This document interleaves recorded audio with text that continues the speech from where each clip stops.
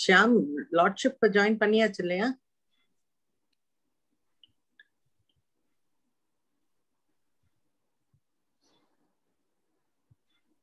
S ma'am எல்லாருமே join பண்ணியாச்சு ma'am ma'am அவர் கோவஷப்பட யூசர்ன்ற பேர்ல இருக்காங்க மேம் ஜஸ்டிஸ் யூசர் ஆ எனக்கு தெரியல அதுதான். யூசர் யூசர்ன்ற பேர்ல ஜஸ்டிஸ் இருக்காங்க யூசர் யூசர் யூசரா ஓகே.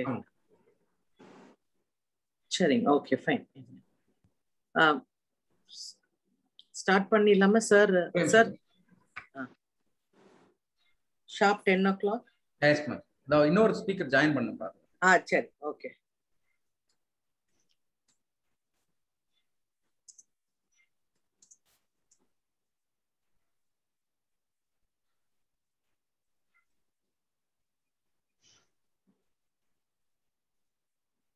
ஆ.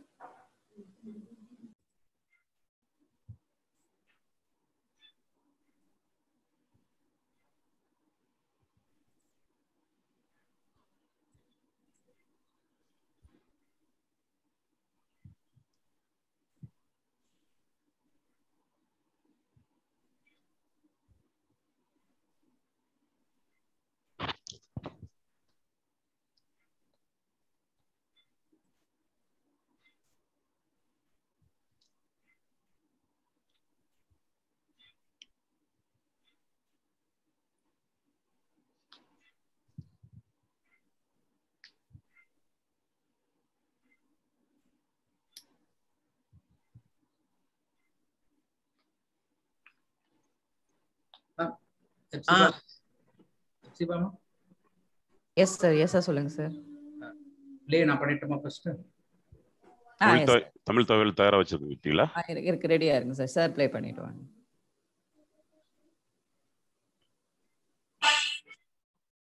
பார்த்து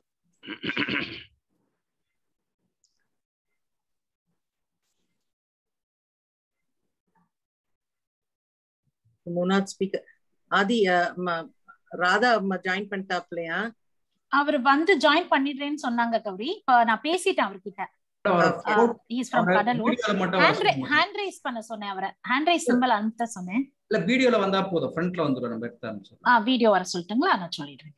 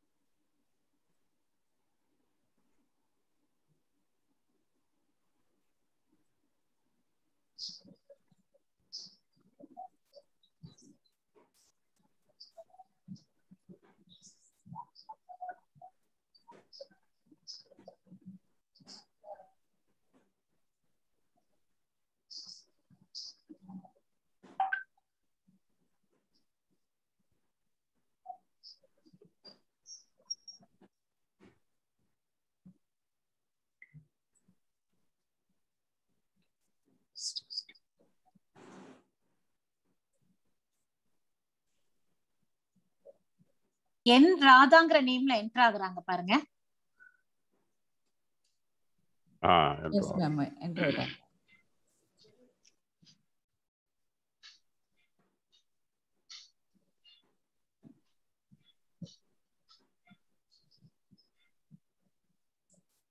ஆ ஷாம் அன்மூட் பண்ணிக்க ஷாம் உங்கள்ட்ட. ரெக்வெஸ்ட் கொடுத்துருக்கோங்க மேம் ஒரு கை இது பண்ணிப்பாரு அன்மியூட் பண்ணு ஷாம் உங்கள்ட்ட. ஜெர்சி மேம் தமிழ் தமிழ் தாய்வாழ்த்து கொஞ்சம் நீங்க ப்ளே பண்ணுங்களா? Sure sure sure okay alright sir டீல சார் ஸ்டார்ட் பண்ணிடலாமா சார்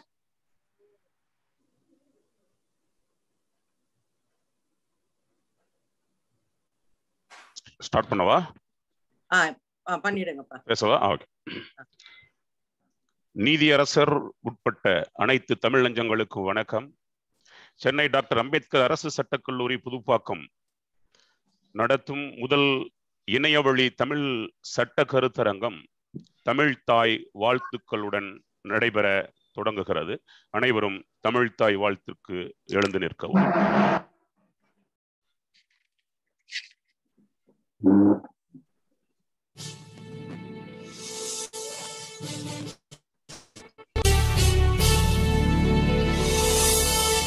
நீராறும் கடலுடுத்த நிலமடந்தை கெழிலொழுகும்.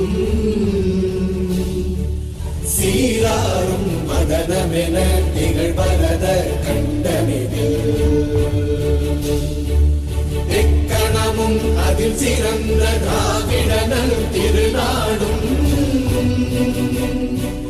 தக்க சிறு திரை முதலும் தரித்தனரும் திலகமுமே. அத்திலக வாசனை போல் அனைத்துலகும் இன்பமுற. எத்திசையும் புகழ் மணக்க இருந்த பெரும் தமிழடங்கே தமிழடங்கே உன் சீரிழமை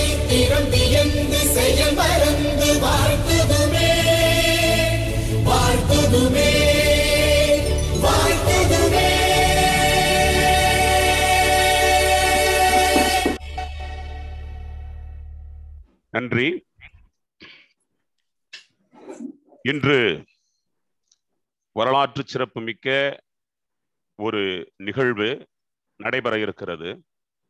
சென்னை டாக்டர் அம்பேத்கர் அரசு சட்டக்கல்லூரி புதுப்பாக்கம் முதல் முறையாக இணைய வழியில் தமிழ் சட்ட கருத்தரங்கினை நடத்துகிறது.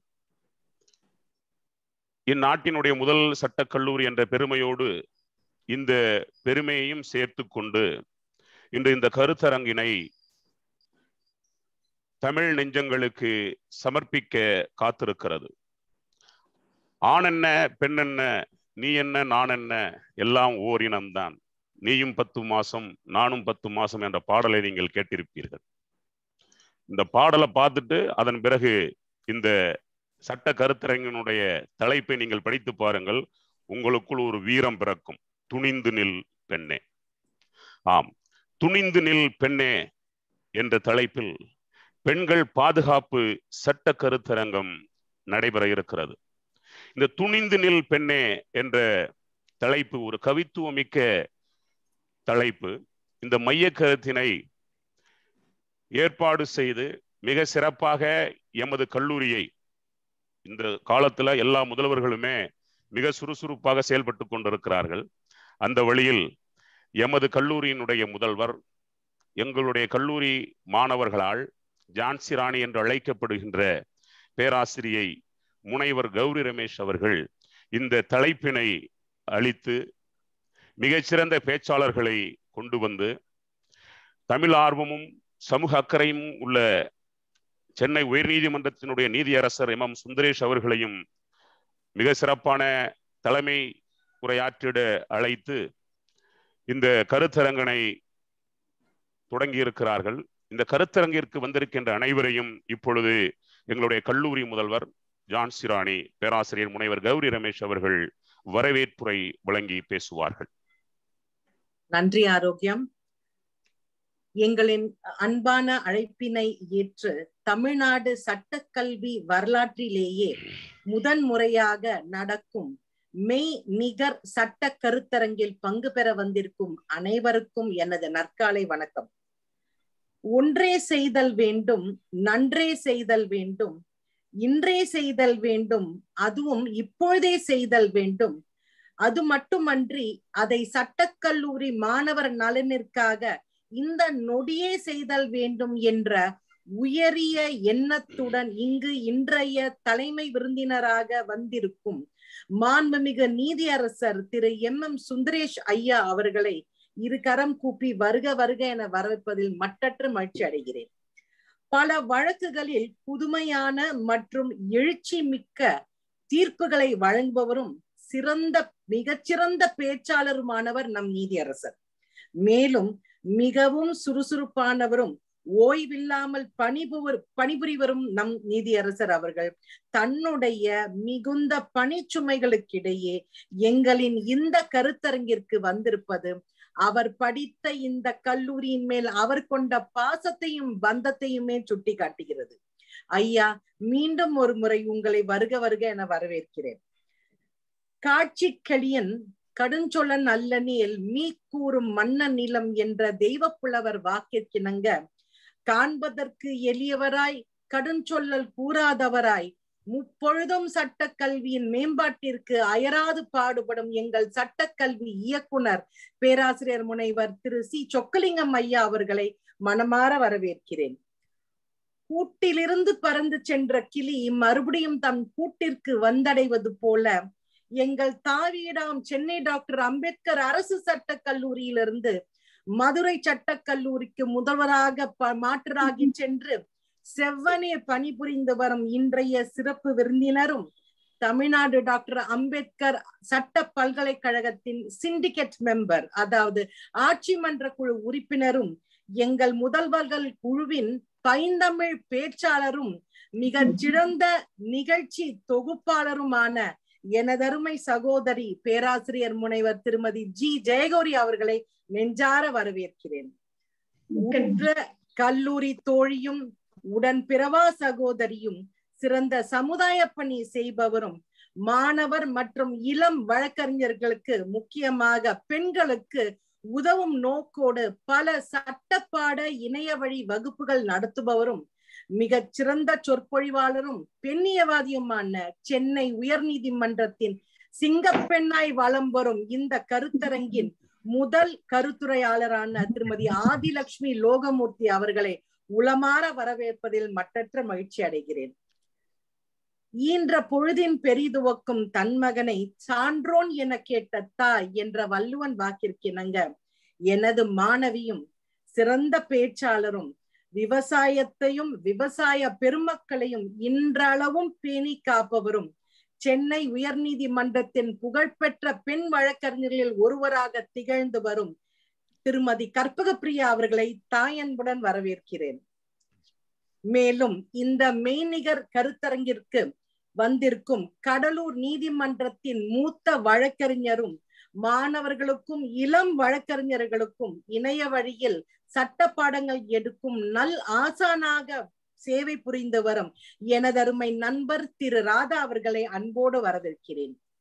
மேலும் இந்த கருத்தரங்கிற்கு வந்திருக்கும் ஏனைய அரசு சட்டக்கல்லூரி முதல்வர்களையும் தமிழ்நாடு சட்ட பல்கலைக்கழகம் மற்றும் சட்டக்கல்லூரி பேராசிரியர் பெருமக்களையும் உத- இந்த நிகழ்வின் இணை இணை ஒருங்கிழப்பாளர்களான உதவி பேராசிரியர்கள் திரு ஆரோக்கியம் அவர்கள் திரு சுபாஷ் சந்திரபோஸ் அவர்கள் மூத்த மூத்த உதவி பேராசிரியர் திரு சுபாஷ் சந்திரபோஸ் அவர்கள் திரு ஆரோக்கியம் டாக்டர் ஷியாம் சுந்தர் திருமதி ஏகாஹினி திருமதி ஹெப்சிபா பியூலா திரு கார்த்திக் மற்றும் திருமதி தர்ணி அம்மாள் ஆகியோரையும் எங்கள் கல்லூரியின் பேராசிரியர் பெருமக்களையும் மாணவ செல்வங்களையும் மற்றும் இதர பங்கேற்பாளர்களையும் மகிழ்வோடு வரவேற்கிறேன்.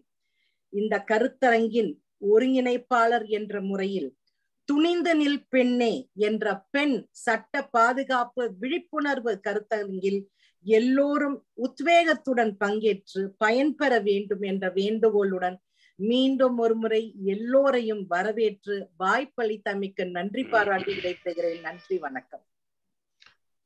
நன்றி நன்றி மேடம். தமிழ் அறிவியால் வாழ்த்துறை வழங்கிய உங்களுக்கு நன்றி. அடுத்ததாக சென்னை சட்டக்கல்லூரி சென்னையினுடைய உயர்நீதிமன்ற வளாகத்தில் இருந்து பிரிக்கப்பட்டு இப்போது உடைக்கப்பட்ட பிறகு தமிழகத்திலே மிகப்பெரிய கல்லூரியாய் மதுரை கல்லூரி இப்போது விளங்கிக் கொண்டிருக்கிறது. மதுரக்காரங்களையே கட்டி மேய்க்கின்ற ஒரு பொறுப்பினை பெற்றிருக்கின்ற அஹ், எங்களுடைய மதுரை கல்லூரியினுடைய முதல்வர் பேராசிரியர் முனைவர் ஜி கௌரி ஜெயகௌரி அவர்கள் அஹ், மிக சிறந்த பேச்சாளர் எங்களுடைய கல்லூரி முதல்வர் கௌரி ரமேஷ் அவர்கள் சொன்னது போல தமிழ் தமிழை அவை இவர் உச்சரிக்கின்ற பொழுது தமிழன்னை இவரை கட்டி அணைப்பார். இந்த ஒரு அற்புதமான ஒரு நிகழ்விலே ஒரு வரலாற்று சிறப்புமிக்க நிகழ்விலே இந்த கருத்தரங்கம் மிகச்சிறந்த வகையிலே வெற்றி பெற்றிட வேண்டும் பெண்கள் அனைவரும் துணிந்து நிற்க வேண்டும் என்று வாழ்த்துரை வழங்கிட உங்களை அன்போடு வரவேற்கிறேன். இப்பொழுது முனைவர் ஜி கௌரி ரமேஷ் ஜெயகௌரி அவர்கள் வாழ்த்துரை வழங்குவார்கள். மிக்க நன்றி நிகழ்ச்சி தொகுப்பாளர் ஆரோக்கியம் அவர்களே. அனைவருக்கும் என் இனிய காலை வணக்கம். நீதி பரிபாலனம்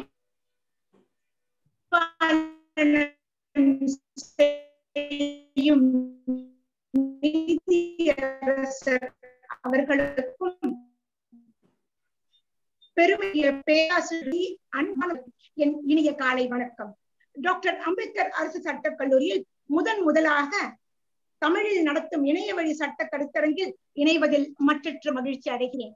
அந்த விழாவிற்கு என்னையும் அழைத்ததில் மிக்க பெருமையும் சந்தோஷமும் அடைகிறேன். நீங்கள் என் மேல் கொண்ட பாசத்திற்கும் நான் என்றும் நன்றி கடன் பட்டுள்ளேன் இந்த பெருந்தொற்று காலத்தில் முதல்வர் சமூகத்தில் இருக்கும் பெண்களுக்கு விழிப்புணர்வு அளிக்கும் வகையில் சட்ட கருத்தரங்கினை நடத்துகின்றனர். சட்ட கருத்தரங்கின் தலைப்பு மிகவும் பாராட்டத்தக்க தலைப்பு. இந்த தலைப்பை யார் தேர்ந்தெடுத்திருந்தாலும் அவர்களுக்கு ஒரு பெரிய நன்றியினை தெரிவித்துக் கொள்கிறேன். ஜான்சி ராணி என்று நீங்கள் எல்லாம் புகழப்படும் உங்களது முதல்வர் தான் இந்த தலைப்பை தேர்ந்தெடுத்திருப்பார்கள் உங்களினுடைய ஆலோசனை என்று நினைக்கிறேன். இந்த இந்த தலைப்பு எப்பொழுதும் சமகால தலைப்பாகவும் ஐம்பது விழுக்காடு சராசரியாக ஐம்பது விழுக்காடு இருக்கக்கூடிய இந்த உலகத்தில் அவர்கள் மேல் அக்கறை கொண்டதனாலும் எடுத்த தலைப்பு இந்த விழாவினை நடத்துவதற்கு முதல்வர் அரசு டாக்டர் அம்பேத்கர் அரசு சட்டக்கல்லூரி முதல்வர் பேராசிரியர் முனைவர் கௌரி ரமேஷ் அவர்களுக்கும் அவர்களுடைய குழுவினருக்கும் இந்த விழாவினை நடத்துவதற்கு அனுமதி அளித்த இந்த சட்ட கருத்தரங்கின் விழாவினை நடத்துவதற்கு அனுமதி அளித்த சட்டக்கல்வி இயக்குனர் திரு பேராசிரியர் முனைவர் திரு சி. சொக்கலிங்கம் ஐயா அவர்களுக்கும் பாராட்டுதல்களையும் வாழ்த்துதல்களையும் தெரிவித்துக் கொள்கிறேன். தடை கற்களை படிக்கற்களாக மாற்றும் சக்தி வல்லமை பெண்ணிற்கு உண்டு. மலையென தடைகள் வந்தால் என்ன? உளியென நீயே எழுந்திடு பெண்ணே என்றும் இந்த பெண்களின் உரிமைகளையும் அவர்களுக்கு சட்டத்தில் உள்ள நுணுக்கங்களை பற்றியும் இந்த சட்ட கருத்தரங்கில் தலைமையுரை ஆற்ற வருகை புரிந்துள்ளார் மாண்புமிகு நீதியரசர்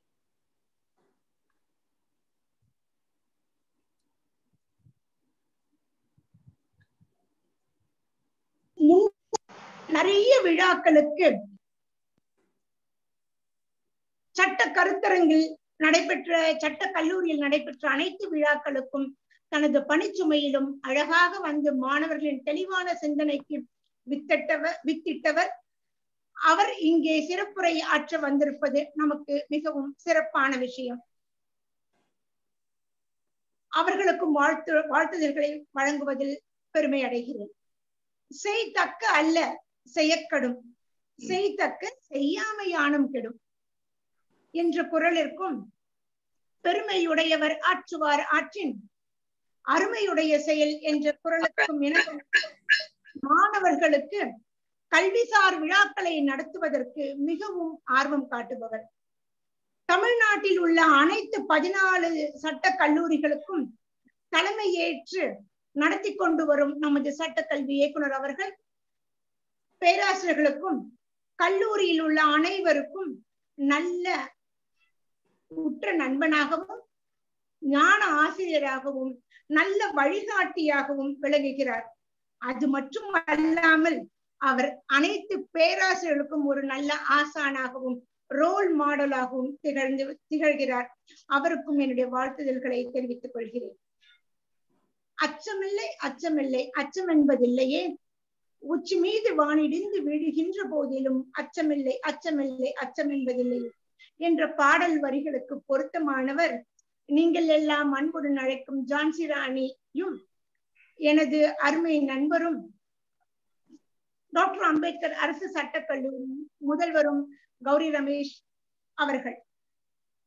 அவர்கள் மிக மிகவும் துணிச்சலான பெண். பெண்கள் வாழ்க்கையில் அச்சம் ஏதுமின்றி துணிவுடன் வாழ்வதற்கும் பணிபுரியும் இடங்களில் எந்தவித தொந்தரவிற்கு ஆளாகாமல் வாழ்வதற்கான சட்டங்களை மாணவர்கள் கட்டாயம் தெரிந்து கொள்ள வேண்டும் என்பதற்காகவும் பொது மக்களிடையே இது குறித்து விழிப்புணர்வு வழங்குவதற்கு இந்த விழாவினை ஏற்பாடு செய்துள்ளார். இன்றைய ஏற்பாடு செய்துள்ளார்.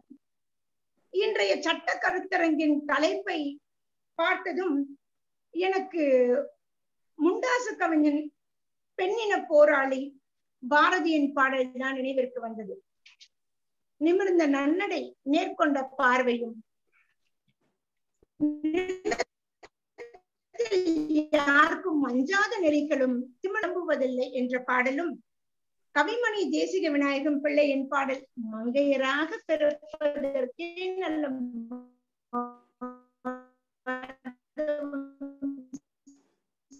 செய்தி வேண்டும் அம்மா அழகான கவிதைகளை பத்தொன்பதாம் இருபதாம் நூற்றாண்டுகளில் கவிதைகளாக பாடியவர்கள் நமது கவிஞர்கள். கவிதைகள் கவிதைகள் பாடல்கள் எல்லாம் உண்மையின் உரைகள் என்றும் காலத்தின் நில கண்ணாடி என்றும் நாம் கூறலாம். இந்த பெண்ணின் பெண்ணின் உரிமைகள் பெண்ணின போராளிகள் கண்ட கனவு இருபத்தி ஓராம் நூற்றாண்டில் மெய்ப்பிக்கப்பட்டதா என்றால் ஓரளவுக்கு நாம் அதற்கு ஆம் என்றுதான் சொல்ல வேண்டும். இந்த இருபதாம் நூற்றாண்டிலும் இருபத்தி ஓராம் நூற்றாண்டுகளில் பெண்களை பாதுகாக்கும் சட்டங்கள் அந்த பாடல்களின் பின்தான் ஏற்றப்பட்டது பெண்களுக்கு இழைக்கப்படும் அநீதிகளையும் தவறுகளையும் குற்றங்களையும் சட்டங்களின் மூலம் களைய ஆரம்பித்தனர். கருவறை முதல் கல்லறை வரை பெண்கள் பல்வேறு வகையான வன்முறைக்கு இலக்காவது மிகவும் கொடுமையானது. இவ்வுலகில் ஏற்படும் எந்த பெண்களும் குழந்தைகள் மட்டுமே. இதனால்தான் ஆயிரத்தி தொள்ளாயிரத்தி தொண்ணூத்தி மூன்றில் வியன்னாவில் நடைபெற்ற மனித பிரகடன மாநாட்டில் பெண்களின் உரிமைகள் மீறல் என்பது மனித உரிமை மீறல் என்று சுட்டிக்காட்டப்பட்டது. ஆயிரத்தி தொள்ளாயிரத்தி எழுபது தொண்ணூத்தி ஏழில் விசாகா எதிர் ராஜஸ்தான் மாநிலம் வழக்கில் பெண்கள் பணிபுரியும் இடங்களில் பாலியல் தொந்தரவிற்கு ஆளாக கூடாது என்பதற்காக ஒரு வழக்கில் நல்ல ஒரு தீர்ப்பினை அளித்தார்கள். அந்த வழக்கின் அடிப்படையில் பணிபுரியும் பெண்களுக்கு இங்கு நான் உங்களுக்கு சொல்ல விரும்புகிறேன் வீட்டிலிருந்து வெளியில் சென்று பணிபுரியும் பெண்களுக்கு பாலியல் வன்முறைக்கு எதிரான பெண்கள் பாதுகாப்பு சட்டம் இயற்றப்பட்டது. இச்சட்டத்தின் நோக்கமே பணி செய்யும் இடங்களில் பெண்களுக்கு ஒரு நல்ல சூழலை ஏற்படுத்தி கொள்வதே ஏற்படுத்தி தருவதே ஆகும்.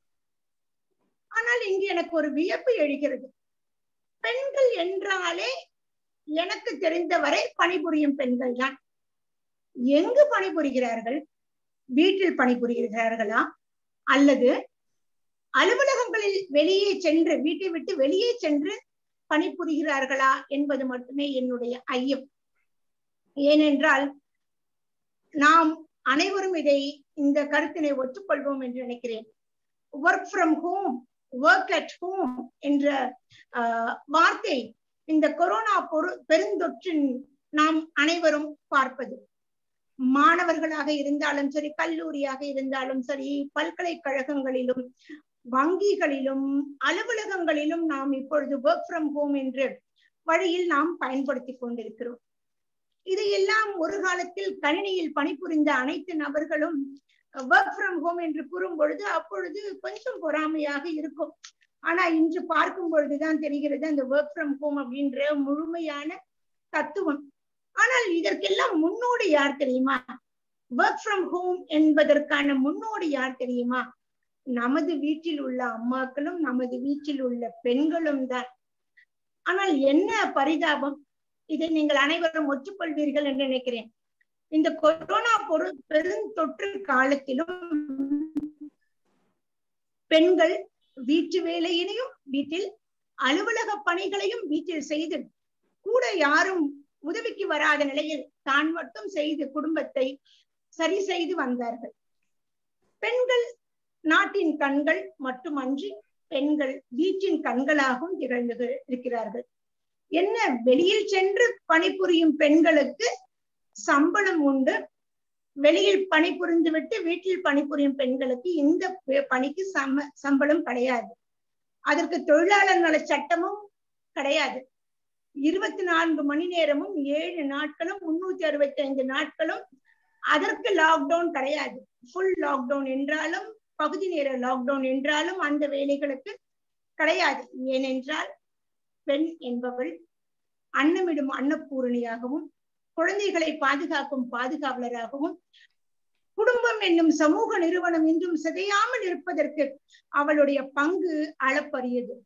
இந்த சமூக நிறுவனம் சிதையாமல் இருப்பதற்கு அவள் காட்டும் அவள் காட்டும் ஸ்ரத்தை அவள் செய்யும் சேவை என்பது அனைவரும் பாராட்டத்தக்கது.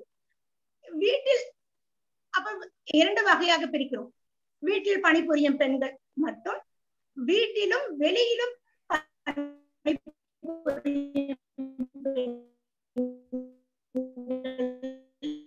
என்றும் நாம் இதை பிரிக்கலாம். இப்படி பிரிக்கும் பொழுது அன்பும் மரணம் உடைத்தாயின் இல்வாழ்க்கை பண்பும் பயனும் அது என்ற குரலுக்கிணங்க அன்பினால் தன் குடும்பத்தில் உள்ள அனைவரையும் தன் சேவையினால் பாராட்ட வைப்பவர். இவர்களுக்கு ஏதாவது பிரச்சனை வந்தால் இவர்களை பாதுகாக்கும் சட்டம் டொமஸ்டிக் வயலன்ஸ் ஆக்ட் குடும்ப வன்முறை சட்டம். வெளியில் சென்று வீட்டை விட்டு வெளியில் சென்று பணிபுரியும் பெண்களை பாதுகாக்கக்கூடிய சட்டம் பாலியல் வன்முறைக்கு எதிரான பெண்கள் பாதுகாப்பு சட்டம் இருக்கிறது. இவ்வாறு பெண்கள் கல்வி கற்று பல்வேறு துறைகளிலும் சிறந்து விளங்குகிறார்கள். இந்த சட்டத்தை பற்றி பேசுவதற்கு நம்மிடையே வழக்கறிஞர் ஆதிலட்சுமி லோகமூர்த்தி வந்துள்ளார். அவர் உறக்க சொல்வதையும் இன்முகத்துடன் பேசி அனைவரும் பாராட்டையும் பெறுபவர். பெண்களுக்கு எதிரான இணைய வழி குற்றங்களை பற்றி பேசுவதற்கு வழக்கறிஞர் கற்பக பிரியா வந்துள்ளார். தற்காலத்தில் இணைய வழி மூலம் நிகழும் குற்றங்கள் எவ்வாறு நிகழ்கிறது என்றும் அதற்கான தீர்வழியும் கூற உள்ளார் இங்கு ஒரு முக்கிய விஷயத்தை நாம் அனைவரும் பார்க்க வேண்டும். இணைய வழியில் இப்பொழுது நாம் அனைத்தையுமே செய்து கொண்டிருக்கிறோம். ஒரு மூன்று வருடத்திற்கு முன்னால் மாணவர்கள் கல்லூரியில் சேரும் போது அவர்களுடைய பெற்றோர்களுக்கு நாங்கள் எல்லாம் கூறுவோம் பேரரசர்கள் எல்லாம் கூறுவோம் மாணவர்களுக்கு விலை உயர்ந்த செல்போனை வாங்கி கொடுக்காதீர்கள். பேசுவதற்கு மட்டும் ஒரு செல்போன் வாங்கி கொடுங்க அப்படின்னு சொல்லுவோம். ஏன்னா சின்ன வயதுல இருக்கக்கூடிய பிள்ளைகள் மனம் அவருடைய இலக்கு மாறக்கூடாது என்பதற்காக. ஆனா சென்ற ஆண்டு நாங்கள் சேர்க்கை போடும் பொழுது முதலில் அவர்களிடம் பெற்ற தகவல் வாட்ஸ்அப் நம்பர் தான். ஏனென்றால் கல்வி இப்பொழுது அலைபேசியிலும் தொலை இவ்வாறு ஏற்படக்கூடிய சூழலில் மாணவர்கள் தெரியாமல் அறியாமல் தவறுகளில் சிக்கல்களில் மாட்டிக்கொள்வதற்கான ஆஹ், நேரங்களில் கட்டாயமாக இணைய வழி குற்றங்களை பற்றி இருக்கக்கூடிய தீர்வழிகளை மாணவர்கள் தெரிந்து கொள்வது மிகவும் அவசியம் என்றும் நினைக்கிறேன் நினைக்கிறேன்.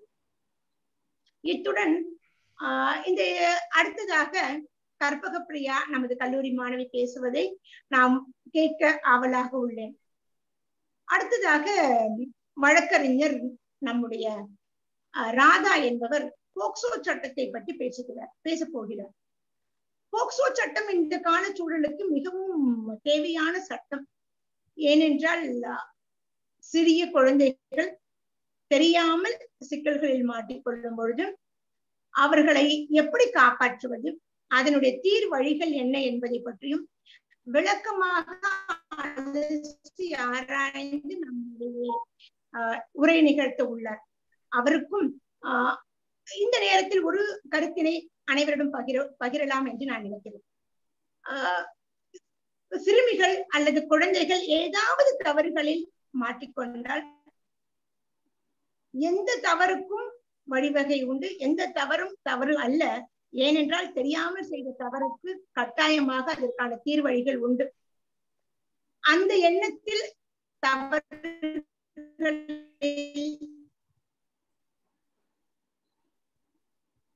மாட்டாதீர்கள். மாற்றினாலும் அதற்கு மட்டும் யோசிக்காமல் அனுபவம் மிகுந்த பெற்றோர்களை அணுகி அதற்கான தீர்வழியை நீங்கள் பெறலாம். அவர்கள் அனுபவத்தினால் காவல் நிலையமோ அல்லது நீதிமன்றத்தில் எப்படி அணுகுவது என்று அவர்கள் ஆலோசிப்பார்கள். இதில் பெற்றோர்களும் பிள்ளைகளை பார்த்து எப்பொழுதும் திட்டிக் கொண்டிராமல் பிரச்சனைகள் வரும்பொழுது எப்படி அதை தீர்ப்பது என்ற இருவரும் அமர்ந்து பேசி அதற்கான ஒரு தீர்வினை பெற வேண்டும் என்று நினைக்கிறேன். பெற்றோர்களும் குழந்தைகளும் ஒரு நல்ல உறவில் இருந்தால்தான் இந்த வகையான பிரச்சனைகளுக்கு நாம் தீர்வு காண முடியும். நிறைய விஷயங்களுக்கு நாம் பேசிக்கிறோம்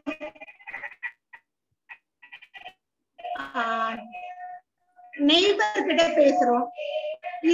ஃப்ரெண்ட்ஸ் கிட்ட நிறைய நடக்கப்படும் போது நாம் நிறைய பேரிடம் பேசிக்கிறோம். ஆனால் எதை எப்படி எவ்வாறு நாம் பிள்ளைகளுடன் பேச வேண்டிய விஷயங்களை பக்கத்து வீட்டுக்காரரிடமிருந்து பேசினால் எந்தவித பயனும் வராது. சோ பிள்ளைகளுக்கு ஒரு நல்ல தைரியத்தை கொடுங்கள். பிரச்சனையே வரும்போது அதை சமாளிக்கக்கூடிய தைரியத்தையும் கொடுத்து அவர்களை உங்களிடம் சரியாக அணுகி அந்த விஷயங்களுக்கு தீர்வு காண வையுங்கள் என்று கூறுவதுடன் நான்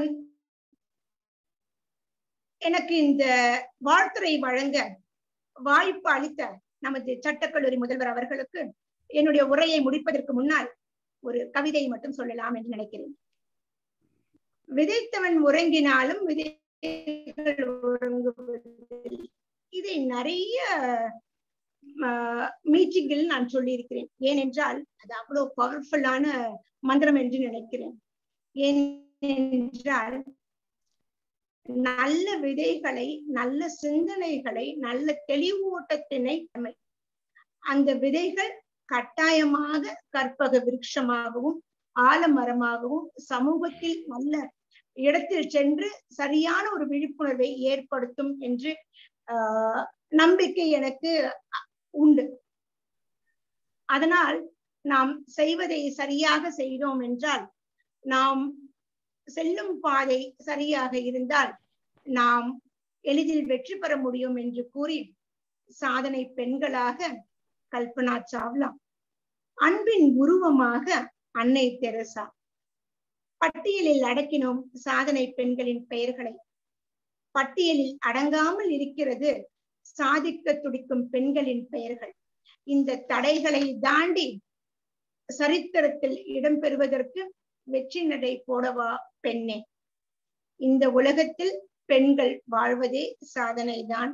ஆனால் சாதனை பல சாதனைகள் பெண்கள் புரிய வேண்டும் என்று கூறி இந்த எனது கருத்தினை இந்த சட்ட கருத்தரங்கத்தில் கூறுவதற்கும் இந்த வாழ்த்துறை வழங்க எனக்கு வாய்ப்பு அளித்த எனது நண்பரும் டாக்டர் அம்பேத்கர் அரசு சட்டக்கல்லூரி முதல்வரும் கௌரி ரமேஷ் அவர்களுக்கும் அந்த குழுவிற்கும் தொகுப்பாளருக்கும் அங்கே இந்த விழாவினை சிறக்க செய்வதற்கும் வழிகாட்டியாக அல்லும் பகலும் அயராது பாடுபட்டு கொண்டிருக்கும் அனைத்து பேரசருக்கும் நன்றி கூறி நல்ல வாய்ப்பு அளித்த அனைவருக்கும் நன்றி கூறி விடைபெறுகிறேன். நன்றி வணக்கம். வணக்கம். நன்றி மேடம். ரொம்ப அற்புதமான தமிழ் நீண்ட தமிழ் மலையால் வாழ்த்தியுரை வழங்கினீர்கள். நன்றி. உண்மையை சொல்ல போகிறேன். ஆண்களாகிய நாங்கள் இந்த தலைப்பினை வைக்கவில்லை. துணிந்து நின்ற பெண்களால் துணிந்து நின்ற பெண்மணி எங்களுடைய முதல்வர் அவர்களால் தான் இந்த தலைப்பு வைக்கப்பட்டது. அந்த தகவலோடு எங்களுடைய சட்ட கல்வி இயக்குனர் பேராசிரியர் டாக்டர் சி. சொக்லிங்கம்யா அவர்கள் இந்த கருத்தரங்கினை வாழ்த்தி சிறப்புரையாற்ற இருக்கிறார். அவரை பற்றி ஒற்றை வரியில் சொல்ல வேண்டும் என்றால் கீதாச்சாரத்தில் வருகின்ற கடமையை செய் பலனை எதிர்பாராதே என்ற ஒற்றை வாக்கியம் அவருடைய செயல்பாடுகளுக்கு கங்கணம் கூறும். ஆம் தான் செய்கின்ற எந்த பணியையும் அப்பழுக்கற்ற முறையில் எளிய முறையில் அனைவரோடும் கலந்தாலோசித்து செய்வார். நான் அவரோடு பணியாற்றுகின்ற அந்த காலங்களில் சமத்துவம் என்கின்றதை அவரிடமிருந்து தான் நான் கற்றுக்கொண்டேன்.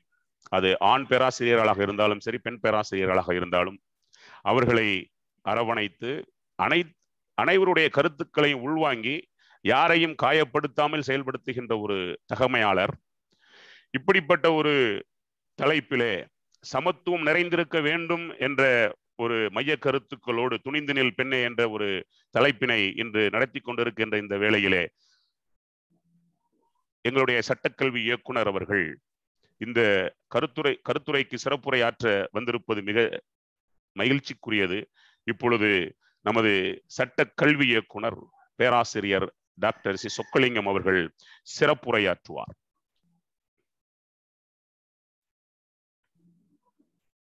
நீதியரசர் உள்ளிட்ட அனைவருக்கும் என்னுடைய அன்பார்ந்த காலை வணக்கம்.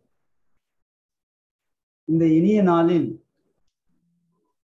ஒரு அருமையான கருத்தரங்கை நம்முடைய தாய்மொழியில் ஏற்பாடு செய்த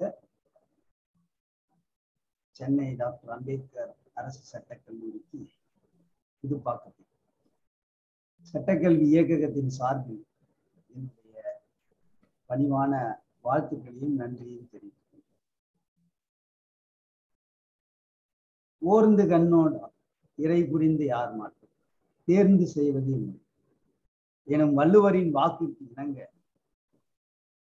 சமுதாய சிந்தனையோடு தன்னுடைய அரும் பணியை செவ்வனே ஆற்றி வரும் நம் அன்பிற்கும் மரியாதைக்கும் உரிய நீதியரசர் எம். எம். சுந்தரேஷ் அவர்கள். அவர்களுடைய பணி நம்முடைய சென்னை உயர்நீதிமன்றத்தில் மட்டுமல்ல இந்தியாவின் உச்ச நீதிமன்றத்திலும் சிறக்க வேண்டும் என்பதை இந்த நேரத்தில் நம்முடைய எதிர்பார்ப்பாக விருப்பமாக தெரிவித்துக் கொள்கிறேன். நிறைவேறும் என்ற நம்பிக்கையும் நமக்கு உள்ளது.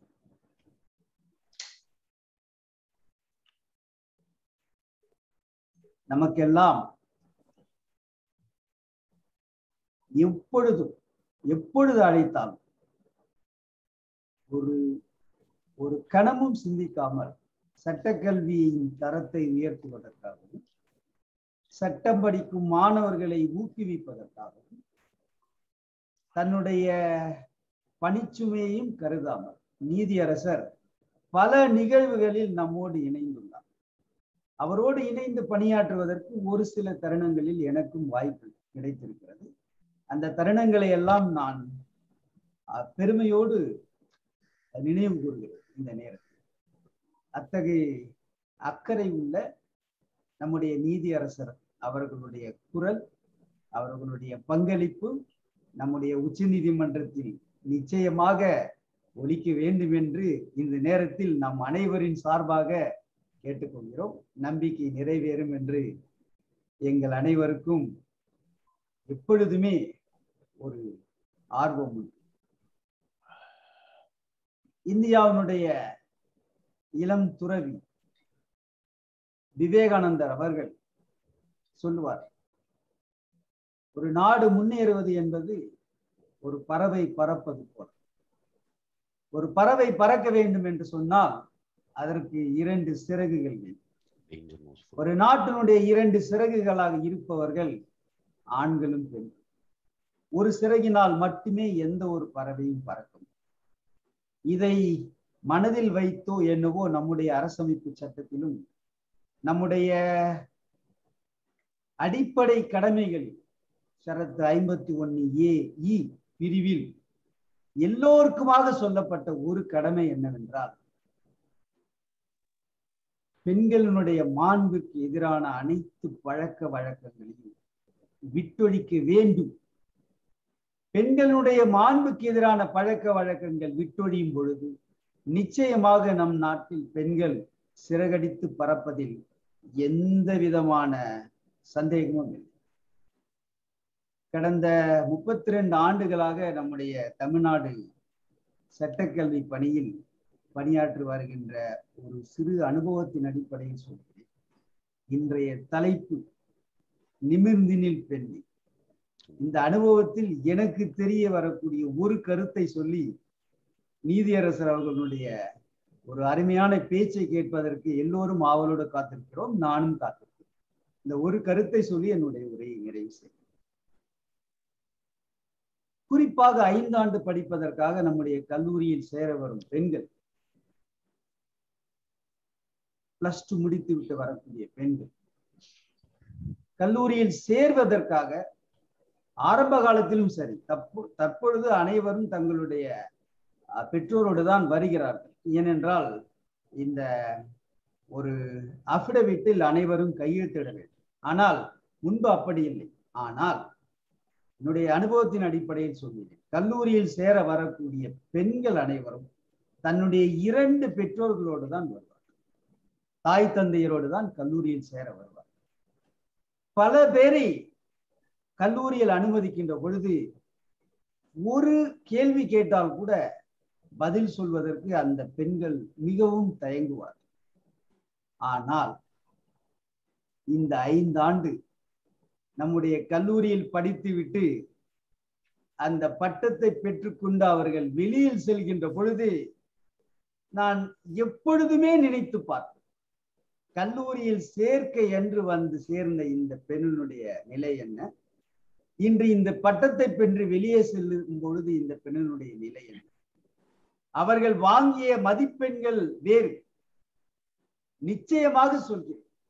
ஒரு பெண் நிமிர்ந்து நிற்க வேண்டும் என்று சொன்னால் இந்த சமுதாயத்தில் அவர்கள் சட்டம் படித்தாலே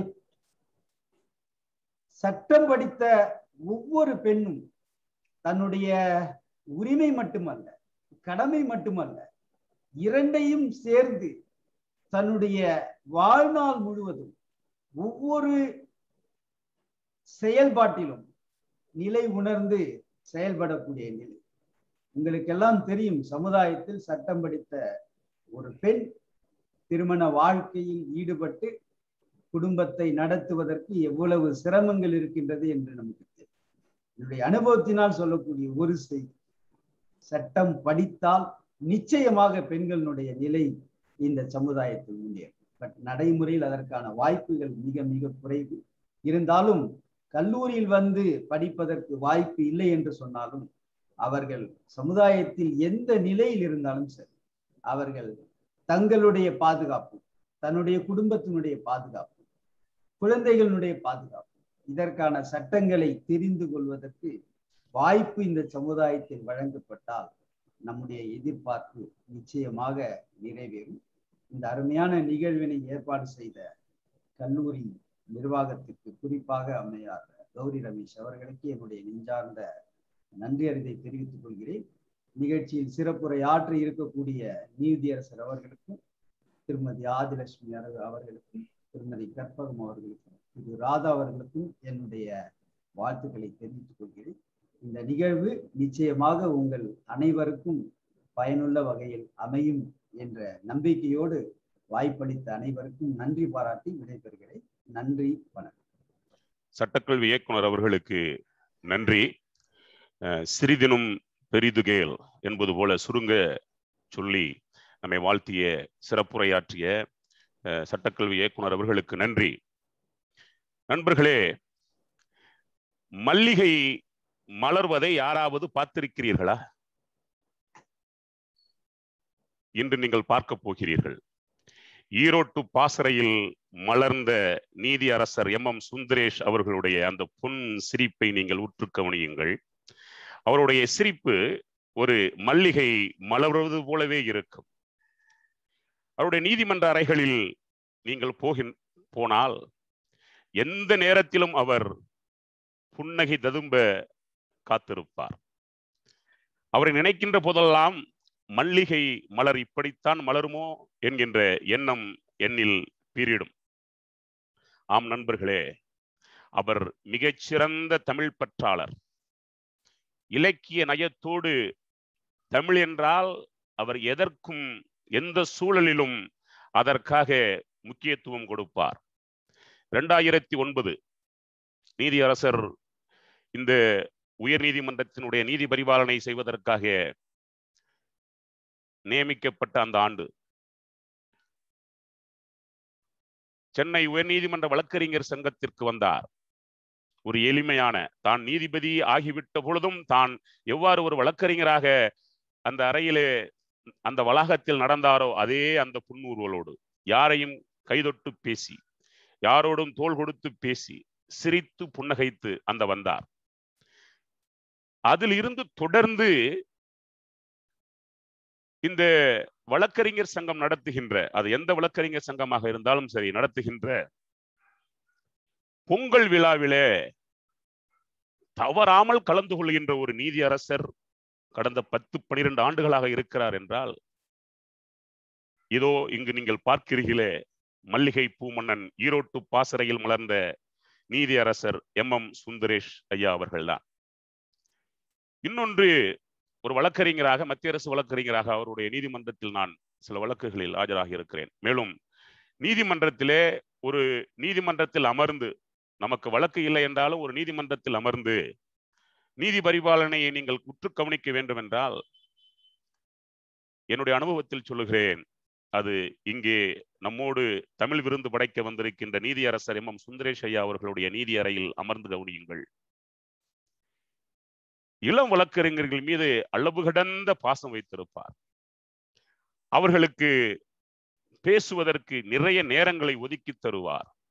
சில நேரங்களில் சட்ட நுணுக்கங்களை இவரே எடுத்துச் சொல்லுவார். எனவே எந்த ஒரு இளம் வழக்கறிஞராக இருந்தாலும் இவருடைய நீதிமன்றத்தில் ஆஜராவதற்கு தயக்கமோ கலக்கமோ படமாட்டான். அந்த இளம் வழக்கறிஞர் என்ன சொல்ல வருகிறார் என்பதை கிரகித்து அவரே அவர்களுக்கு நீதி வழங்கிய நெடுங்கதைகளை நான் பார்த்திருக்கிறேன்.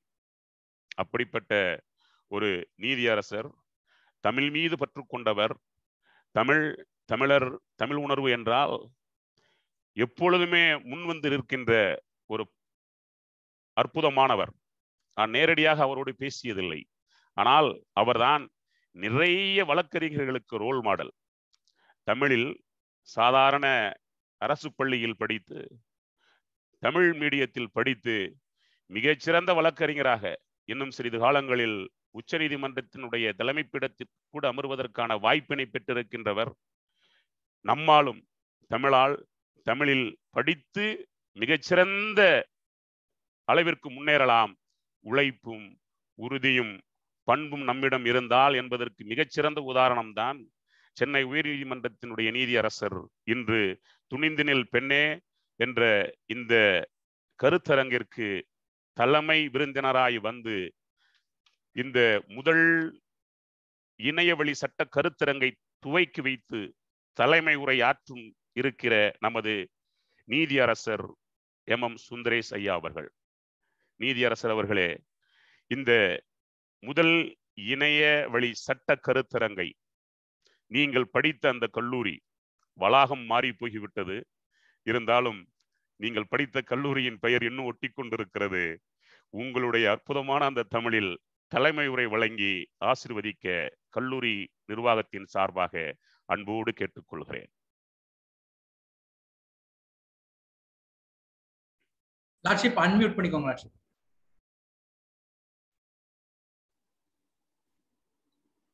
கரெக்ட் பாலும் தெளிதேனும்.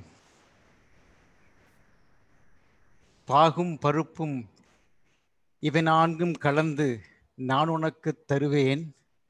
கோலம் செய். துங்கக் கரிமுனத்து தேமுனியே நீ எனக்கு சங்க தமிழ் மூன்றும் தா. அன்னை தமிழுக்கு முதல் வணக்கம். அம்மியூட்டா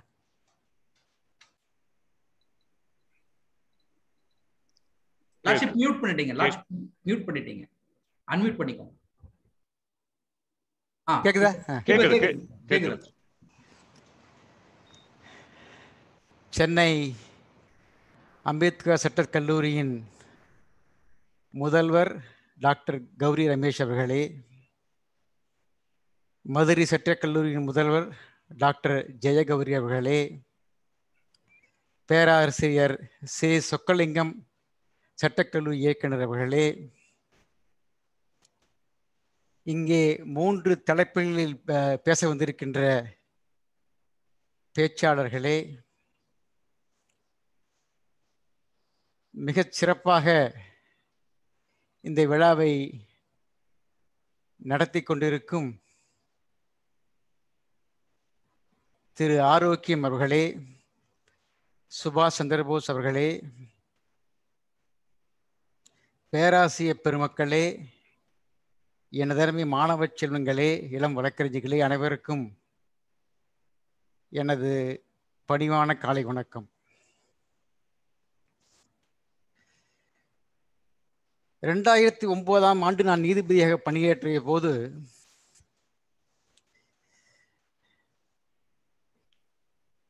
இந்த நான் படித்த இந்த கல்லூரிக்கு ஏதாவது செய்ய வேண்டும் என்ற ஒரு உந்துதலை நல் உண்டாயிற்று. கிட்டத்தட்ட ஒரு மூன்று ஆண்டுகள் இது போன்ற கருத்தரங்களை நான் நடத்தினேன்.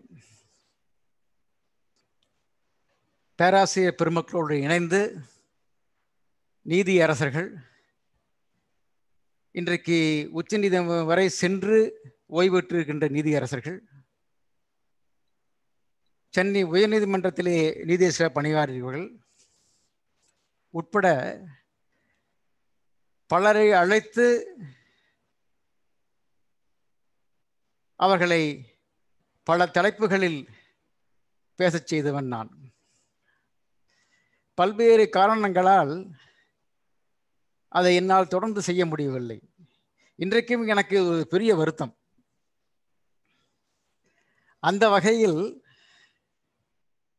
கல்லூரி முதல்வர் அவர்கள் இந்த முதல் இணையதள சட்ட கருத்தரங்கத்துக்கு அழைத்து தலைமை சங்கம் சொன்னதில் எனக்கு மிகப்பெரிய மகிழ்ச்சி.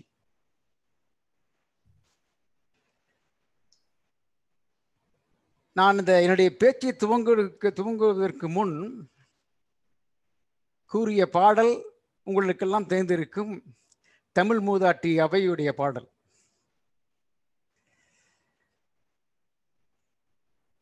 ஆரோக்கியம் அவர்கள் மிக சிறப்பாக தொகுத்து வழங்கி கொண்டிருக்கிறார். அவருடைய பேச்சை கேட்குறப்ப எனக்கு வந்து அந்த காலத்தில் இலங்கை வானொலியில் கேட்குற பேச்சு தான் இருந்தது. மிக மிக அற்புதமான ஒரு ஒரு ஒரு பேச்சு அவருடைய பேச்சு. அவருடைய பேச்சு துணி மிக அழகாக இருக்கிறது. நன்றி. தமிழ் என்றாலே நீதி. தமிழ் என்றாலே ஒரு அறம். இது நம்ம ஒன்றும் நம்ம ஒன்றும் பெரிய விஷயம் இல்லை. நீங்கள் நீங்கள் பார்த்தீங்கன்னா உலக என்ன நான் எந்த நான் ஒரு நான் ஒரு எந்த கருத்துங்கள்லாம் நான் சொல்ல தயாராக இருக்கிறேன். உலக அளவிலே தமிழ் மொழி அளவிற்கு நீதியை சொன்ன எந்த மொழியும் கிடையாது. இருக்க முடியாது என்பது கருத்து. நீங்க நீதி நூல்கள் எடுத்துக்கிட்டீங்க. அனைத்து நூல்களிலும் ஒரு நீதி இருக்கும். அறம் இல்லாமல் தமிழ் அல்ல இல்லை. அதனால அறத்தோட வந்தது இந்த மொழி. ஒன்று நான் இங்கே ஒத்துக்கொள்ள வேண்டும். என்னை பேச அழைத்த பொழுது இங்கே ஆதிலட்சுமியும் மற்றவர்களும் எந்த தலைப்பில் பேசுகிறார்கள் என்பதைத்தான் நான் கவனத்தில் கொண்டேன் ஒழிய துணிந்தனில் பெண்ணே என்னுடைய தலைப்பை நான் பார்க்கவில்லை.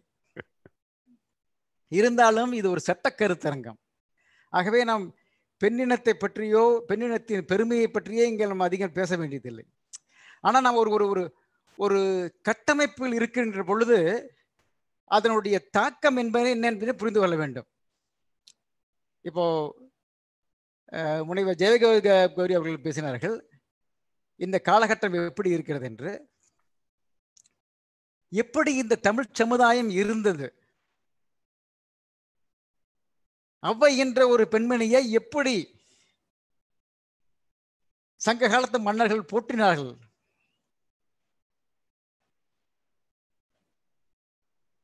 தான் அழிந்தாலும் தன் இனம் அழிந்தாலும் தமிழ் தமிழ் மூதாட்டி அழியக்கூடாது என்று மன்னன் நினைத்தான்ல? அதையும் நினைத்தான். அப்படியே தழுதழுத்து அந்த அம்மா சொல்லுச்சு. என் வாய்ச் எப்படி என்னுடைய குழந்தை குழந்தை பேசுற மாதிரி நான் எனக்கு பிடிச்சு என் வாய்ச்சொல்லும் அண்ணன் என்று சொன்னான்.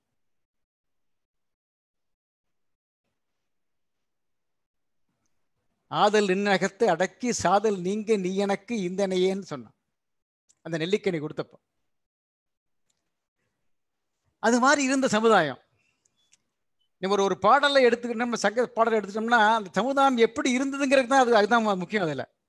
அதனுடைய தமிழ் சொல்லுடைய ஒரு ஒரு தாக்கம் இருக்கும் அதனுடைய பெருமை இருக்கும் அவர்கள் இப்போ க ஒரு- ஒரு ராம கம்பனுடைய ராமாயணத்தை எடுத்துட்டோம்னா ராமன் ஆண்ட நாடு அயோத்தி.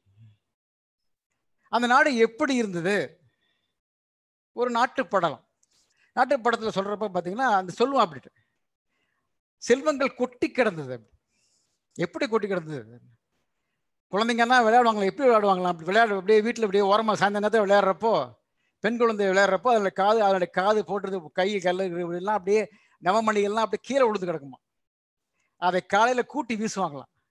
கூட்டி வீசினது வந்து ஒரு மலை மாதிரி குமிஞ்சிருக்குமா அந்த குமிந்து இருக்கிற மலையிலே இருக்கின்ற ஒரு ஒரு ஒரு ஒரு மாணிக்க பரலை எடுத்து இந்த ஒரு குருவி சாப்பிட ஒரு ஒரு ஒரு ஒரு பூச்சி என்று நினைத்து அதை எடுத்துக்கொண்டு செல்கின்றதுன்னு சொல்லுவான் அவன். அவ்வளவு ஒரு செல்வாக்கு இருந்தது. ஆனால் இல்லை இருந்தாலும் அந்த நாட்டுக்கு என்ன ஒரு பெருமை அப்படின்னு ஒரு வார்த்தை சொல்லுவாங்க பெண்கள் மிக அழகு மிக்கவளாக இருந்தார்கள். பிறைச்சந்திரனை போன்ற முகமுடையவர்கள். மீனை போன்ற ஒரு க- அழகான கண்களை உடையவர்கள் சொல்லியிருந்தார் இருந்தாலும் அவன் சொல்கின்ற வார்த்தை பாருங்க. பெருந்தடக்கன் பிறனுதற்கால்கெல்லாம் பொருந்து செல்வமும் கல்வியும் பூத்தலால் அங்கே இருக்கின்ற பெண்களுக்கு செல்வமும் கல்வியும் அமைந்திருக்கின்றன. அப்ப என்ன அர்த்தம் அங்க? அந்த சமுதாயம் பெண்களுக்கு அவருக்கு அவருக்கு உரிய வேண்டிய ஒரு இடத்தை கொடுத்திருக்கின்ற சமுதாயம் தான் அதனால் அது பெருமையாக பேசப்படுகிறது. இதுதான் நீங்க பார்க்கணும். அந்த தமிழ் உணர்வு அந்த தமிழ் தமிழ் அந்த அந்த இந்த- இந்த மண் எப்படி இருந்ததுங்க சொல்றதுக்காக தான் அந்த பெண்கள் அப்படி அழகான பெண்களுக்கு பொழிவு எப்படி வந்ததுன்னா பொற்பில் நின்றது பொழிவு பொற்பில் அவளுடைய செயலில் நின்றது பொ- பொழிவு பொய்யிலா நிற்பில் நின்றது நீதி நம்ம நீதி சட்ட அரங்கம் வச்சிருக்கும்போது நீதி எப்படி நின்றது? பெண்களை மதிப்பதாலும் அங்கே நல்ல பெண்கள் இருந்ததாலும். ரெண்டு விஷயம் இருக்குது நீங்க பெண்களை மதிப்பதால் நல்ல நல்ல பெண்கள் உருவாவார்கள்.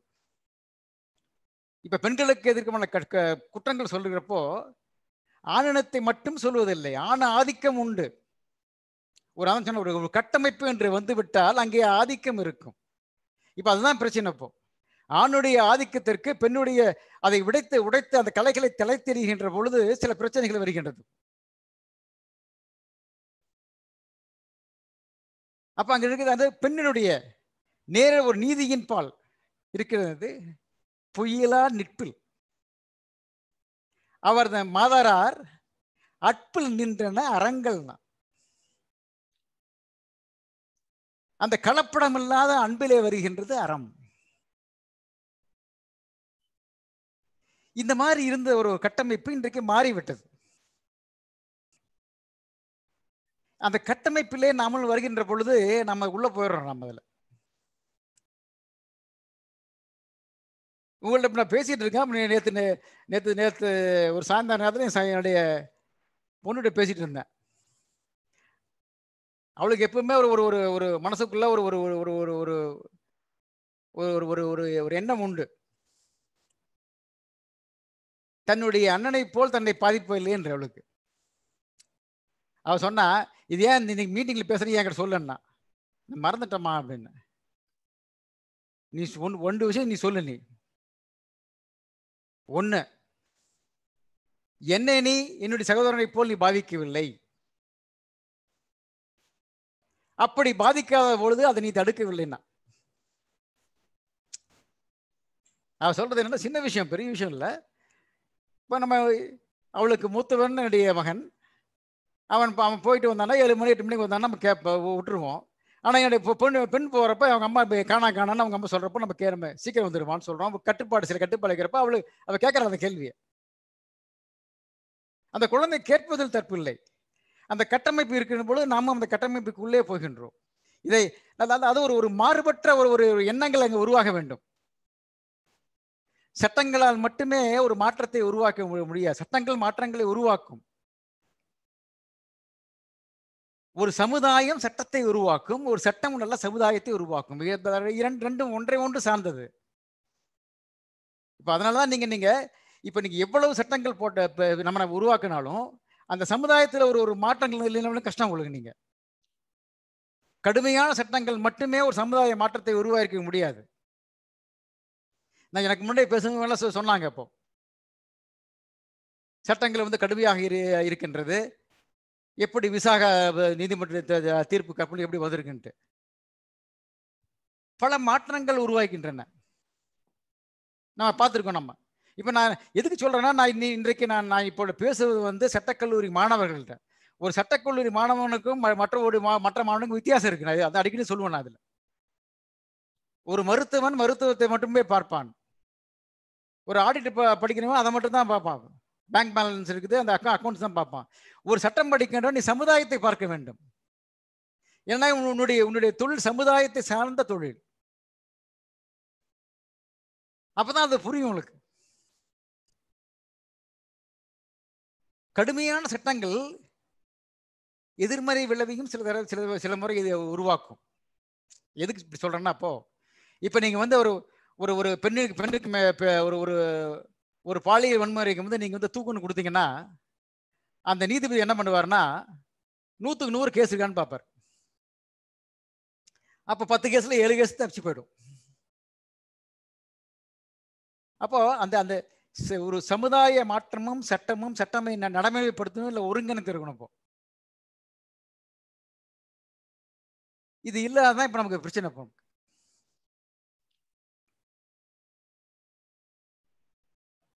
அந்த மாற்றங்களை உருவாக்கமே இப்ப இப்ப இன்னைக்கு வந்து ஒரு ஒரு சமுதாயம் ஒரு ஒரு மாற்றத்தை போக்கி நோக்கி சென்று கொண்டிருக்கிறது. சொன்னாங்க ஒரு பெண் வந்து இப்போ பல விதங்களை பல விஷயங்களை செய்ய வேண்டியிருக்குன்ட்டு. உண்மைதான். இப்ப இப்ப- பெண்ணுக்கும் ஆணுக்கும் உள்ள உள்ள இருக்கு இருக்கின்ற இடைவெளி குறைந்து கொண்டிருக்கிறது. என்னுடைய மகள் ஒன்று சொன்னா நீ ஒன்று இன்னொன்று சொல்லி இப்ப பதிவு அனுப்பா அப்படின்னா. என்னம்மா சொ- சொன்னேன் இன்றும் ஏன் ஒரு பெண் குழந்தைக்கும் ஆண் குழந்தைக்கும் வேறு வேறு பள்ளிகள்னு கேட்குறாங்க ஏன் அந்த அந்த வேறுபாடு? ரொம்ப அந்த அந்த குழந்தை சொல்றது வந்து ஒரு முக்கியமான ஒரு விஷயம் அது. இப்ப ஆணும் ஆண் குழந்தையும் பெண் குழந்தையும் ஒன்றாக இருக்கின்ற பொழுது அந்த வேறுபாடுகள் அங்கே களையப்படுகின்றன. இப்படி சின்ன சின்ன விஷயங்கள் நம்ம அதில் அதை பார்க்க வேண்டியிருக்கு நம்ம அதில். பாரதியை பற்றி சொன்னாங்க. மகாகவி. ஆணுக்கு பெண் நிக இப்ப இப்ப இணை என்று சொன்னவன் பாரதி. ஆணுக்கு பெண் இலைப்பிள்ளை என்று கான் என்று கும்மி ஏடினான் வேதம் படைக்கவும் நீதிகள் செய்யவும் வேண்டி வந்தேன் என்று கும்பி ஏடினான் இன்றைக்கு அது அது உண்மையா இருக்கு நீங்க பாருங்க. நான் எதுக்கு சொல்ல வரேன் அப்படின்னா சட்டக்கல்லூரி மாணவர்கள் இருக்கிறீங்க இளம் வழக்கறிஞர் இருக்கிறீங்க. சமீபத்தில் இப்போ வந்து ஒரு ஐம்பத்தெட்டு நீதிபதிகள் தேர்ந்தெடுக்கப்பட்டிருக்காங்க இப்போ. இளம் நீதிபதிகள். இந்த ஐம்பத்தெட்டு நீதிபதிகள் இப்போ பார்த்தீங்கன்னா கிட்டத்தட்ட முப்பது பேர்த்துக்கு மேல பெண்கள். இப்போ மாற்றம் வருது இல்லையாப்பா இப்போ நீதித்துறையில ஒரு மாற்றம் வருகிறது. இன்னும் பல மாற்றங்கள் வர வேண்டும். இது வந்து நான் சொல்றது வந்து அடிமட்ட கட்டமைப்பில். அந்த மாற்றங்கள் வருகின்ற பொழுது அது அது நம்ம நம்மளுடைய எண்ணங்களும் அது அதுக்கு தகுந்த மாதிரி மாறுபடும். இப்போ உங்கள்ட்ட பேசிட்டு இருக்கிறது நான் இப்போ ஜுடிஷியல் அகாடமிலேருந்து பேசிட்டு இருக்கேன். இப்போ இங்கே இருக்கிற டைரக்டர்கிட்ட பேசினேன் அவர்கிட்ட சொன்னேன் நான். ஜுடிஷியல் அகாடமி டைரக்டரும் அவர் ஒரு ஒரு ஒரு மூத்த நீதிபதி. அவரும் இந்த மாதிரி ஒரு மாணவர்களும் இளம் வழக்கறிஞரோட அதிகமாக கலந்து உரையாடுபவர் அப்படின்ட்டு சொன்னால் நான். இப்போ நாங்கள் வந்து இப்போ நாங்கள் இந்த இது இந்த கட்டமைப்பை எல்லாரிடமும் எடுத்து சொல்ல வேண்டும் எடுத்து செல்ல வேண்டும் ஒரு ஒரு ஒரு ஒரு ஒரு செயல்பாட்டில் இருக்கிறோம். நீதிபதிகள் மட்டும் இல்லை இல்லாமல் இளம் வழக்கறிஞர்களுக்கும். இப்போ நான் அவர்கிட்ட கேட்டிருந்தேன் நம்ம வந்து இந்த இந்த இதை நாம் ஏன் இளம் சட்டக்கல்வி மாணவர்களுக்கும் எடுத்து செல்ல செல்லக்கூடாது என்று நான் கேட்ட பொழுது அவர் சொன்னார் அவர். கட்டாயம் செய்யலாங்க அப்படின்னு சொன்னார். இப்போ அந்த பெண்ணை பெண்ணியல் இப்போ பெண்ணியல் என்று எடுத்துக்கொண்டோம் என்றால் அதை நான் பார்க்கின்ற கண்ணோட்டம் வேற மாதிரி இருக்கணும் நம்ம. கொஞ்ச நாளைக்கு முன்னாடி வாட்ஸ்அப்பில் ஒன்று ஒன்று பார்த்தோம் ஒரு ஒரு ஒரு கணவனுக்கும் மனைவிக்கு உரையாடல் அந்த மனைவி வந்து சொல்றா இந்த மாதிரி கணவன்கிட்ட எல்லா ஆணும் தன் சகோதரிக்கு கொடுக்கக்கூடிய உரிமையை கண மனைவிக்கு கொடுத்தால் அங்கே பல வழக்குகள் பெண் பெண்கள் மீது கொடுமைகள் இருக்காது வழக்குகள் இருக்காது. அந்த ஆண் சொன்னா நீ சொல்றது சரிதான்ப்பா நீ சொல்றதா நூற்று நூறு ஒத்துக்கிறேன். ஆனால் அதே போல் இன்னொன்று நீ நினைக்க வேண்டும். எல்லா மனைவி மனைவிகள் மனைவிமார்களும் தன்னுடைய மாமனார் மாமியாரை தன்னுடைய அப்பாவை அம்மாவை நினைத்தால் அங்கே முதியோர் இல்லம் தேவைப்படாதுன்னு சொன்னான். இது இரண்டிலேயும் உண்மை இருக்கிறது. அது என்னன்னா அந்த எண்ணங்கள் நம்ம மா- மாறுபட வேண்டும். எப்பவும் ஒரு சமுதாயம் மாறுகின்ற பொழுது அங்கே பிரச்சனைகள் உருவாகும். இன்றைக்கு இப்போ இந்த மூணு மூணு சப்ஜெக்ட் எடுத்துருக்கோம் நம்ம.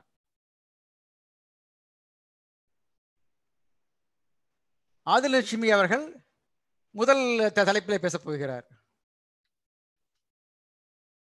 அவர் பேசுகின்ற தலைப்பு என்னவென்றால் வேலை செய்யும் பெண்களுக்கு பாலியல் தொந்தரவு வருகின்ற பொழுது அதுக்கு என்ன செய்யலாம் என்று. கற்பக பிரியா அவர்கள் அடுத்து இரண்டாவது தலைப்பு எடுத்துக் கொண்டிருக்கிறார்கள். பெண்களும் பாலியல் குற்றங்களும் இணைய வ- வ- கம்மி இணைய- இணையதளம் மூலமாக. மூன்றாவது திரு ராதா அவர்கள் குழந்தைகளை பற்றி எடுத்துக்கொண்டிருக்கிறார் குழந்தைகள் மேல் என்ன பாலியல் குற்றங்கள். இந்த மூணுமே பாருங்க நீங்க. இப்ப எல்லாம் மூணுமே லைவ் சப்ஜெக்ட்ஸ் மூணுமே லைவ் சப்ஜெக்ட்ஸ் இன்னைக்கு நம்ம பேப்பர்ல பார்க்குறோம் இப்போ. முதல் தலைப்பு ஆதிலட்சுமி எடுத்திருக்காங்க. வேலைக்கு செல்கின்ற பெண்கள் ஒரு பணியில் புரிகின்ற பெண்களுக்கு உள்ள பாலியல் வன்முறைகள் இது எல்லா இடத்துலையும் உண்டு. நம்ம யோசிச்சு பார்த்தோம்னா இது எல்லா இடத்துலையும் உண்டு. இப்போ இப்போ உச்ச நீதிமன்ற தீர்ப்புப்படி விசாகா ஜட்மெண்ட் படி அங்கங்கே ஒரு இடத்துல ஒரு கட்டமை ஒரு அமைப்பு இருக்குது. ஆயிரத்தி தொள்ளாயிரத்தி ரெண்டாயிரத்தி பதிமூணுல ஒரு சட்டங்கள் வந்தது. சட்டம் பதினாலாவது இரண்டாயிரத்தி பதிமூணுன்னு வந்திருக்கு. அதுக்குன்னு ஒவ்வொரு இடத்துலையும் ஒரு கமிட்டி போட்டு ஒரு குழு அமைத்து அந்த குழுவை எப்படி ச- பண்ணணும்னு சொல்லியிருக்காங்க அவங்க. ஆனால் ஏன் இப்போ அந்த அந்த அந்த அதிகமாக பேசணும் அப்படின்னா இப்போ அந்த இப்போ அந்த மீ டூ அப்படின்னு வருது பாருங்க இப்போ. இப்போ அதிகமாக வெளிவருகிறது இப்போ. ஒரு காலகட்டத்திலே அந்த பாதிக்கப்பட்ட பெண் குற்றம் செய்பவளாக கருதப்பட்டாள். இன்னும் அந்த அந்த எண்ணம் முழுமையாக போய்விட்டதுன்னு நான் நினைக்கவில்லை. அது இன்னும் இருக்குது ஆனால் இன்னைக்கு பெரும்பாலான இளம் பெண்கள் தங்களுக்கு செய்யப்பட்ட அநீதியை எதிர்த்து போராடுகிறார்கள். அது காலம் கடந்தாலும் சரி. இதை யார் செய்கிறார்கள் என்றால் அவர்களை அவர்களை உடலளவில் மனதளவில் தங்களுடைய வசம் வ- வசம் வைத்துக் கொள்ளக்கூடிய சூழ்நிலையில் இருப்பவர்கள் தான் செய்கிறார்கள். அவங்க டீச்சராக இருக்கலாம் இல்லை அந்த மேல் அதிகாரிகள் இருக்கலாம். இல்லது அவ அவருடைய மூத்த உறவினர்களாக இருக்கலாம். குடும்பத்திலும் வெளியிலும் சரி இந்த நிகழ்வுகள் இப்ப மட்டும்தான் வருதா?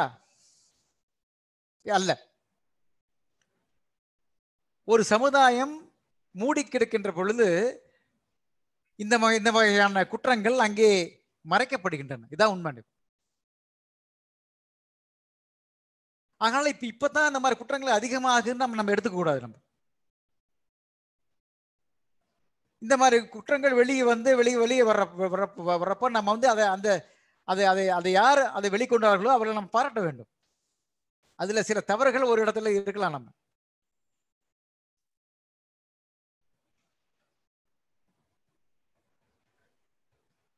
நிறைய நம்ம பா பார்க்குறோம் நம்ம வந்து. உடற்பயிற்சியாளர்கள் தென் ஆசிரியர்கள் தென் ஒரு ஒரு ஒரு ஒரு பெரிய பதவியில் இருப்பவர்கள் ஒரு கட்டமைப்பின் தலைமையில் இருப்பவர்கள் சமுதாயத்திலே உயர்வதில் இருப்ப இருப்பவர்கள் மதம் சார்ந்தவர்கள் அடிப்படையிலே ரெண்டு ஒன்று தான் இது வந்து ஒரு ஆளுமை. தவறான ஒரு ஆளுமை. அந்த ஆளுமை உடைத்தறிப்பட வேண்டும். அதுக்கு தான் இந்த இந்த க- க- கருத்தரங்கு வச்சுக்கணும் நம்ம. இப்போ கற்பக பிறையை வந்து அடுத்த சப்ஜெக்டில் போ போகிறவங்க ரொம்ப டீப்பாக பண்ணுவாங்க. பண்ணுவாங்கன்னு நினைக்கிறேன் நான். சைபர் கிரைமில் இப்போ சிம்பிள் லாஜிக் நீங்கள் எடுத்துங்க. இப்போ நம்ம ஒரு இப்போ நம்ம நம்ம எல்லாருமே சரி அப்போ முன்னாடி சொன்ன அவங்க முனை முனைவர்கள் சொன்ன மாதிரி இந்த செல்ஃபோனுக்கும் மற்றதுக்கும் அடிமை ஆகிட்டோம் இப்போ. இப்போ நம்ம குழந்தைகள் நம்ம எல்லாம் பார்த்தீங்கன்னா அவங்க இப்போ ஒரு ஒரு காலகட்டத்தில் நம்ம எல்லோரோட எல்லோரும் பேசி சிரித்து பழகி கொண்டிருந்தோம். இப்போ நம்ம எல்லா வசதிகள் இருந்தும் நம்ம வந்து நம்மளுடைய உறவு மூலம் அனைத்தும் அந்த ஒரு ச- ஒரு ஒரு ஒரு ஒரு ஒரு லேப்டாப்போ ஒரு ஐ ஐபேடோ அல்லது அல்லது ஒரு டேப்லெட் ஒரு செல்ஃபோன் இதுக்குள்ளேயே முடிக்கும் போகுது இதில் ஒரு ஒரு விஷயம் பாருங்க நான் பார்த்த விஷயம் பாருங்க. ஒருவிடம் நாம் நேராக பேசுகின்ற பொழுது நாம் அதிகம் பேச மாட்டோம். நம்முடைய பேச்சு எதை பேச வேண்டும் எப்படி பேச வேண்டும் எங்கு பேச வேண்டும் என்பது ஒரு ஒரு ஒரு ஒரு வரையறைக்குள்ளே இருக்கும். கரெக்டுங்களா இப்போ இதே ஒரு வாட்ஸ்அப்பில் பேசணும்னு வச்சுங்க வாட்ஸ்அப்பில் பேசுகிறப்ப இந்த ரெஸ்ட்ரிக்ஷன் இருக்காது. வாட்ஸ்அப்பில் பேசுகிறப்ப என்னமோ நம்ம அதை கொஞ்சம் அது அது எக்ஸீட் ஆகும் அதில். ஒரே மனிதன் இரு மனிதரோட இரு இரண்டு பேர் பேசிக்கொண்டு இருக்கிறோம் நேரில் பேசுகிறப்ப வேற மாதிரி இருக்கும் வாட்ஸ்அப்பில் பேச வேற மாதிரி இருக்கும். ஏன்னா அந்த அந்த அந்த எக்ஸ்டென்ஷன் அதாவது அந்த மைண்ட் ரெஸ்ட்ரிக்ஷன் நமக்கு போயிருது நமக்கு. இப்போ அப்படியே அது இது இது தொடர்ந்து செல்லுகின்ற பொழுது அந்த நம்மளை பற்றி நம்ம சொல்லி பேசிக்கொண்டிருக்கிறோம். அந்த மனித அடுத்த மனிதனுடைய கண்ணோட்டத்தை நம்ம புரிந்து கொள்ள மறுக்கிறோம். ஏன்னா நம்மளை உணர்வுடைய வெளிப்பாடு வருகிறது. அது அது நம்ம எதிரிலே பேசிக்கொண்டு நம்மளுடைய நம்பிக்கையை நம்ம நம்ம நம்ம ஒரு ஒரு முதலிட வைத்து நம்ம பேசுகிறோம். ஆனா அந்த மனிதன் நம்ம எதிரிலே இருக்கின்றவர் அதை எப்படி எடுத்துக்கொள்வார் எந்த விதமாக அதை பயன்படுத்துவோம் நமக்கு தெரியாது. இதற்கு பல காரணம் உண்டு. நம்ம வந்து நம்மளுடைய மற்ற உறவினுடைய பலவீனம் சமுதாய நடப்பு. இப்போ வந்து ஒரு ஒரு ஒரு பெண் தன்னுடைய பிரச்சனை பிரச்சனைகளை தன்னுடைய சூழ்நிலையை மற்றவர்கள் சொல்ல முடியாதுன்ற பொழுது யாராலும் சொல்ல வேண்டும். ஒரு மனிதனாக இருக்கும்போது தன்னுடைய எப்படியே தன் தன்னுடைய உணவுகளை பகிர்ந்து கொள்ள வேண்டும். அந்த பகிர்ந்து கொள்ள முடியாத ஒரு சூழ்நிலை இருக்கின்ற பொழுது யாரிடம் பகிர்ந்து கொள்ள வேண்டும் என்று தெரிய வேண்டும். ஒரு தவறான ஒரு மனிதனிடம் ப- பகிர்ந்து கொண்ட பொழுது அது மேலும் பல பிரச்சனைக்கு காரணமாக அமைகிறது. இப்போ பாருங்க பாருங்க, இன்னைக்கு இன்னைக்கு பேப்பரில் இன்னைக்கு பேப்பர்ல ஒரு நியூஸ் ஒரு ஒரு ஒரு ஒரு இருபத்தி நாலு ஒரு இருபத்தாறு வயது இளைஞன் வெளிநாட்டில் இருக்கின்றவன் ஒரு கிட்டத்தட்ட ஒரு ஒரு ஆயிரம் பெண்களிடம் பழகி அவளை தவறாக சித்தரித்திருக்கின்றான். அதில் அதில் உள்ள அவன் அவனிடம் போய் பேசி பழகிட்ட பிறகு அவனால் வெளியே வர முடியாத சூழ்நிலை. ஏன்னா அவளை பற்றி அவன் அவன் அவனுடைய அவன் மேல் இருக்கின்ற நம்பிக்கையால் அவர் அளவுக்கு மீறி பழகி விடுகிறார்கள். நேற்றைய நிகழ்ச்சி ஒன்று. மூன்று பேர் சேர்ந்து ஒரு ஒரு ஒரு ஒரு பள்ளிக்கு செல்கின்ற ஒரு பதினோரு வயது பெண்ணை தவறாக நடந்தார்கள் என்று ஒரு செய்தி வருகிறது இதே பிரச்சனை அவனை நம்பி அந்த பெண் ப- பிள்ளை தன் தன்னை பற்றி தன் தன்னை அந்த அந்தரங்கமான சில விஷயங்களை பகிர்ந்து கொண்டிருக்கிறார் இது மாதிரி விஷயங்கள்லாம் நம்ம வந்து நம்ம கேர்ஃபுல்லாக பார்க்கணும் பார்ப்போம் இதை பற்றி கப்பு பேச இருக்கிறார்கள் மூன்றாவது இது வந்து திரு- திரு ராதா அவர்கள் பேசுறாங்க போக்ஸ் ஆக்டில் ரொம்ப முக்கியமான ஆக்ட் இது.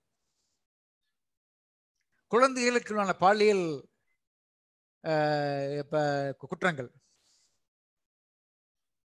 இதன் இது இது இப்போ இந்த இதை வந்து ஒரு ஒரு ஒரு பாலியல் அரக்கன் வெளியிலிருந்து உருவாவதில்லை. இது ஒரு விஷயம் நம்ம புரிஞ்சுக்கணும் நம்ம அதில். இவன் கண்ணுக்கு தெரியாத ஒரு ஒரு- ஒரு மனிதன் அல்ல. சமுதாயத்திலே நல்லவன் என்ற போ போர்வையிலே நம்மோடு இருக்கின்ற ஒரு மனிதன் தான் இவன். அது நெருங்கிய உறவினார் இருக்கலாம் குடும்பத்தினராக இருக்கலாம் ஏன் சில நேரத்திலே ஒரு தகப்பனாக கூட இருக்கலாம். இதெல்லாம் நம்ம இந்த இந்த இந்த இந்த ஒரு இந்த ஒரு சூழ்நிலையும் இந்த இந்த இருக்கிற இருக்கிற நிகழ்வுகளையும் இளம் ச- மாணவர்கள் புரிந்து சட்டக்கல்லூரி சட்ட மன மாண படிக்கின்ற மாணவர்கள் புரிந்து கொள்ள வேண்டும். அப்போ இந்த சட்டங்கள் எதற்காக? ஒரு குழந்தை என்பது ஒரு அழகிய இளம் ம- இளம் மலர். அப்படியே ஒரு- ஒரு சீக்கிரம் கசங்கி போயிடும் அது. அந்த குழந்தைகளுக்கு கிடக்கின்ற பாலியல் தாக்க தாக்குதல் உடல் மட்டும் சம்பந்தப்பட்டதல்ல உள்ளம் சம்பந்தப்பட்டது. அதான் நீங்கள் வந்து ஒரு ஒரு ஒரு ஒரு ஒரு ஈரமான ஒரு சிமெண்ட் மாதிரி நீங்கள் ஒரு- கை ஒரு ஒரு ஈரமான சிமெண்ட்டில் போய் நம்ம ஒரு ஒரு சும்மா ஒரு குச்சி வச்சோம்னா அப்போ அந்த இடத்துல அப்படியே ஒரு அந்த அழுத்தம் அதில் இருக்கும். அது மாதிரி இந்த நிகழ்வுகள்லாம் அந்த அந்த அந்த ஒரு குழந்தையுடைய மனத்தில் ஒரு அழுத்தத்தை உருவாக்கும். அப்போ அந்த குழந்தை தன்மையே அந்த குழந்தை இழந்து விடும். அப்போ இந்த இந்த மாதிரி ஒரு ஒரு சட்டம் வருகிற போது அதை எப்படி கையாள வேண்டும்? இந்த இது இதை இந்த இந்த இந்த வழக்கு எடுத்துக்கொள்ள கொள்கின்ற ஒரு ஒரு ஒரு இன்வெஸ்டிகேஷன் ஆஃபீஸர் எப்படி இருக்கணும்? அதை நடத்துகின்ற அரசு வழக்கறிஞர் எப்படி இருக்க வேண்டும்? குற்றம் சாட்டப்பட்டிருக்கு சம்பந்தமா இருக்கின்ற வழக்கறிஞருடைய கடமை என்ன? நீதிபதியினுடைய கடமை என்ன? இந்த சமுதாயத்தினுடைய கடமை என்ன? இதையெல்லாம் நம்ம டோட்டலாக நம்ம பார்க்கணும் நம்ம இதுதான் இதுதான் ஒரு வழக்க வழக்கறிஞருடைய ஒரு ஒரு ஒரு ஒரு ஒரு க- கடமை. அப்போ அந்த சட்டம் என்ன சொல்லுது? எப்படி இருக்கு? எப்படி ஒரு யூசர் ஃப்ரெண்ட்லியா இருக்கு? இதை எப்படி நம்ம யூஸ் பண்ணலாம்? பலதேறப்பட்ட சட்டங்கள் வந்துருச்சு இப்போ நீங்கள் போக்சோ ஆக்ட் மட்டும் இல்லை பார்த்தீங்கன்னா section three seventy six three fifty four மற்றவங்களாம் பேசுவாங்க இதை பற்றி நீங்கள் இப்போ இப்போ வந்து கற்பழிப்பு. கற்பழிப்பு என்ப என்ற என்ற ஒரு சொல்லுக்கு ஒரு ஒரு ஒரு ஒரு ஒரு ஒரு ரெஸ்ட்ரிக்டட் மீனிங் கொடுக்க முடியாது நம்ம. சட்டத்தில் வந்து அப்படி இப்போ வந்து பல அமெண்ட்மெண்ட் வந்திருக்குது இப்போ. சட்ட சட்ட மாற்ற மாற்றம் வந்திருக்குது. ஸோ நம்ம நம்ம எடுத்து நம்ம- நினைக்கின்ற ஒரு ஒரு ஒரு ஒரு பார்க்கின்ற பார்வையிலே சில மாற்றங்கள். ஏன்னா புது புது க- க- குற்ற குற்றங்கள் நடைபெற்றுக்கிட்டு நடைபெற்று நடைபெற்று அதுக்கு தகுந்த மாதிரி நம்ம மாற்றங்கள் இருக்கணும் இப்போ. இப்போ நீங்கள்லாம் இப்போ எவிடன்ஸ் எக்ஸ் படிச்சிருப்பீங்க சிபிசி படிச்சிருப்பீங்க மற்றக்கெல்லாம் படிச்சிருப்பீங்க. அப்படி இருந்தாலும் இதை எப்படி நம்ம அதை அப்ளை பண்றது? இந்த மாதிரி குற்றங்களுக்கு சாதாரணமாக நடக்கிற குற்றங்களுக்கும் இதற்குள்ள வித்தியாசங்கள் என்ன? இப்போ ஒரு ஒரு ஒரு ஒரு ஒரு சின்ன ஒரு ஒரு குழந்தை ஒரு ஸ்டேட்மெண்ட் கொடுக்குது. ஒரு ஒரு ஒரு பெண் தான் மானமக்கப்பட்டாலும் ஸ்டேட்மெண்ட் கொடுத்தாங்கன்னா அந்த அந்த ஸ்டேட்மெண்ட்டுடைய இம்பார்ட்டன்ஸ் என்ன? முக்கியத்துவம் என்ன பார்க்கணும் நம்ம அது.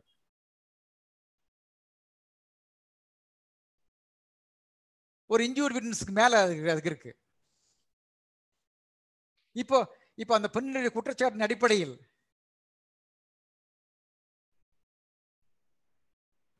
உறவு என்பது நிரூபிக்கப்பட்டால் அதனுடைய விளைவுகள் என்ன? உடல் உறவு என்று என்று என்று நிரூபிக்கப்பட்ட பிறகு அந்த பொன் பெண் சொல்லிய குற்றச்சாட்டு சரி என்பது என்பதை ஒரு ஒரு ஒரு முகாந்தரமாக எடுத்துக்கொள்ளலாம். ப்ரிசம்ஷன் அப்படி வந்துகின்ற பொழுது குற்றம் சாட்டப்பட்டதுதான் அது அது கற்பழிப்பு இல்லை என்று என்று நிரூபிக்க வேண்டும். இது ஏன் வந்தது இப்படி? இது எதற்காக சொல்கிறேன் என்றால் இன்னும் சமுதாய புரிதல் நமக்கு இல்லை நான் உங்களுக்கு சொல்ல சில விஷயங்கள் சொல்ல முடியாது. ஏன்னா நீதிபதி இருக்கே சம்டைம் சில நேரத்தில் சில சிரமங்கள் இருக்கின்றன. இதை புரிந்து கொள்வதில்லை. இப்போ நாங்கள் எங்களுடைய எங்களுடைய இதில் நாங்கள் வந்து இப்போ நீதிபதிகளுக்காக நாங்கள் தனிப்பட்ட பிரத்யேகமான நாங்கள் ஒரு ஒரு ஒரு நிகழ்வு நிகழ்ச்சி வச்சுருக்குறோம்.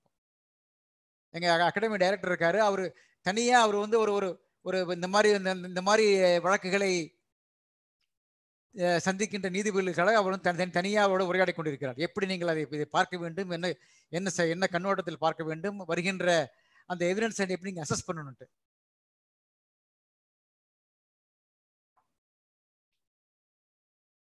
ஸோ இந்த இந்த மாதிரி ஒரு ஒரு ஒரு ஒரு ஒரு ஒரு ஒரு மாறுபட்ட கண்ணோட்டத்தில் சட்டம் பயில்கின்ற மாணவர்கள் பார்க்க வேண்டும். இளம் வழக்கறிஞர்கள் பார்க்க வேண்டும்.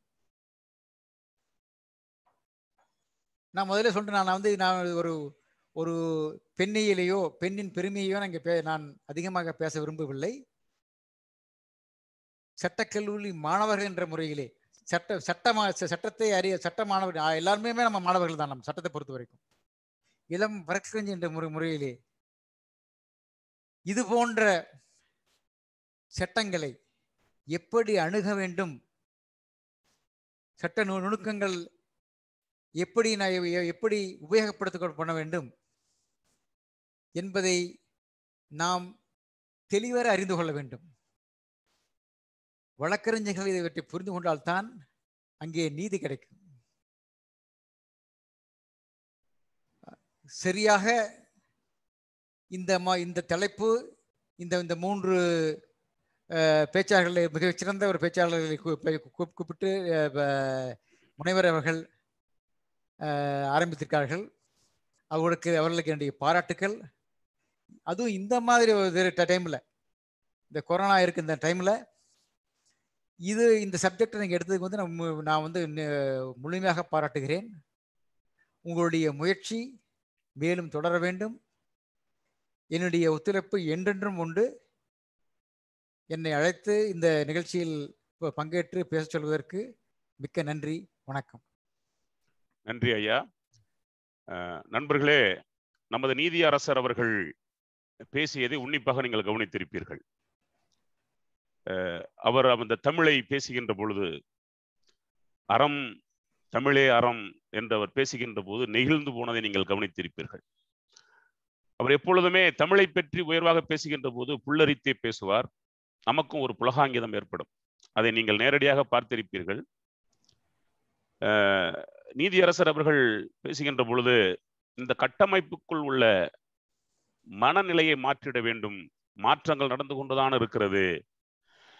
சட்டக்கல்லூரி மாணவர்களாய நாம் அனைவரும் ஒரு சமூக புரட்சியாளர்கள் சமூக நோக்குகளோடு இந்த சட்டங்களை நாம் அணுகிட வேண்டும் என்ற ஒரு கருத்தை முன்வைத்து பேசினார்கள். நீதியரசர் பேசுகின்ற பொழுதே அனைத்து பெண்களும் துணிந்து நிற்பதாகவே நான் காண்கின்றேன். இதற்கு இடையில் எங்கள் மீது ஒரு மிரட்டலும் வந்திருக்கிறது நீதியரசர் அவர்களே. நீங்கள் பேசுகின்ற பொழுதே சில பேர் வந்து பணிந்து நில் ஆணே என்று எங்களை மிரட்டி இருக்கிறார்கள். உங்களுடைய பேச்சு உண்மையிலேயே இன்றைய கருத்தரங்கிற்கு வந்த அனைவருக்கும் ஒரு நெகிழ்ச்சியான ஒரு நிகழ்வாக இருக்கிறது. இன்றைய கருத்தரங்களே நானூறுக்கும் மேற்பட்டவர்கள் அஹ், கலந்து கொண்டிருக்கிறார்கள். இது மிகப்பெரிய எண்ணிக்கையிலானது. அது தமிழுக்கும் தமிழர்களுக்கும் எமது கல்லூரிக்கும் முதல்வருக்கும் கிடைத்த அஹ், ஒரு பெரிய அரிய வாய்ப்பாகவே நாங்கள் கருதுகிறோம். நன்றி ஐயா. அதை தொடர்ந்து இந்த மைய கருத்து துணிந்து நெல் பெண்ணே என்ற இந்த சட்ட கருத்தரங்கினுடைய மிக முக்கியமான பகுதிகளுக்கு நாம் வர இருக்கிறோம். அஹ், முதல் சட்ட கருத்துரையை வழங்க இருப்பவர் நமது வழக்கறிஞர் பெண் போராளி. அவரை பெண் போராளி என்று சொல்வதை விட சமூக போராளி என்றே நான் அழைப்பேன். அஹ், திருமதி ஆதி லட்சுமி. அவங்க எப்போதுமே ஆதி லட்சுமி தான். பிகினிங்ல இருந்தே ஆதியிலிருந்தே அவர்கள் மிகப்பெரிய சமூக செயற்பாட்டாளர் சிந்தனையாளர். அவர்களோடு பல நேரங்களில் நான் கலந்திருக்கிறேன். மிகச்சிறந்த நுணுக்கமாக ரொம்ப அன்போடு பாசத்தோடு பேசக்கூடியவர். எப்போதுமே சிரித்து அனைவரோடும் சமமாக பழகக்கூடியவர். இப்படிப்பட்ட திருமதி ஆதிலட்சுமி லோகமூர்த்தி அவர்கள் கேள்விகளோடு தன்னுடைய தலைப்பை தொடங்குகிறார். பணிபுரியும் பெண்களை பாலியல் வன்முறையிலிருந்து சட்டம் காப்பாற்றுமா என்ற கேள்வி கணைகளோடு தொடுக்க இருக்கிறார். இவர்களை அறிமுகப்படுத்தி நெறி ஆளுகை செய்ய வருகிறார் எங்களுடைய கல்லூரி உதவி பேராசிரியர் திருமதி என். ஏகாகினி. நன்றி ஐயா. மதிப்பிற்குரிய திருமதி ஆதிலட்சுமி லோகமூர்த்தி அவர்களுக்கு என் முதற்கண் வணக்கம். அவர்கள் ஒரு மிக சிறந்த வழக்கறிஞர் ஆவார். மேலும் பலரும் பாராட்டுகின்ற சமூக சேவகி ஆவார். மகளிர் மற்றும் சிறுவர் நலத்திற்காக பல போராளி. அவருடைய பேச்சாற்றல் நினைவாற்றல் நூலின் மீது அவருக்கு உள்ள ஈர்ப்பு அளவில்லாதது. அவர் எண்ணற்ற பொறுப்பில் உள்ளார். அவைகளில் சில தேசிய பணியாளர் மேலாண்மை நிறுவனம் என்ஐபிஎம் மெட்ராஸ் சாப்டர் துணைத் தலைவர் பொறுப்பில் உள்ளார். தமிழ்நாடு மாநில சட்ட சேவைகள் ஆணையத்தின் மூத்த குழு வழக்கறிஞராக உள்ளார். மெட்ராஸ் உயர்நீதிமன்றம் மகளிர் வழக்கறிஞரின் சங்கத்தின் மேனாள் துணை தலைவர் மற்றும் செயலாளராக இருந்துள்ளார். போலீஸ் அகாடமியில் கௌரவ விரிவுரையாளராக இருந்துள்ளார். ஸ்ரீ ரக்ஷா தொழிலாளர் மேலாண்மை தன்மார்பு தொண்டு நிறுவனத்தின் நிறுவனர் மற்றும் இயக்குனர் ஆவார். மேலும் சர்வதேசிய மற்றும் தேசிய மகளிர் வழக்கறிஞர் கூட்டமைப்பின் வாழ்நாள் உறுப்பினர். இந்திய பயிற்சி மற்றும் மேம்பாட்டுக்கான சங்கத்தின் வாழ்நாள் உறுப்பினர் ஆவார் அது மட்டுமின்றி சமூக ஊடகங்கள் மூலம் பெண்கள் குழந்தை திருநங்கை மற்றும் மூத்த குடிமக்கள் தொடர்பான பிரச்சனைகளை குறித்து ஏராளமான விழிப்புணர்வு கருத்துக்களை வழங்கியுள்ளார். பேச்சாளர் மட்டுமல்ல அவர் ஒரு சிறந்த எழுத்தாளர் கூட. பெண்கள் மற்றும் குழந்தைகள் சட்டங்கள் மற்றும் அவர்களின் உரிமைகளை கையாடுவதை பற்றி சட்டம் உன் கையில் என்கின்ற புத்தகத்தை எழுதியுள்ளார். மேலும் a compilation of important labour laws and disciplinary proceedings என்கிற தலைப்பில் ஒரு புத்தகத்தை துணை எழுத்தாளராக வெளியிட்டுள்ளார். நம்முடைய அழைப்பை ஏற்று நம்மோடு தமிழ் கருத்தரங்கில் கலந்து கொண்டு நம்மை எல்லாம் அறிவாற்றல் விழிப்பிற்குள் ஆழ்த்த வருகின்ற அம்மையீர் அவர்களை வருக வருக என்று இருக்கரம் கூப்பிட்டு முதல்வர் சார்பாகவும் மற்றும் உள்ள ஆசிரியர் சார்பாகவும் மாணவ செல்வர்கள் சார்பாகவும் வருக என்று பணிபுரியும் பெண்களை பாலியல் வன்முறை சட்டத்திலிருந்து காப்பாற்ற முடியுமா என்கின்ற தலைப்பில் பேசுவதற்கு தங்களை அன்புடன் அழைக்கின்றோம். அனைவருக்கும் இனிய காலை வணக்கம். டாக்டர் அம்பேத்கர் அரசு சட்டக் கல்லூரியின் மேனாள் மாணவியாக தான் இந்த கல்லூரிக்கு இன்று நான் வந்திருக்கிறேன். இந்த நல்லதொரு நிகழ்வு பெண்களுக்கான சட்ட கருத்தரங்கம் அதுவும் தமிழில். இன்று நம்முடைய மதிப்புக்குரிய அன்பிற்குரிய நீதியரசர் அவர்கள் இதை நமக்காக தொடங்கி வைத்துள்ளார். அனைவருக்கும் நீதியரசர் என்றாலும் எனக்கு என்னுடைய தனிப்பட்ட முறையில் என்னுடைய சீனியர் ஆவார். என்னுடைய சட்ட பணி ஆயிரத்தி தொள்ளாயிரத்தி தொண்ணூத்தி மூன்றாம் ஆண்டு. என்னுடைய மதிப்புக்குரிய சீனியர் திருமிகு வி கே முத்துசாமி ஐயா அவர்களும் இன்றைய நீதியரசர் எதிர்காலத்தின் உச்ச நீதிமன்றத்தின் நீதியரசாக ஆகக்கூடிய வாழ்த்துக்களோடு இருக்கக்கூடிய அவர்கள் நீதியரசர் அவர்களும் என்னுடைய சீனியர் ஆவார்கள். இந்த கல்லூரியின் மாணவியாகவும் இன்றைய சிறப்பு விருந்தினரின் மாணவியாகவும் இந்த நிகழ்விற்கு நான் வந்திருக்கிறேன். அவர்களுக்கு என்னுடைய முதற்கண் வணக்கம். இந்த தல் கல்லூரியின் முதல்வராக இருக்கக்கூடிய என் வகுப்பு தோழியும் என்னுடைய ஆறுயிர் சகோதரி என்றுதான் சொல்ல வேண்டும். பல நல்ல கருத்தரங்களை நாளும் நடத்தி கொண்டிருக்கிறார். நேற்று ஒரு கருத்தரங்கம் ஆர்பிட்ரேஷனை பற்றி இன்று பெண்களுக்கான தமிழில் ஒரு சட்ட கருத்தரங்கம் என்று அந்த நிகழ்வுகள் மாணவர்களுக்காக. சிறு புறாமையாக இருந்தது இன்றைய மாணவ மணிகளை பார்க்கும் பொழுது. இவ்வாறான ஒரு வாய்ப்பு எங்களுக்கு அமையவில்லையே. நாங்கள் சென்னை சட்டக்கல்லூரி மெட்ராஸ் லா காலேஜ் என்று அழைக்கப்பட்ட கல்லூரி இந்த இடம்தான் மாறி இருக்கிறதே ஒழிய என்னுடைய கல்லூரிக்கு என்னுடைய தோழி முதல்வர். அதே போல மதுரை சட்டக்கல்லூரியின் முதல்வராக விளங்கக்கூடிய என்னுடைய அன்பிற்கினிய சகோதரி ஜெயகௌரி அவர்கள் என்னுடைய சகோதரன் ப்ரொஃபசர் ஆரோக்கியம் மற்றும் ஏனைய சகோதரர் அனைவரும் என்னுடன் இணைந்து இந்த நிகழ்வில் உரையாற்ற இருக்கக்கூடிய என் அன்பு சகோதரி வழக்கறிஞர் கற்பகப்பிரியா மற்றும் வழக்கறிஞர் ராதா அவர்கள். இந்த தலைப்பை எங்களிடமே விட்டுவிட்டார்கள். துணிந்து நில் பெண்ணே என்று ஒவ்வொரு பெண்ணிற்கும் சொல்ல வேண்டிய நிலை இன்று இருக்கிறதா? ஆரோக்கியம் அவர்கள் சொன்னதை கேட்டபோது பணிந்து செல் ஆனே என்று யார் மிரட்டினார்களோ எனக்கு தெரியாது. கண்டிப்பாக நான் மிரட்டவில்லை. அவர் கற்பனையாக தான் சொல்லி இருக்க வேண்டும் இல்ல, என்றால்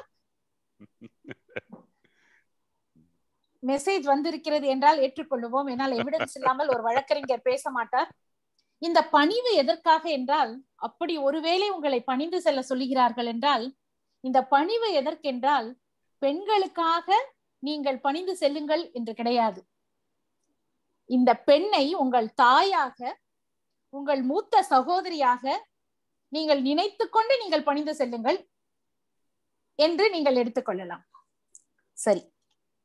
இன்று எடுத்துக்கொண்டு இருக்கக்கூடிய மூன்று தலைப்புகளும் முக்கியமான தலைப்புகள். நீதியரசர் அவர்கள் நமக்கு அதை பற்றின அறிமுகரையும் அதை அதற்கு முன்னால் டாக்டர் ஜெயகௌரி அவர்களும் உங்களுக்கு சொல்லிவிட்டார்கள். நமக்கு கொடுக்கப்பட்டிருக்கக்கூடிய கால அவகாசம் மிகவும் குறைவு. மூன்று பேச்சாளர்கள் பேசி மற்றவர்களையும் பேச வேண்டும். அதனால் இன்று நான் எப்பொழுதும் பேசுவது போல் விரிவாக பேசக்கூடிய ஒரு நிலை இல்லாமல் இருந்தாலும் இங்கே அமர்ந்திருக்கக்கூடிய சட்டக்கல்லூரி மாணவர்கள் எதிர்கால வழக்கறிஞர்கள் நீதியரசர்கள் சமூக செயல்பாட்டாளர்கள் இந்த நாட்டை ஆளக்கூடிய ஆளுமைகள் இருக்கக்கூடிய இந்த அரங்கில் என்னுடைய அன்பிற்கினிய வழக்கறிஞர்கள் நண்பர்கள் எல்லாம் அமர்ந்திருக்கக்கூடிய அந்த அமர்வில் அதை தாண்டி இங்கே இருக்கக்கூடிய பேராசிரியர்கள் பலர் அமர்ந்திருக்கக்கூடிய அவையில் இந்த சட்டம் பற்றி உங்களுக்கு தெரியாது என்று சொல்லக்கூடிய ஒரு அவை இந்த அவை கிடையாது. இந்த சட்டத்தை பற்றி ஓரளவு அறிந்த மாணவர்களும் முற்றிலும் அறிந்து தெளிந்த பேராசிரியர்களும் வழக்கறிஞர்களும் இருக்கக்கூடிய அவைதான். இந்த சட்டம் இந்த சட்டம் மட்டுமா? பெண்களை பாதுகாக்கக்கூடிய சட்டம் என்றால் எதனால் இந்த பெண்களை மட்டும் தனியாக பாதுகாக்க வேண்டும்? ஆண்கள் எங்களுக்கு பாதுகாப்பு இல்லையே என்ற ஆதங்கத்தை தான் ஆரோக்கியம் அவர்கள் சொல்லக்கூடிய ஒரு விஷயமாக பார்க்கிறேன். இன்று ஜெண்டல் நியூட்ரல் என்ற நிலை பல நாடுகளில் இருக்கும் பொழுது இந்திய திருநாட்டில் மட்டும் ஜெண்டர் ஸ்பெசிபிக் என்று சொல்லக்கூடிய ஒரு பாலினத்திற்கு பெண்களுக்கு மட்டும் பாதுகாப்பு சட்டம் தேவையா? தேவைப்படுகிறது இந்த நாட்டில். ஏன் தேவைப்படுகிறது? தேவைப்படக்கூடிய நிலையில் இன்று சமூக அமைப்பு இருக்கிறது. ஒரு கட்டமைப்பு என்று சொல்லக்கூடிய நிலையில் நீதியரசர்கள் சொல்லக்கூடிய அந்த விஷயத்தை எடுத்துக்கொண்டால் இன்னும் சில நிலைகளில் அந்த பாதுகாப்பு சட்டம் கொடுக்கக்கூடிய அவசியம் இருக்கும் காரணத்தினால்தான் இந்த ஜெண்டர் ஸ்பெசிபிக் ஒரு பாலுந்தத்திற்கான ஒரு சட்டம் இருக்க வேண்டிய அவசியம்.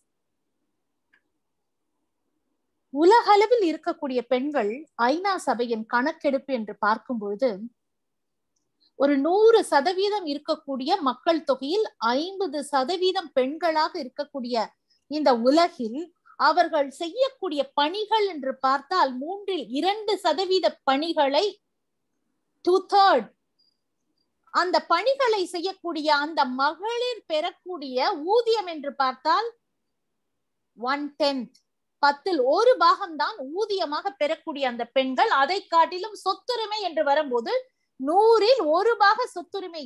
இது நம்முடைய நாட்டிற்கல்ல உலகில் இருக்கக்கூடிய அனைத்து பெண்களுக்கும் இருக்கக்கூடிய ஐநாவின் ஒரு வெளியீடு ஒரு கணக்கெடுப்பு இது. போற்றுதலுக்குரிய பெண்களாக இருந்தாலும் சில நேரங்களில் பெண்களின் சமூக நிலை சமமாக சட்டம் சொன்னாலும் சமூகம் ஏற்காத ஒரு நிலையில் இருப்பதனால் இவ்வாறான சட்டங்கள் தேவைப்படுகிறது. நம் இந்திய அரசியலமைப்பு சாசனம் ஆர்டிக்கல் பதினாலில் அனைவரும் சமம். Article fourteen reach rights equality என்று கூறினாலும் அதன் ஆர்டிக்கல் பிப்டீன் கிளாஸ் த்ரீ பெண்களுக்கும் குழந்தைகளுக்கான சிறப்பு சட்டங்கள் தேவைப்படும் போது சிறப்பாக இயற்றலாம் இருக்கக்கூடிய சட்டங்களில் திருத்தம் செய்யலாம். இரண்டாயிரத்தி பதிமூன்றாம் ஆண்டு உங்களுக்கு கிரிமினல் லா அமெண்ட்மெண்ட் என்று நிர்பயாவின் மரணம் கொடுத்த கொடையாக வந்த Indian penal code criminal procedure code evidence act மற்றும் போக்சோ சட்டங்கள் திருத்தம் செய்யப்பட்டதாக இருந்தாலும் சரி இன்று புது சட்டமாக வந்திருக்கக்கூடிய நான் பேசக்கூடிய இந்த சட்டமாக இருந்தாலும் சரி இரண்டும் இரண்டாயிரத்தி பதிமூணில் வந்த சட்டங்கள் தான். அதை தவிர உலக அளவில் சர்வதேச அளவில் ஐநாவின் கன்வென்ஷன்ஸ் அதை நாம் பின்பற்ற வேண்டும். CEDAW convention to eliminate all forms of discrimination against women ஆயிரத்தி தொள்ளாயிரத்தி தொண்ணூத்தி மூன்றாம் ஆண்டில் அந்த அந்த கன்வென்ஷனில் இந்தியா கையொப்பமிட்டு ராட்டிஃபை செய்கிறது. அதை ஏற்றுக்கொண்டு நடைமுறைப்படுத்துகிறது. அதே போல ஆயிரத்தி தொள்ளாயிரத்தி தொண்ணூத்தி இரண்டாம் ஆண்டு சைல்ட் ரைட்ஸ் குழந்தைகளுக்கான பாதுகாப்பு உரிமை பிரகடனத்தை ராட்டிஃபை இந்தியா ஏற்றுக்கொண்டிருக்கிறது. இந்த ரெண்டு ஆண்டுகள் முக்கியமான ஆண்டுகளாக ஐநா சபையின் உறுப்பு நாடாக இருக்கக்கூடிய இந்தியா ஏற்றுக்கொண்ட பிறகு வந்த சட்டங்கள் பெண்களையும் குழந்தைகளையும் பாதுகாக்க ஏராளமான சட்டங்கள். குழந்தைகளுக்கான சட்டங்கள் ஜெண்டர் ஸ்பெசிபிக்காக இல்ல. எல்லா பாலின குழந்தைகளுக்கும் பொருந்தக்கூடிய ஒரு சட்டமாக இருக்கிறது. இப்போ பாலியல் வன்முறை பெண்களுக்கு மட்டும்தானா? ஆண்களுக்கு இல்லையா? இருக்குங்க. ஆண்களுக்கு எதிரான பாலியல் வன்முறையில் பாதிக்கப்பட்ட ஆண்களின் கண்ணீரையும் நான் பார்த்திருக்கிறேன். என்ன பிரச்சனைனா சதவீதம் கம்மியா இருக்கு. பெண்களோட பாதிப்பு அதிக அளவுல இருக்கிறதுனால இன்னைக்கு நமக்கு பெண்களை பாதுகாக்கிற இந்த சட்டங்களை பத்தி பார்க்க வேண்டிய ஒரு நிலை. இங்க இருக்க எல்லா சகோதரர்கள் என்னை விட மூத்த சகோதரர் இளைய சகோதரர் எல்லாருக்கும் ஒண்ணு சொல்லிக்கிறேன். ஏதோ பெண்ணை போற்றுவதற்கு பெண்ணியம் பேசுவதற்காக நான் வரவில்லை.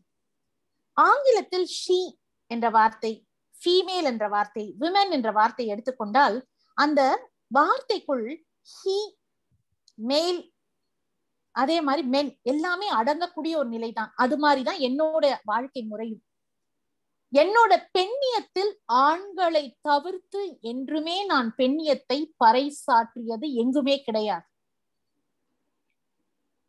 அதனால் ஆண்களுக்கு எதிரான ஒரு நிகழ்வாக இதை யாரும் பார்க்க வேண்டாம். நீங்கள் இல்லை என்றால் நாங்கள் இல்லை நாங்கள் இல்லை என்றால் நீங்கள் இல்லை. மாற்று பாலினத்தையும் சேர்த்துதான் இந்த உலகம் இயங்க வேண்டும். அப்போ இன்னொரு விஷயத்தையும் நீங்க பார்க்கணும். இந்த சட்டத்துல எல்லாம் ரெஸ்பாண்டன்ட் சொல்லும் போது ஆண்களை மட்டும்தான் குறிப்பி குறிப்பிடுறாங்களா? இந்த மூணு சட்டம் இன்னைக்கு நம்ம பேச போறோம். மூணு சட்டங்களை பத்தி ஆஹ் என்னை விட சிறப்பா பேச இன்னும் ரெண்டு சகோதர சகோதரிகள் இருக்காங்க. அப்ப ரெஸ்பாண்டன்ட்ல எல்லா சட்டத்திலையும் பாருங்க ஜெண்டர் நியூட்ரல் தான். அதனால் ஆண்களுக்கு எதிரான ஒரு சட்டமும் கிடையாது. இன்னொரு விஷயம் அப்படி யாராவது உங்களை மிரட்டினாங்கன்னா ஆரோக்கியம் அவர்களை மிரட்டியது போல் அவரை மிரட்டுறதுக்கு யாரும் தைரியம் வந்துச்சு? எனக்கு வரல வந்தது யாருன்னு நான் ரொம்ப ஆவலா இருக்கேன். கவலையே படாதீங்க. நேரடியா அங்க வீட்டுக்கு வாங்க.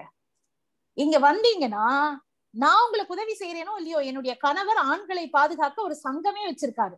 அதுக்கு தலைவரே அவர்தான். அதனால கவலைப்படாம எல்லா ஆண்களும் தைரியமா வரலாம். அதனால ஆண்களுக்கு எந்த விதமான எதிர்வினையும் கிடையாது. எப்ப பார்த்தாலும் பெண்களையே பேசுறீங்களே ஆதிலட்சுமினா ஒரு லாஸ்ட் வீக் எனக்கு வந்த ஒரு வழக்கில் ஒரு ஆணின் கண்ணீர். அந்த கண்ணீரை என்னால் எளிதாக துடைக்க முடிந்தது. மூன்று வாரத்திற்கு முன்னால் எனக்கு வந்த பெண்ணின் கண்ணீரை துடைத்தாலும் அவர் உள்ள குமுறலை என்னால் துடைக்க முடியவில்லை. இந்த பாலியல் வன்முறையில பாதிக்கப்பட்ட பெண்களை மீட்டெடுப்பது சிரமம். ஆண்கள் ஒரு அளவு கரை சேர்ந்து விடுகிறார்கள். சரி இப்ப சட்டத்தை பத்தி கொஞ்சம் பார்ப்போம். இந்த சட்டம் எப்ப வருது? ரெண்டாயிரத்தி பதிமூன்றாம் ஆண்டு சட்டமாக இயற்றப்படுகிறது. இதற்கு முன்னோடியா என்ன இருக்கு? ஆயிரத்தி தொள்ளாயிரத்தி தொண்ணூத்தி ஏழாம் ஆண்டு இந்தியாவின் உச்ச நீதிமன்றத்தால் விசாகா எதிர் ஸ்டேட் ஆஃப் ராஜஸ்தான் என்ற வழக்கு அந்த வழக்கில் கொடுக்கப்பட்ட தீர்ப்பு அந்த தீர்ப்பில் கொடுக்கப்பட்ட கூடிய கைட்லைன்ஸ் என்று சொல்லக்கூடிய அவைகளே இன்று இரண்டாயிரத்தி பதிமூன்றாம் ஆண்டு சட்டமாக வருகிறது. இந்த தீர்ப்பை கொடுத்த நீதியரசர் மாண்புமிகு வர்மா அவர்கள் ஜே எஸ் வர்மா அவர்கள் நிர்பயாவின் மரணத்தின் போது நமக்கு வந்த சட்டங்களை கொடையாக வர்மா கமிட்டியின் மூலம் நமக்கு கிடைத்ததே அதே நீதியரசர் வர்மா அவர்கள் பல புகழ்பெற்ற வழக்குகள் லேண்ட்மார்க் ஜட்மெண்ட்ஸை கொடுத்திருக்கும் போது இந்த விசாகா வழக்கில் அவர் கொடுத்த அந்த தீர்ப்பு இந்தியாவின் உச்ச நீதிமன்றத்தின் தலைமை நீதியரசர் பொறுப்பில் ஆயிரத்தி தொள்ளாயிரத்தி தொண்ணூத்தி ஏழாம் ஆண்டு அமர்ந்திருந்த வர்மா அவர்கள் இந்த தீர்ப்பை கொடுக்கும் பொழுது அவர் எடுத்துக்கொண்டது சீடா கைட்லைன்ஸ் நான் கூறியது போல convention to eliminate all forms of discrimination against women அதே போல article fourteen fifteen nineteen one G twenty one இந்திய அரசியல் அமைப்பில் சாத்தனது. இவை அனைத்தையும் தன் உடன் இணைத்து கொண்டு ஒரு அழகான ஒரு கோட்பாடை கைட்லைன்ஸை கொடுக்குறாங்க. என்ன சொல்றாங்க அந்த தீர்ப்புல?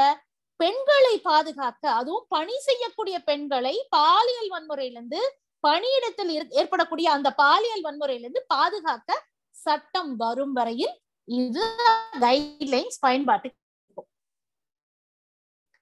விசா கமிட்டி என்று நிறுவனங்களில் கமிட்டி அமைக்கப்பட்டு நானும் சில கமிட்டிகளில் அப்பொழுது இருந்திருக்கிறேன். ஆனால் இன்று இரண்டாயிரத்தி பதிமூன்றாம் ஆண்டுக்கு பிறகு இருப்பது போல் விழிப்புணர்வு இல்லை. எப்பவும் சொல்வேன். என்னதான் உச்ச நீதிமன்றத்தின் தீர்ப்பை நம்ம வந்து கான்ஸ்டிடியூஷன் எங்க சட்டம் இல்லையோ சட்டமா பார்க்கணும்னு நமக்கு சொன்னா கூட ஒரு டைரக்ஷனா தான் அதை பாக்குறோம் ஒரு மேண்டேட்டா ஒரு சட்டமன்றமும் பாராளுமன்றமும் இயற்றக்கூடிய சட்டத்தை தான் பார்க்கக்கூடிய ஒரு நிலை இருக்கிறது. அப்ப சட்டம் பாலியல் வன்முறைங்கிறத என்னவா சொல்றாங்க? எது பாலியல் வன்முறை? இந்த சட்டம் மட்டுமா? பாலியல் வன்முறை செக்ஷுவல் ஹராஸ்மெண்ட் அப்படிங்கிற ஒரு ஒரு-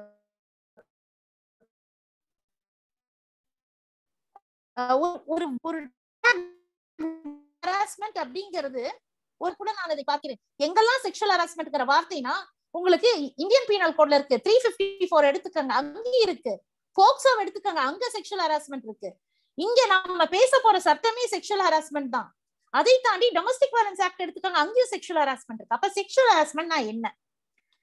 எல்லாரோட மனத்துல இருக்கக்கூடிய செக்ஷுவல் ஹராஸ்மெண்ட் உடல் ரீதியாக ஒருவருக்கு பாலியல் துன்பம் ஏற்பட்டால் அதுதான் செக்ஷுவல் ஹராஸ்மெண்ட் அப்படிங்கிறது என்ன அலைகள். செக்ஸ் அப்படிங்கிற வார்த்தை பேசுவது தவறு. அதை பேசிட்டா அதை பேசுறவங்க அதை விட தவறானவர்கள். Sexual harassment is to do only with the body இன்று இருக்கக்கூடிய செக்ஷுவல் ஹராஸ்மெண்டோட விளக்கத்தை நீங்க பார்க்கும் பொழுது இது வகுப்பா இருந்தா நான் படிச்சு காட்டியே உங்களுக்கு ஒரு ஒரு வார்த்தைக்கும் அர்த்தத்தை சொல்லியிருப்பேன். இன்னொரு நாள் இதை வகுப்பா எடுக்கிறதுக்கு கண்டிப்பா உங்க பிரின்சிபல் அவர்கள் அழைப்பார்கள். கண்டிப்பா நான் வரேன். அப்போ என்ன புரிஞ்சுக்கணும்னா உடல் ரீதியாக மன ரீதியாக வார்த்தை ரீதியாக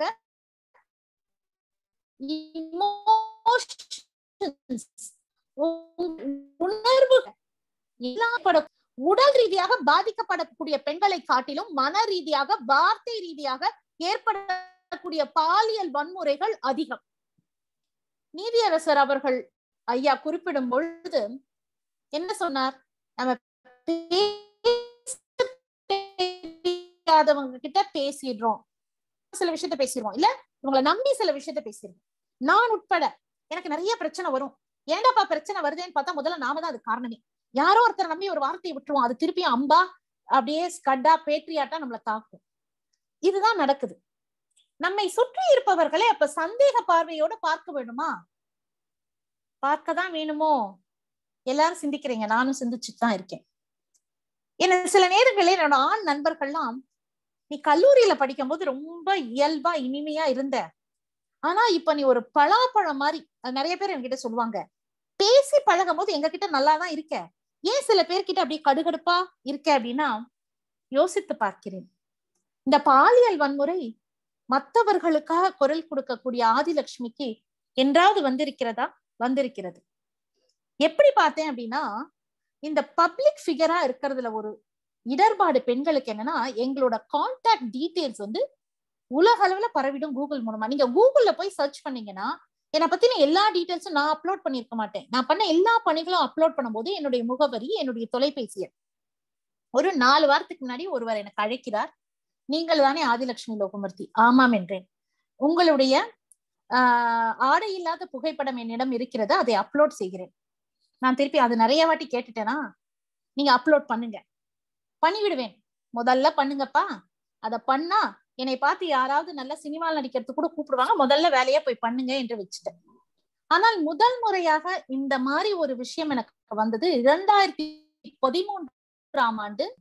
என்னுடைய மெயில் ஐடிய யாரோ ஹேக் பண்ணி அதன் மூலம் நானே என்னை ஒரு பாலியல் தொழிலாளியாக என்னையே நான் வகைப்படுத்தி என்னுடைய புகைப்படத்தை அதுவும் ஒரு மார்ஃப்ட் இமேஜை நான் அப்லோட் பண்ணிருக்க மாதிரி அதாவது நானே பண்ண மாதிரி இருக்கு. இதை செஞ்சிருக்கிறது எங்க போய் நீங்க பாத்தீங்கன்னா லொக்காண்டோன் ஒரு சைட்ல இருந்து வருது. அது ஜெர்மனில இருக்கு. நான் காவல் நிலையத்தை அதாவது கமிஷனர் ஆபீஸ்ல சைபர் கிரைம்ஸ் டிபார்ட்மெண்ட்ல போய் புகார் கொடுக்கும் பொழுது என்னுடன் ஒரு புகழ்பெற்ற ஒரு அரசியல் தலைவர் அவர்கள் என்னோட என்னுடைய கல்லூரி அப்பதான் நான் புரிஞ்சுக்கிட்டேன். பப்ளிக் ஃபிகரா இருக்கவங்களை கூட விட்டு வைக்க கூடாது. எல்லாரையும் போட்டு தாக்கணும்னு நினைக்கிறாங்க. ஆனால் ஒரு சாதாரண குடும்ப அமைப்பில் இருக்கக்கூடிய பெண்களுக்கு எவ்வாறு சிரமம் வருகிறதோ அதை காட்டிலும் பல மடங்கு இந்த பெண்களுக்கு சிரமம் வரும். அது எல்லாம் தாண்டி கொண்டுதான் இந்த பெண்கள் தாங்கி கொண்டுதான் இந்த வாழ்க்கையை போராடி எதிர்கொண்டு எதிர்நீச்சல் கொண்டு வாழ்ந்துகிறார்கள் இப்ப செக்ஷுவல் ஹராஸ்மெண்ட் அப்படிங்கிறது நம்மை பற்றின ஒரு செய்தி. காது வழியா கேட்கறக்கூடிய செய்தியோ வாய்ஸ்லயோ இல்ல ஒரு புகைப்படமா போடும்போதோ இல்ல ஒரு குறுஞ்செய்தியா அனுப்பும் போது மனசு பதப்படுத்தி இதுதான் இன்னைக்கு இருக்கக்கூடிய இது வந்து கற்பக பிரியா அவங்களோட சைபர் கிரைம்ஸ்ல நிறைய பேசுவாங்க. அதே மாதிரி உடல் ரீதியாக பார்வை ரீதியா வாயை திறக்க வேண்டாம். ஒருத்தரை வந்து உடல் ரீதியா காயப்படுத்த வேண்டாம். ஒரு பார்வை ஒரு முகத்துல ஏற்படக்கூடிய ஒரு அஹ், செயல்களால் அபியூஸ் பண்ண முடியும் செக்ஷுவலா நிறைய வழக்குகள் இருக்கு. நிறைய நிறைய. இன்னைக்கு பாத்தீங்கன்னா இந்த சட்டம் வந்த பிறகு அனைத்து நிறுவனங்கள் பத்து பேருக்கு மேல பணி செய்யற இடத்துல ஒரு இன்டர்னல் கமிட்டி உள்கட்டமைப்பு இருக்க வேண்டும். பத்து பேருக்கு கீழே இருக்கவங்களுக்கு எங்க அப்படின்னா லோக்கல் கமிட்டி என்று சொல்லக்கூடிய ஒவ்வொரு தாலுக்குலயும் இருக்கக்கூடிய லோக்கல் கமிட்டி அப்ப பணி செய்யற இடத்துல பாலியல் வன்முறை ஏற்பட்டால் இப்ப வீட்டு வேலை செய்யக்கூடிய பெண்ணிற்கு கூட பணிப்பெண்ணாக இருக்கக்கூடிய ஒரு குடும்ப அமைப்புல டொமஸ்டிக் சர்வெண்டா இருக்கவங்களுக்கு கூட இந்த சட்டம் பாதுகாப்பு தருகிறது. சட்ட அமைப்பில் இந்தியாவில் முதல் முதலாக ஒரு டொமஸ்டிக் ஒர்க்கரை ரெக்கக்னைஸ் பண்ண சட்டமாக கூட இதை நீங்க சொல்லலாம். அப்ப ஒரு பத்து பேருக்கு ஒரு நிறுவனத்துல வேலை செய்யறாங்க. மேலன்னா அது பெண்களா இருக்கணும் கூட கிடையாது. பத்து ஆண்களே வேலை செஞ்சா கூட வந்துட்டு போற எப்படி அந்த விமன் பாதிக்கப்பட்ட அக்ரி விமனை எடுத்துட்டு வராங்கன்னா அந்த பேரோல இருக்கக்கூடியவங்க மட்டும் கிடையாது. Permanent employee temporary ad hoc ப்ரொபேஷனர்னு எல்லாம் வந்து கொண்டு போகக்கூடிய ஒரு விசிட்டரா இருக்கலாம். இல்ல ஒரு வெண்டரா இருக்கலாம். இல்ல என்ன மாதிரி ஒரு கன்சல்டன்ட் ஒரு கம்பெனிக்கு போனா கூட எல்லாரையும் உள்ளடக்கக்கூடிய ஒரு ஒரு அமைப்பாக தான் இந்த அக்ரீடு விமனை எடுத்துக்கொண்டு போகிறார்கள். அதே போல இங்க ரெஸ்பாண்டன்ட் பார்த்தா ஜெண்டர் நியூட்ரல் ஒரு சமீபத்துல ஒரு என்கொயரி முன்னாடி வந்திருக்கு. இப்ப ஆன்லைன்ல அந்த என்கொயரியை நான் நடத்திக்கிட்டே இருக்கேன். இரண்டு பெண்களிடையே ஏற்படக்கூடிய பாலியல் வன்முறைக்காக அந்த என்கொயரி ஆன்லைன்ல நடத்திட்டு இருக்கு. ஒரு சீனியர் ஆபீசர் லேடி ஆபீசர் ஒரு ஜூனியர் லேடியர் ஆபீஸ் கிட்ட லெஸ்பியன் ஃபேவர் கேட்டிருக்காங்க.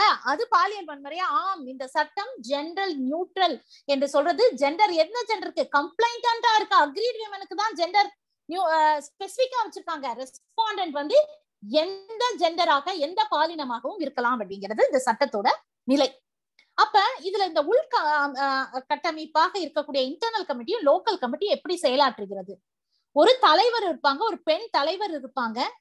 அதே மாதிரி மினிமம் ஒரு நாலு பேராவது இன்டர்னல் கமிட்டி மெம்பராக இருப்பாங்க. அதுல ஒரு எக்ஸ்டர்னல் மெம்பர் ஒரு பெண் வழக்கறிஞரோ இல்ல ஒரு என்ஜிஓட பெண்களுக்காக செயலாற்றக்கூடிய ஒரு என்ஜிஓ மெம்பராகவோ சட்டம் கொண்ட படித்தவர்களாகவோ ஏதாவது பெண்களுக்காக போ- அஹ் இருக்கக்கூடிய அசோசியேஷன் மெம்பராகவோ இத வந்து பெண் வழக்கறிஞர்ங்கிற நிலையில தான் இதை அமைக்கும் பொழுது பாக்குறாங்க. ஏன்னா ஒரு பெண் வழக்கறிஞர் ஒரு விமன் லா அசோசியேஷன்ல மெம்பரா இருப்பாங்க.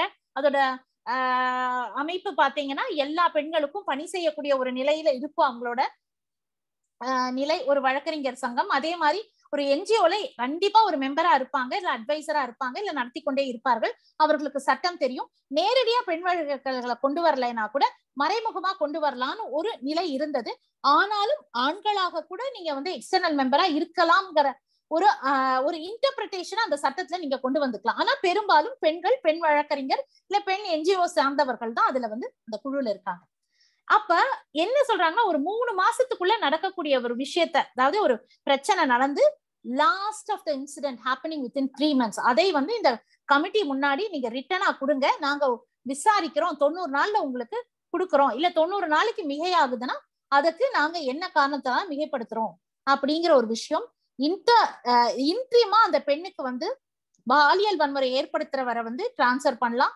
இவங்க டிரான்ஸ்ஃபர் சீக் பண்ணலாம் அவங்களுக்கு காம்பன்சேஷன் கொடுக்கலாம் செக்ஷன் 15ல அதே மாதிரி ரொம்ப முக்கியமான விஷயம் கான்பிடென்ஷியாலிட்டி செக்ஷன் சிக்ஸ்டீன் பிரகாரம் நீங்க பாத்தீங்கன்னா ரொம்ப கான்பிடென்ஷியலா எல்லா விஷயத்தையும் வச்சுக்கணும். ரெஸ்பாண்டன்ட முதற்கொண்டு எதையுமே வெளியே சொல்லக்கூடாது. போக்சோ சட்டம் எப்படி பேசுகிறதோ எல்லா சமீபத்துல வந்த சமூகத்துக்கு நலன் பயக்கக்கூடிய சட்டங்களாக இருக்கக்கூடிய அனைத்து சட்டங்களுமே ஒரு கான்பிடென்ஷியாலிட்டிய ஒரு சீக்கிரசிய மெயின்டைன் பண்ணக்கூடிய ஒரு நிலை தான் இருக்கிறது.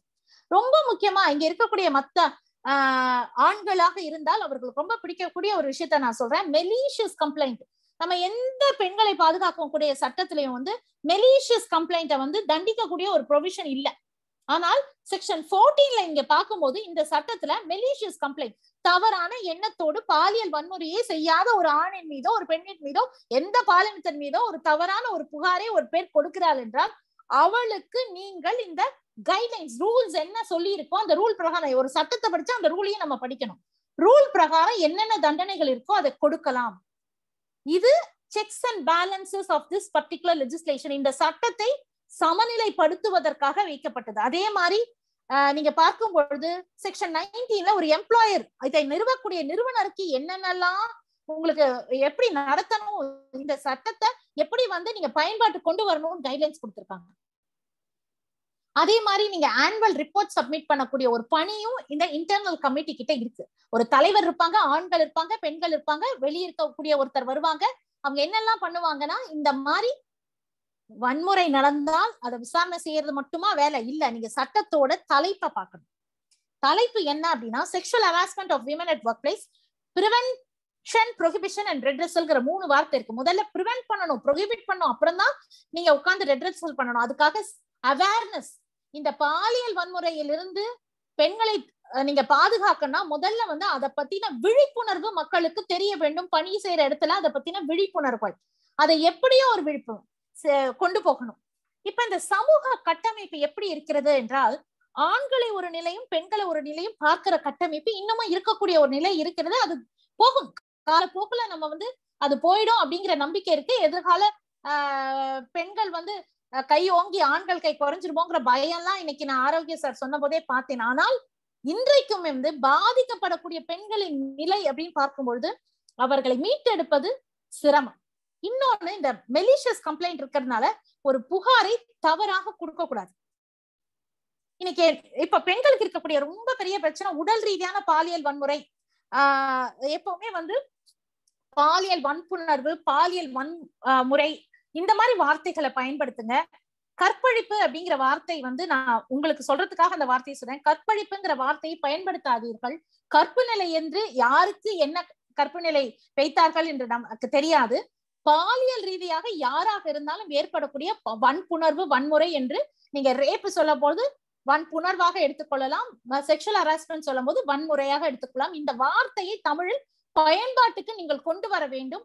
ஏனால் முன்னாடி காலத்துல உங்களுக்கு கற்பழிப்பு என்று சொல்லி இருக்கலாம் கற்பு நிலை பற்றி பேசும்போது இது பெண்ணியவாதியாக நான் பேசவில்லை. ஒரு நிலை அது எல்லாரும் ஆணுக்கும் பெண்ணுக்கும் இந்த நிலை பொருந்தக்கூடிய ஒரு நிலைதான்.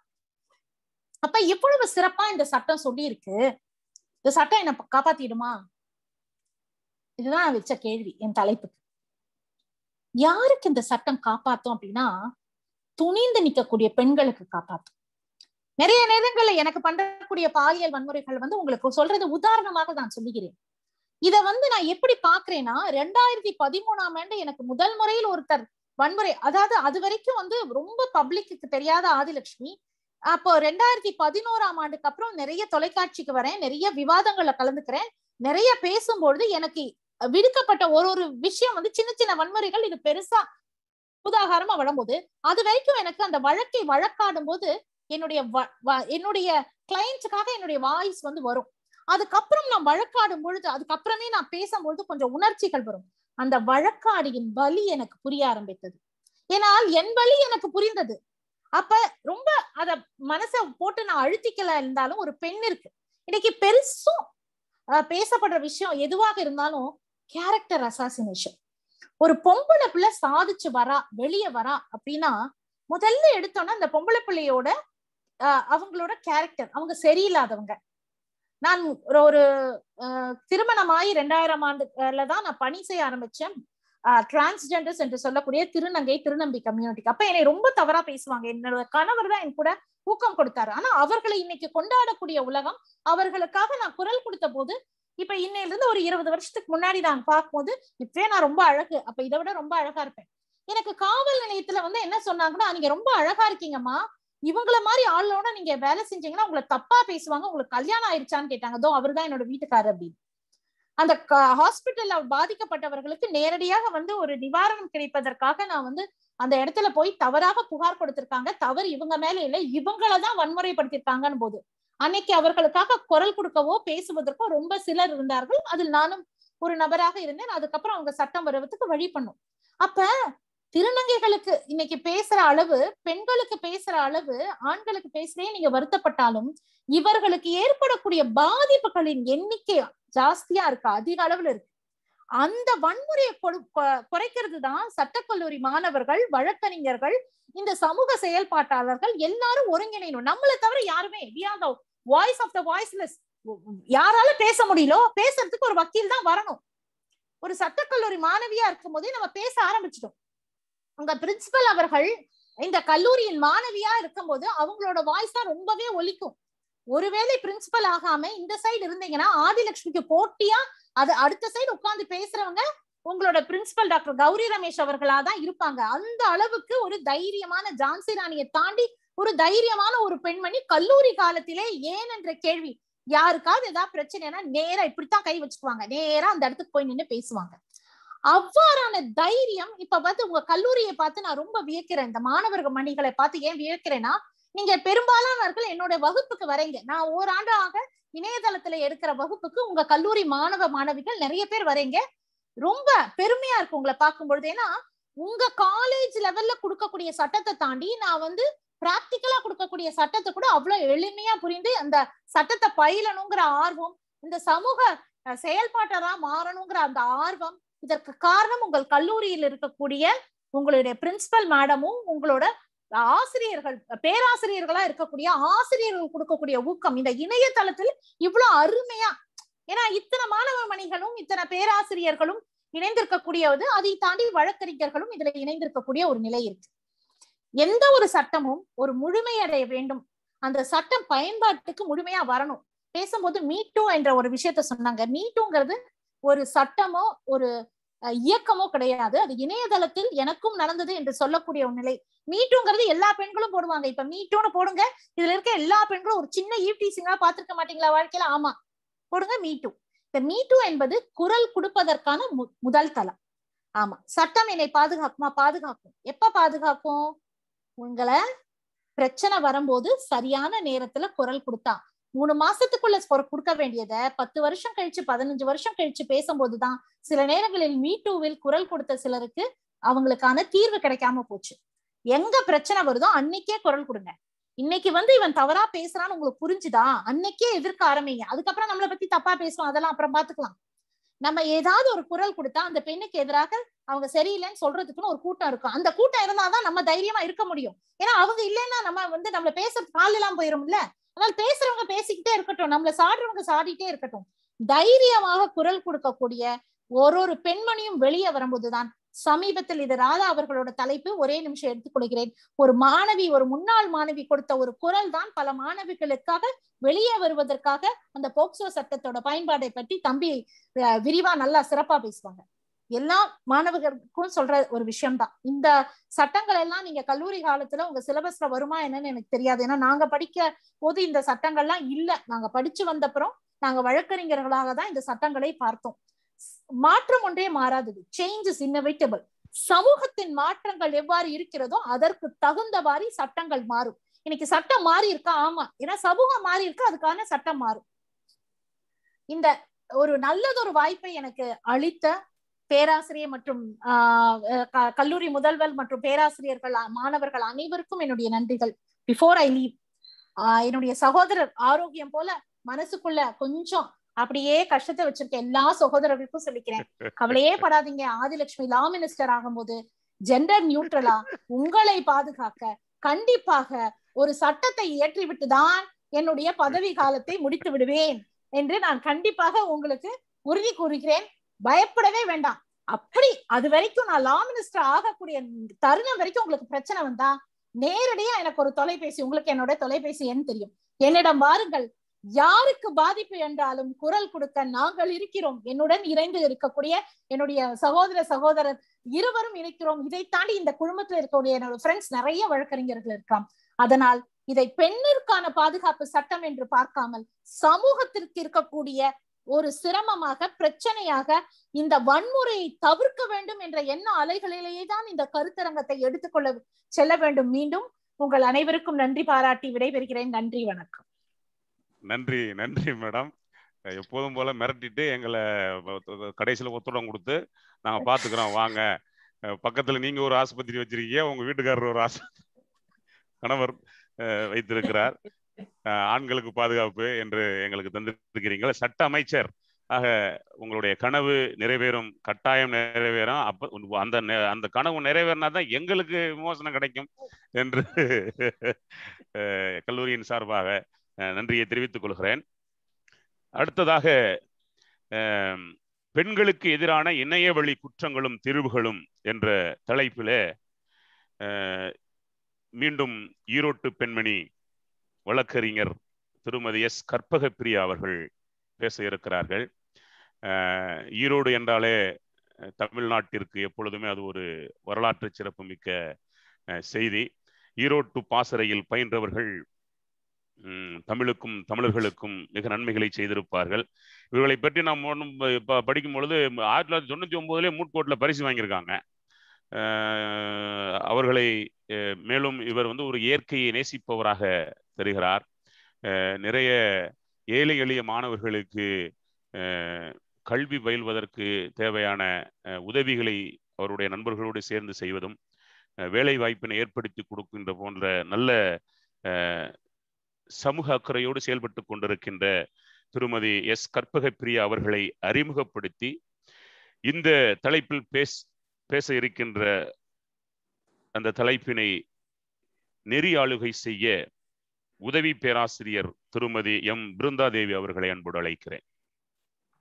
நன்றி சென்னை டாக்டர் அம்பேத்கர் அரசு சட்டக்கல்லூரி புதுப்பாக்கம் நடத்தும் முதல் இணைய வழி தமிழ் கருத்தரங்கத்தின் அடுத்த கருத்துரையாளர் திருமதி எஸ். கற்பக பிரியா வழக்குரைஞர் சென்னை உயர்நீதிமன்றம். அவர்களை இக்கருத்தரங்கத்தின் பங்கேற்பாளர்களுக்கு அறிமுகம் செய்வதில் மகிழ்ச்சி கொள்கிறேன். ஆசியாவிலேயே மிகவும் பழமையும் பாரம்பரியமும் மிக்க நம் சென்னை சட்டக்கல்லூரியில் தனது இளநிலை சட்டப்படிப்பையும் சென்னை பல்கலைக்கழகத்தில் முதுநிலை சட்டப்படிப்பை சர்வதேச மற்றும் அரசியல் அமைப்பு சட்டத்துறையிலும் பெற்றார். திருமதி கற்பகப்பிரியா தற்போது தமிழ்நாடு டாக்டர் அம்பேத்கர் சட்ட பல்கலைக்கழகத்தில் இணைய சட்டம் என்கிற தலைப்பில் பகுதி நேர ஆராய்ச்சி மாணவராகவும் உள்ளார். திருமதி கற்பக பிரியா அவர்கள் சென்னையில் உள்ள தேசிய மற்றும் பன்னாட்டு வணிக நடுவர் அமைப்பின் உறுப்பினராகவும் சர்வதேச மற்றும் ஒப்பீட்டு சட்டம் அமைப்பின் நிறுவன உறுப்பினராகவும் உள்ளார். அவர்கள் இளநிலை சட்டம் பயிலும் பொழுது மாணவர்களின் பாகத்திறமை மேம்படுத்த நடத்தப்படும் மாதிரி நீதிமன்றங்களில் மிகுந்த ஆர்வம் கொண்டவராக இருந்துள்ளார். அதில் ஆஸ்திரியா தலைநகர் வியன்னாவில் ஆண்டுதோறும் நடத்தப்படும் வில்லியம் சி விஸ் சர்வதேச வணிக நடுவர் மாதிரி நீதிமன்ற போட்டியில் பங்கேற்றுள்ளார். பின்னர் அவரது திறமைகளின் வெளிப்பாட்டினால் அவர் தான் மாணவராக பங்கேற்ற அதே வில்லியம் சி மாதிரி நீதிமன்ற போட்டிக்கு நடுவராக அழைக்கப்பட்டார். திருமதி கற்பக பிரியா அவர்கள் சர்வதேச மற்றும் தேசிய அளவில் பல கருத்தரங்குகளில் கலந்து கொண்டுள்ளார். அவற்றில் சில இரண்டாயிரத்தி ஏழாம் ஆண்டு செக் குடியரசில் உள்ள மசாரிக் பல்கலைக்கழகத்தில் இணைய குற்றங்களுக்கு எதிரான போர் என்ற தலைப்பில் பங்கேற்றுள்ளார். இரண்டாயிரத்தி ஒன்பதில் ஜப்பான் தலைநகர் டோக்கியோவில் நமது இந்திய நாட்டின் சார்பாக சர்வதேச அறிவுசார் சொத்துரிமை மாநாட்டில் கலந்து கொண்டுள்ளார். அது மட்டுமின்றி திருமதி கற்பக பிரியா அவர்கள் செக் குடியரசின் மசாரிக் பல்கலைக்கழகம் உட்பட பல்வேறு பல்கலைக்கழகம் மற்றும் கல்லூரிகளில் மகளிர் மற்றும் இணைய சட்டம் தொடர்பான பல்வேறு சொற்பொழிவுகள் ஆற்றியுள்ளார். தேசிய மகளிர் ஆணையம் ஆதரவுடன் நடத்தப்படும் நிகழ்ச்சிகளில் திருமதி கற்பக பிரியா அவர்கள் இன்றியமையாதவராக இருந்து வருகிறார். இவ்வளவு வேலைகளுக்கு நடுவிலும் ஒத்த சிந்தனை கொண்ட நண்பர்களுடன் சேர்ந்து சுற்றுச்சூழலை பேணி காக்க பல மரம் நடும் நிகழ்ச்சிகள் நடத்தியுள்ளார்.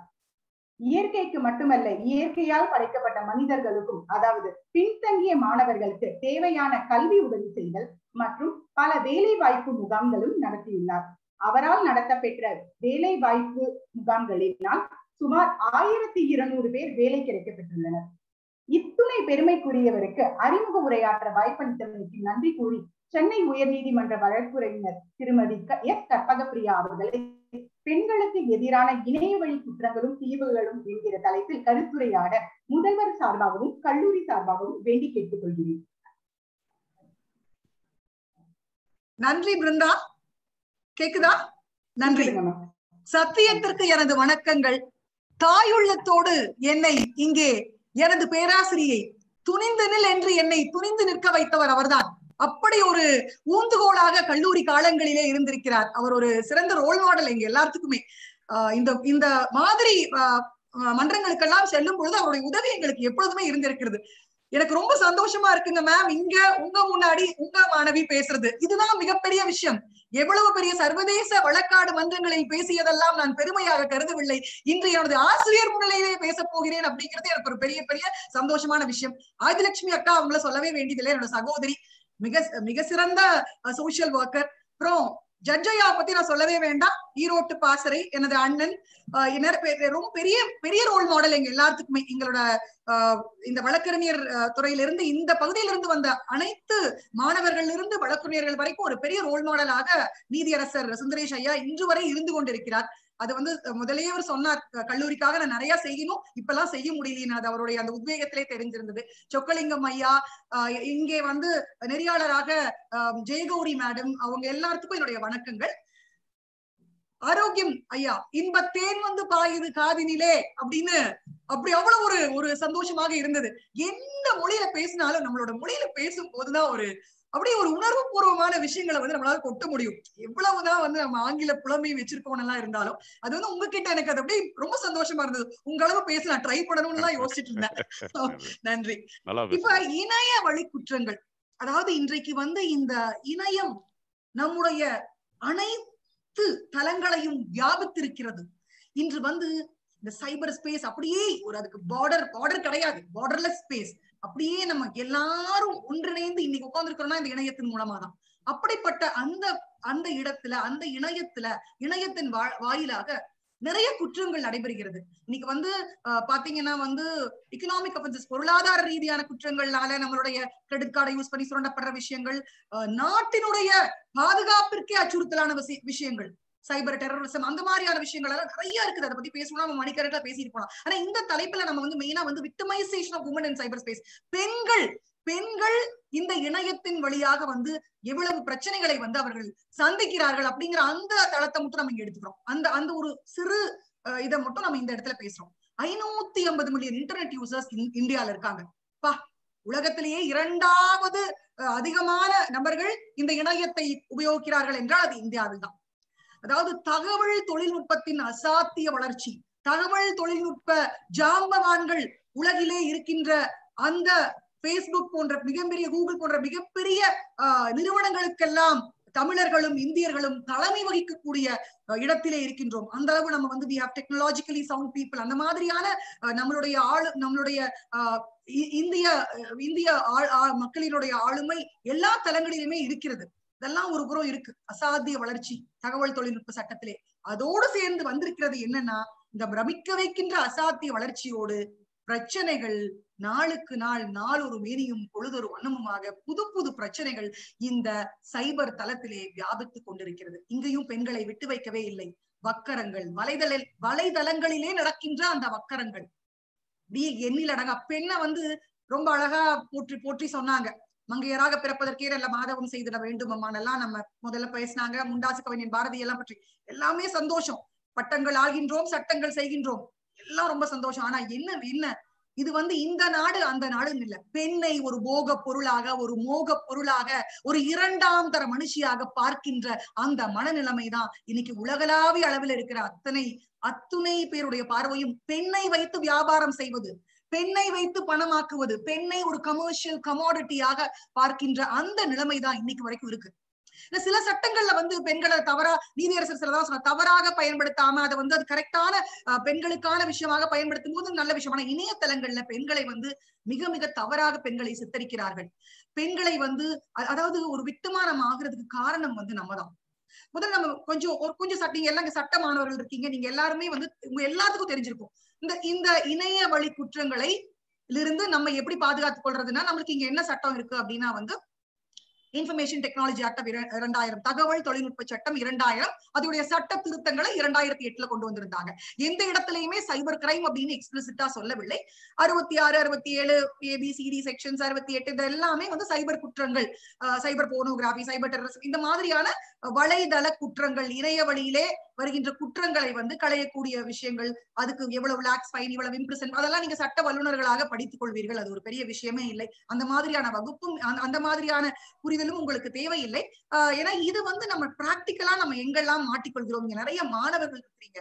ஆஹ் இன்னைக்கு வந்து காலையில வந்து ஃபேஸ்புக் அதாவது ஃபேஸ்புக் முகநூல்னு சொல்லுவோம் இல்லையா? பேஸ்புக் ட்விட்டர் ஸ்னாப்ஷாட் இன்ஸ்டாகிராம் இதெல்லாம் இல்லாம நம்ம வாழவே முடியாது. காஃபி குடிச்சுனா ஏய் லவ்லி காஃபி மக்ல இருந்து நீங்க கொடுத்த போஸ் அழகுன்னு வரைக்கும் ஒருத்தர் லைக் போடுற வரைக்கும் வந்து நம்ம அதை வந்து நம்ம அப்படியே மனசுல வந்து சந்தோஷப்படுத்தி அதை வந்து நம்ம அப்படியே அது வந்து நம்மளுடைய டியூனப் ஆயிருது இதுதான் வியாபாரம்.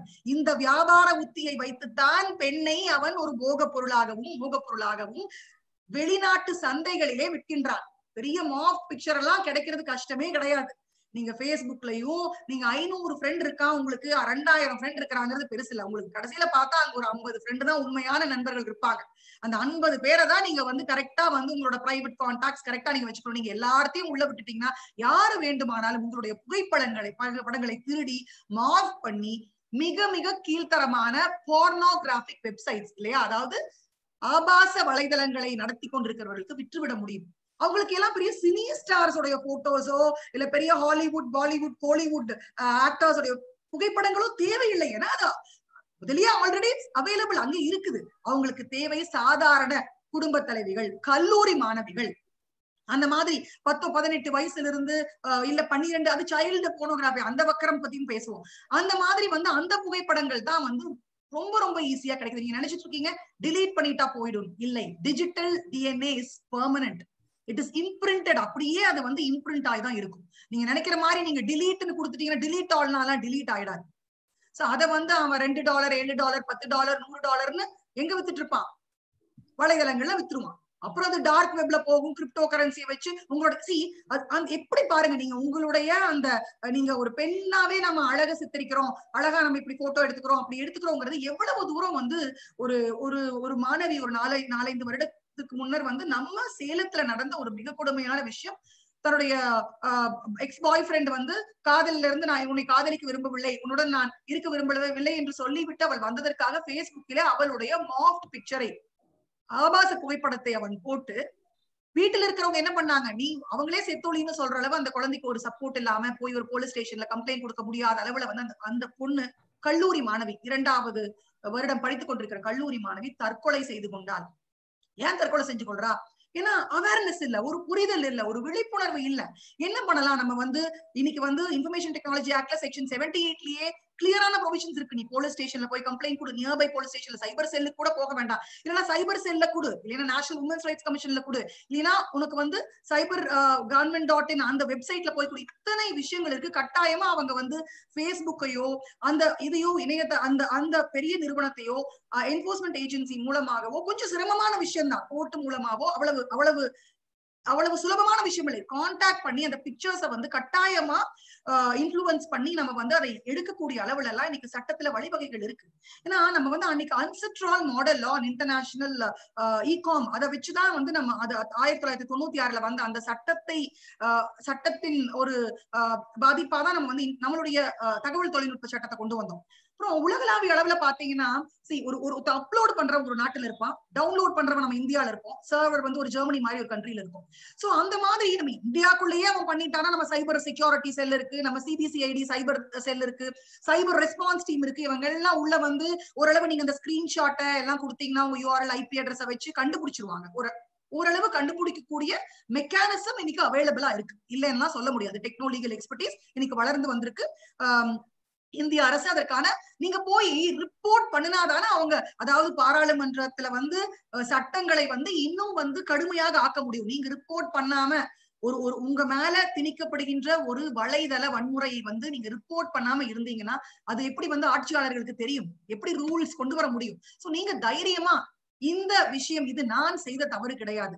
எவனோ ஒருத்தன் கேவலமா கீழ்த்தரமா வக்கரமானவன் கொண்டு போட்டா போட்டுட்டு போடா. அது உங்களோட பாய் ஃப்ரெண்டா இருக்கட்டும் உங்களுக்கு தெரிஞ்சவனா இருக்கும் போட்டா போட்டுட்டு போடான்னு சொல்ற தைரியம் இருக்கணும். இல்லைன்னா இந்த மாதிரியான விஷயங்களை பல முறை யோசிச்சு உங்களுடைய புகைப்படங்களை அதுவும் வந்து கல்யாணம் பண்ணிக்க போறவன் உன்னோட காதலை என்ன சொன்னாலும் அந்தரங்க புகைப்படங்களை தயவு செய்து மாணவ மாணவ மணிகளே உங்களுக்கு நான் திரும்பி திரும்பி இதை வந்து ரொம்ப ஒரு வேண்டுகோளாக கேட்கிறேன். தயவு செய்து பகிர்ந்து கொள்ளாதீர்கள். நீங்க பகிரவே கூடாது.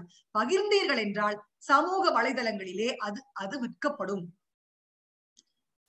போனோகிராஃபி ஜென்ரலா pornography is trillion trillion dollar industry கேட்கவே வேண்டாம். அதுலயும் விதவிதமான விஷயங்கள் இருக்கு. பெண்களுக்கு பெண்களுக்கு எதிரான குற்றங்கள்ங்கும் போது என்ன? உங்க மாஃப் பிக்சர் அங்க வித்துருவான் அதுதான் இன்னைக்கு வந்து அப்படியே வியாபத்து இருக்கிற ஒரு கஷ்டமான விஷயம். அது அவ்வளவு பெரிய இண்டஸ்ட்ரி இதுல ரொம்ப ரொம்ப கேவலமான வக்கரமான மனிதர்கள் எல்லாம் எங்க இருக்கிறாங்கன்னா உங்களுக்கு கண்ணீர் வந்துரும்.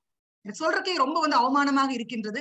உலகளாவிய அளவிலே இரண்டாவது இடத்திலே இந்த ஆபாச வலைதளங்களிலே இருக்கின்ற புகைப்படங்களையும் இருக்கின்ற ஆபாசங்களையும் பார்க்கின்ற வக்கரமான மனிதர்கள் இந்தியாவிலே அதிகமாக இருக்கிறார்கள்.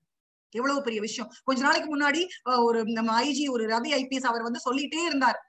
குழந்தைகளுக்கு எதிரான இந்த ஆன்லைன் குற்றங்களிலே ஈடுபட்டீர்கள் என்றால் அதை பார்த்தீங்கன்னா அதாவது நீங்க டவுன்லோட் பண்ணீங்கன்னாவே குற்றம் டிரான்ஸ்மிட் பண்ணீங்கன்னா பெரிய குற்றம் இந்த மாதிரி. அப்ப நான் ஒரு கல்லூரிக்கு பேச போயிருக்கேன். ரொம்ப வருத்தமா இருக்கு. இந்த மாணவிகள் வந்து கேக்குறாங்க நாங்க இந்த- மாதிரி வலைதளங்கள் எல்லாம் நாங்க பாத்துருவோம் எங்களை எங்களை வந்து குடிப்பாங்க ரொம்ப சங்கடமா இருந்துச்சு. பிடிக்க மாட்டாங்க.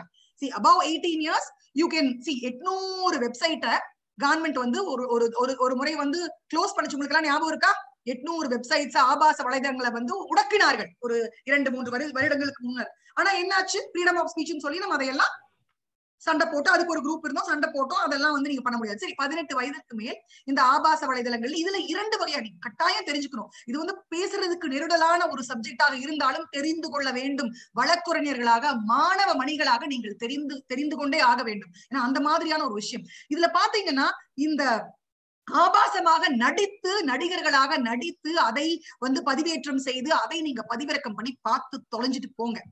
ஹூ கேர்ஸ் ஆனா இன்னொரு விஷயம் இருக்கு. ரிவெஞ்ச் பான் அப்படின்னு. அதாவது வக்கரத்திற்காக ஒரு பெண்ணை துன்புறுத்தி அடித்து அந்த பாலியல் வன்முறையிலே ஈடுபட வைத்து அதை புகைப்படம் எடுத்து அதை வலைதளங்களிலே விற்கின்ற அந்த வக்கரம் வார்த்தைகள் வார்த்தைகள் கிடையாது. கண்ணீர் கண்ணீர் விட்டு விட்டு அந்த குழந்தைங்க எல்லாம் வந்து டெரரைஸ் ஆகி இறக்கக்கூடிய இதை வந்து குழந்தைகளையும் விட விட்டு வைக்கவில்லை. இந்த மாதிரியான சைல்டு பிரிடேட்டர்ஸ் அண்ட் அது இந்த மாதிரியான பிரிடேட்டர்ஸ் வந்து உலகளாவிய அளவுல வியாபித்திருக்காங்க. அதனால பாத்தீங்கன்னா உலகளாவிய அளவிலே சர்வதேச சட்டங்கள் நம்ம வந்து இவ்வளவெல்லாம் பேசுறோம். European convention on international combating cyber crimes அப்படின்னு ரெண்டாயிரத்தி ஒண்ணுல ஒரு சர்வதேச அது ஒண்ணுதான் இன்னைக்கு வரைக்கும் இருக்கு. யூஎன் ஒன்னும் பெரிய சட்டங்கள் கொண்டு வரவில்லை. சைபர் கிரைம காம்பேக்ட் பண்றதுக்கு. ஆஹ் ஆனா அந்த அந்த சட்டம் பாத்தீங்கன்னா இன்னைக்கு வரைக்கும் நம்ம அந்த ட்ரீட்டிக்கு வந்து ஒரு சிக்னட்டரி கூட இல்ல. நம்ம வந்து நம்ம இந்தியா இந்த ஆனா அப்படி அப்படியான சர்வதேச சட்டங்கள் இருந்தால்தான் இந்த மாதிரியான வக்கரங்களை களைய நாம் கை கொடுத்து நாடுகள் சாவரன் நேஷன்ஸ் எல்லாம் கை கொடுத்து கைகோர்த்து இந்த மாதிரியான வக்கரங்களுக்கு ஒரு முற்றுப்புள்ளியாவது வைக்க முடியும் இல்லையா? ஆனா பார்த்தா வந்து அந்த யூரோப்போல் இன்டர்போல் எல்லாம் அவரவர்கள் இன்டர்போல் நிறைய பண்றாங்க. யூரோப்போல் எல்லாம் அவரவர்களுடைய தலங்களிலே அவரவர்களுடைய அஹ், எல்லைகளிலே இதை செய்து செய்து கொண்டிருக்கிறார்கள். இதுல பார்த்தோம்னா எல்லா கிரைமும் நிறைய இருக்கு. Stalking to pornography to gambling to bullying to sextortion to அப்படியே நம்ம அடுக்கிக்கிட்டே போலாம். ஸ்டாக்கிங் பெண்களை மட்டும் பின்தொடர்றது இல்ல ஆண்களையும் பின்தொடர்ந்து அவங்கள டிஃபேம் பண்றது. இதற்கான தண்டனைகள் எல்லாமே வந்து நம்மளுடைய சட்டங்கள்ல Indian penal code evidence act எல்லாமே நம்மளுடைய இன்ஃபர்மேஷன் டெக்னாலஜி ஆக்ட் வந்ததுக்கு அப்புறம் certain provisions on the online ஸ்பேஸையும் அங்க வந்து நம்ம அமெண்ட்மெண்ட்ஸ் எல்லாம் கொண்டு வந்தோம். சட்டங்கள் எல்லாம் இருக்கிறது இல்லை என்று சொல்லவில்லை. அந்த விக்ட் அந்த விக்டிம்ஸ் வந்து ஏன் டெரரைஸ் ஆகுறாங்க அப்படின்னா அந் வெளிநாடுகளில் இருந்து இந்த பெண்களின் மீது அந்த திணிக்கப்படுகின்ற அந்த வன்புணர்வு வன்முறை வர்ச்சுவல் ரேப் அதெல்லாம் நீங்க கேட்டீங்கன்னா நிஜமாவே வந்து வேர்ச்சுவல் வேர்ல்ட்ல இவ்வளவு இவ்வளவு அந்தரங்கமான மிக கேவலமான கீழ்த்தரமான வக்கரங்கள் அரங்கேறுகிறது அப்படின்னா வந்து நடுங்கிடணும். டார்க் வெப்னு ஒண்ணு இருக்கு. ஆன்லைன் ரோட்டர்ஸ்னு வச்சு அதன் மூலமா ஜென்ரலா நம்ம கூகுள் இதுல இருந்து போயிட முடியாது. அதெல்லாம் பாத்தீங்கன்னா வந்து அங்கெல்லாம் நடக்கிறது வந்து நர்காட்டிக்ஸ்ல இருந்து ஆர்ம்ஸ் அம்யூனேஷன்ஸ்ல இருந்து என்ன வேணுமோ அங்க கிடைக்கும் கிரிப்டோ கரன்சியை வச்சு நீங்க வந்து காசு கொடுத்து அங்க வாங்க வேண்டியதுல அந்த இடத்துலயும் ஆபாச வலைதளங்கள் வந்து கோலோச்சுகின்ற ஒரு இண்டஸ்ட்ரியா தான் அந்த டார்க் வெப்பும் இருக்கு. அதையும் வந்து சர்வதேச சட்டங்கள் களைவதற்காகவும் சர்வதேச அளவுல வந்து நிறைய கொலாபரேட்டிவ் எஃபர்ட்ஸ் எல்லாமே பண்ணி முன்னெடுத்து கொண்டிருக்கிறார்கள். இது வந்து கடைசியா நான் உங்களுக்கு நீங்க எப்படி ப்ரொடெக்ட் பண்ணிக்கணுங்கிறத பத்தி நான் சொல்றேன். நிறைய நீங்க பாத்தீங்கன்னா இணைய வழி உளவு. அதெல்லாம் வந்து இணைய வழி உளவு சைபர் செக்யூரிட்டி இதெல்லாம் வந்து நிறைய நாடுகள் வளர்ந்த நாடுகள் எல்லாம் மிக சிறப்பா பண்ணிட்டு இருக்காங்க நம்ம அதெல்லாம் வந்து இன்னும் கொஞ்சம் ஹோன் பண்ணணும். அந்த அந்த ஏரியாஸ்ல எல்லாம் நம்ம நிறைய விஷயங்கள் பண்ண வேண்டி இருக்கு ஏன்னா இன்னைக்கு வந்து இனிமேல் வந்து கன் எடுத்துட்டு போய் சுட வேண்டியதில்ல. Cyber warfare hack and terrorise இந்த என்டையர் திங் அவ்வளவுதான் முடிஞ்சு. நேஷனுக்குள்ள நீங்க இப்ப பயோ வார்ஃபேர் இந்த கோவிட் காலகட்டங்களை நம்ம எல்லாம் பயோ வார்ஃபேர்னு பேசிக்கிட்டு இருக்கோம். அது மாதிரி இந்த சைபர் வார்ஃபேர் எல்லாம் ஏற்கனவே நடந்து கொண்டிருக்கின்ற விஷயங்கள் தான். ஒவ்வொரு கவர்மெண்டோடைய வெப்சைட்ஸையும் ஹேக் பண்றது அவங்க திரும்பி ஒரு ஹேக்கரை வச்சு அந்த ஹேக் பண்ண கவர்மெண்டோட வெப்சைட்டை ஹேக் பண்றது இதெல்லாம் வந்து நடந்து கொண்டுதான் இருக்கிறது. இது இது இதெல்லாம் இந்த மாதிரி குற்றங்கள் ஒரு புறம் நம்ம நிறைய நடந்து கொண்டிருக்கிறது. இதை களைவதற்கான விஷயங்கள் அப்படிங்கிறது நம்ம நம்ம இன்னைக்கு இதையெல்லாம் தவிர்க்கவே முடியாது. ஆன்லைன்ல இல்லாம நம்ம இருக்க முடியுமா? இந்த ஜூம் பிளாட்ஃபார்ம் இல்லைன்னா நம்ம எல்லாம் இன்னைக்கு இணைய முடியுமா? இந்த இந்த ஆன்லைன் பிரசன்ஸ்ங்கிறது வந்து நம்மளுக்கு வந்து இது வியாபித்திற்கு செஞ்சுதான் ஆகணும். இன்னைக்கு வந்து வீட்டுல உட்காந்துருக்கிறோம் எல்கேஜி குழந்தையோட கையில அந்த ஆண்ட்ராய்டு போன வச்சிருக்கு. இதுலதான் ஹோம்ஒர்க் வருது. இந்த ஹோம்ஒர்க்கு தான் நீங்க வந்து வாட்ஸ்அப்ல டீச்சர் ஹோம்ஒர்க் அனுப்புறாங்க. அந்த ஹோம்ஒர்க்கை download so on click of a button என்ன கிடைக்குது? எல்லாமே அந்த குழந்தைக்கு வந்து அவைலபிளா இருக்கு. ஒரு எல்கேஜி குழந்தையில இருந்து கல்லூரி படிக்கிற மாணவியிலிருந்து கல்லூரி படிக்கிற மாணவன்ல இருந்து எல்லாமே வந்து இந்த இணைய இணையதளத்துல வந்து இந்த on a click of a mouse கிடைக்கக்கூடிய அந்த ஆண்ட்ராய்ட் போன் வந்து எல்லாத்தோட கையிலும் இருக்கு. சொல்றதே என்ன சொல்லிடுறாங்க டீச்சர் காலேஜ் டீச்சர் நீங்க என்ன சொல்லிடுறீங்க? எல்லாம் எல்லாரும் ஆண்ட்ராய்ட் போன் வச்சிருக்கணும் லேப்டாப் வச்சிருக்கணும் இது வச்சிருக்கணும். அப்பதானே நீங்க வந்து இந்த இணைய வழி கல்வியில அந்த இந்த தளத்துல இணைய முடியும். நான் எங்கேயுமே பாதுகாப்பு இல்லை. எந்த இடத்துலயுமே பெண்களுக்கு பாதுகாப்பு இல்லை. நம்ம சொல்றோம் இந்த ஆஹ் பிறந்ததுல இருந்து இந்தி இந்தியான்னு கிடையாது. அதான் நான் முதல்ல இருந்து சொன்னேன். இந்த வக்கரம் வந்து உலகளாவிய அளவுல அளவுல அரங்கேறிட்டு இருக்கு இந்தியான்னு எடுத்துக்கிட்டோம்னா நம்ம கருவறையில இருந்து கல்லறை வரை நாம வந்து சிதைக்கப்பட்டுதான் இருக்கிறோம். எல்லா வன்புணர்வு. இந்த வன்புணர்வு எல்லாம் வந்து இன்னைக்கு ஆன்லைன்ல நடந்துட்டு இருக்கு நீங்க ரொம்ப உங்களுக்கு எல்லாம் ஷாக்கிங்கா இருக்கும். ஒரு ரெண்டு பேரும் வேலைக்கு போற பெற்றோர்கள் மென்பொருள் ஆராய்ச்சியாளர்கள் பெரிய நிறுவனத்துல பணிபுரிகிறவர்கள் அவங்க வீட்டுல வந்து ரெண்டு குழந்தை ஒரு குழந்தைக்கு ஏழு வயசு ஒரு குழந்தைக்கு பன்னெண்டு வயசு. ஒரு சைல்டு போன ஆபாச வலைத்தளத்து வலை ஒரு பிரிடேட்டர் கிட்ட அவங்க மாட்டிக்கிறாங்க. தினம் தினம் அந்த குழந்தைகளை வந்து மிகவும் துன்புறுத்தி சித்தரிச்சு தினம் தினமும் அந்த குழந்தைங்களை ஸ்ட்ரிப் பண்ண சொல்லி அந்த போட்டோஸ் வந்து வலைதளத்துல வித்து அது தெரியாம அந்த குழந்தை டெரரைஸ் ஆகி சைக்கலாஜிக்கல் கவுன்சிலிங் போற அளவு வந்து அதுக்கப்புறம் தான் கண்டுபிடிக்க முடிஞ்சு அவங்க வந்து போய் கம்ப்ளைண்ட் கொடுக்குறாங்க. இதெல்லாம் வந்து கேட்கும் போது வந்து நம்மளுக்கு வந்து ரொம்ப ரொம்ப ரொம்ப ரொம்ப மனசு வேதனையா இருக்கு. இதெல்லாம் வேற எங்கேயும் இல்லைங்க இந்தியால நடந்திருக்கு. பப்ஜியில இருந்து ஆரம்பிச்சு ப்ளூ வேல் வரைக்கும் நம்ம இந்தியால விக்டம்ஸா இருந்துக்கிறோம் ப்ளூ வேல்ங்கிறது என்ன? ஒரு ஹேக்கர் அவன் வந்து அவனுடைய கூட படிக்கிற சக மாணவிகளை பழி தீர்க்க வேண்டும் அப்படிங்கறக்காக ப்ளூவேல்னு ஒரு அஹ், ஒரு இதே வந்து கொ- கொண்டு வராங்க. அந்த ஒரு மூணு கேர்ள் சில்ட்ரன் மூணு கேர்ள் காலேஜ் கேர்ள்ஸ் தான் ஃபர்ஸ்ட் ஃபர்ஸ்ட் டார்கெட் டார்கெட் அவனுக்கு. அந்த ரஷ்யன் ஹேக்கருக்கு மூணு பேர்த்தையும் அந்த ப்ளூவேல விளையாட வச்சு சாகடிக்கிறான். சூசைட் பண்ணிக்க வைக்கிறான். சோ அப்ப எவ்வளவு தூரம் இந்த அடிக்ஷன் சைபர் அடிக்ஷன் இதுல நம்ம வந்து அப்படியே அது இல்லாம கையில அது இல்லாம காலையில வந்து ஆஹ், காலையில நான் கண் விழித்தா அம்மாவை பாக்குறேன் அப்பாவை பாக்குறேன் குழந்தை இப்ப காலையில கண் விழித்தா ஆண்ட்ராய்ட் போன்ல தான் கண் விழிக்கணும். அதை தான் நான் வந்து சுவிட்ச் ஆன் பண்ணுவேன். அந்த மாதிரியான நிலைமையில தான் நம்ம இருக்கிறோம். பார்த்தா நம்மளுக்கு வந்து என்னடா இவங்க இது நடந்ததையே சொல்லி ஆனா ஏன் நம்ம திரும்பி திரும்பி இதை இதை வந்து சொல்றோம்னா இது இல்லாம நம்ம இருக்க முடியாது. இது இது வியாபித்திருக்கு இது இல்லாம நம்ம எதுவும் பண்ண முடியாது. ஆனா ப்ரொடெக்டிவா இருக்கலாம் இல்லையா? ப்ரொடெக்ஷனோட இருக்கலாம் இல்லையா? தேவையில்லாம நம்மளுடைய விஷயங்களை நம்மளுடைய அந்தரங்க விஷயங்களை யாரிடமும் பகிர வேண்டாம் இல்லையா? ஒரு ஃபேஸ்புக்கோ ஒரு ட்விட்டரோ உங்களுக்கு கேட்கின்ற விஷயங்களை மட்டும் நீங்க அக்ரிமெண்ட்டுக்கு இது பண்ணுங்க. நீங்க உங்களோட உங்களுடைய பெயரை கேட்கும். அது ஒரு வேற ஒரு ஒரு ஷார்ட் நேம் கொடுங்க அதுக்கப்புறம் உங்களுடைய ஒரு இமெயில் ஐடி கேட்கும் நீங்க ஒண்ணும் வந்து பெரிய இந்த வேலைக்கு போற அப்ளிகேஷன் ஃபார்ம் ஃபில் பண்ற மாதிரி இந்த தெரு இந்த வீதி இந்த இது எனக்கு வந்து ரெண்டு குழந்தை இதெல்லாம் உங்களுடைய அந்தரங்க விஷயங்களை நீங்கள் வந்து பேஸ்புக் எல்லாம் சொல்லிட்டு இருக்க வேண்டிய அவசியம் இல்லை. நீங்க தான் என்ன சொல்றது? இந்த ட்ரெஸ் நல்லா இருக்கா? நான் நாளைக்கு வந்து இந்த நாட்டுக்கு வந்து போறேன். இந்த இப்படி எல்லாம் நீங்க போட்டுட்டு இருந்தீங்கன்னா திருட வந்து திருடிட்டு ரியலா திருடிட்டு போவான். அந்த மாதிரிதான் வந்து இன்னைக்கு அந்த வலைதளங்களின் மேல் இருக்கின்ற மோகமும் அடிமையும் வந்து நம்மளை வந்து அதை ஆக்கப்பூர்வமான விஷயங்களுக்கு எவ்வளவு தூரம் பயன்படுத்துற இது இருக்கோ அதே மாதிரி வந்து அதை வந்து நம்ம வந்து ரொம்ப வந்து இந்த மாதிரி போய் நம்ம மாட்டிக்க கூட மா பெண்கள் எஸ்பெஷலி பெண்கள் இந்த ஸ்டாக்கிங்னால இந்த ரித்துக்கோழி கேஸ்னு ரொம்ப வருஷத்துக்கு முன்னாடி இருபது வருஷத்துக்கு முன்னாடி ஒரு அதாவது எக்ஸ் ஹஸ்பண்ட் அந்த அந்த பொம்பளையை டெரரைஸ் பண்ணி அவளை வந்து ஒரு சைட்ல வந்து கால் கேர்ள்னு போட்டு ஆஹ், தினமும் வந்து கால்ஸ் ஆஸ்கிங் ஹர் அவங்க ரேட் என்னன்னு? இந்த மாதிரியான வக்கரங்கள் இன்னைக்கு வரைக்கும் அரங்கேறிட்டு தான் இருக்குதுங்க. நீங்க சொல்றதுக்கு வந்து நம்ம பேசுறதுக்கு வந்து நம்மளுக்கு வந்து இருடா என்னடா இது ஒரு ரொம்ப நெருடலான சப்ஜெக்ட் நம்ம நினைப்போம். இல்ல பேசிதான் ஆகணும். இதெல்லாம் வந்து நம்ம வந்து அதுவும் ஆஸ் லாயர்ஸ் ஆஸ் ரெஸ்பான்சிபிள் நம்ம வந்து ரொ- நம்ம வந்து அடுத்த தலைமுறைக்கு வந்து இன்னைக்கு வந்து நம்ம வந்து ஒரு நல்ல சிட்டிசனா இருக்கிறோங்கிறதெல்லாம் இல்லைங்க இன்னைக்கு நல்ல நெட்டிசனா இருக்கணும். இன்ஃபார்ம் நெட்டிசனா இருக்கணும். அவேர்னஸ் இருக்கிற நெட்டிசனா இருக்கணும். விழிப்புணர்வை ஏற்படுத்தக்கூடிய ஒரு நெட்டிசனா இருக்கணும். அப்படி இருந்தால் மட்டுமே இந்த மாதிரி இணைய வழி குற்றங்களை வந்து தடுக்கிறது களைகிறதுங்கிறதெல்லாம் அவ்வளவு ஈஸி இல்லைங்க. ஏன்னா வந்து jurisdiction you're all law students care இங்க எல்லாம் முனைவர்கள் பேராசிரியர்கள் எல்லாம் இருக்கிறாங்க. இந்த மாதிரி ஒரு பெரிய தளத்துல நான் ஒரு ஹம்பிளா சொல்லிக்கிறேன். ஏன்னா வந்து இது வந்து ஒரு அஹ், என்ன விஷயம் தெரியுமா? இது வந்து ஜூரிஸ்டிக்ஷன் எல்லாம் வந்து ரொம்ப மல்டிபிள் காம்ப்ளெக்ஸ் இஷ்யூ அப்லோடர் ஒரு பக்கம் இருப்பா டவுன்லோடர் ஒரு பக்கம் சர்வர் ஒரு பக்கம் இருப்பான் இப்படி இதையெல்லாம் இணைத்து நம்ம வந்து ஒரு ஆஹ், ஒரு குற்றவாளியை வந்து நம்ம வேற ஒரு இடத்துல இருந்து இங்க வந்து ஒரு ஆஹ், ஆபாச குற்றத்தை நிகழ்த்தியவனை கொண்டு வந்து நம்மளுடைய நம்மளுடைய இதுல நம்மளுக்கு வந்து பாத்தீங்கன்னா கிரிமினல் சட்டங்கள் படி எக்ஸ்ட்ரடிஷன் ட்ரீட்டி இருக்கணும். அப்படி எல்லாம் பெரிய ட்ரீட்டி எல்லாம் எல்லா நாடுகளோடயும் எல்லாம் இருக்கிற மாதிரி எல்லாம் ஒண்ணும் கிடையாது. அதெல்லாம் இருக்கணும். நம்ம நாட்டுல குற்றமா இருக்கிறது அவன் நாட்டிலயும் குற்றமா இருக்கணும்.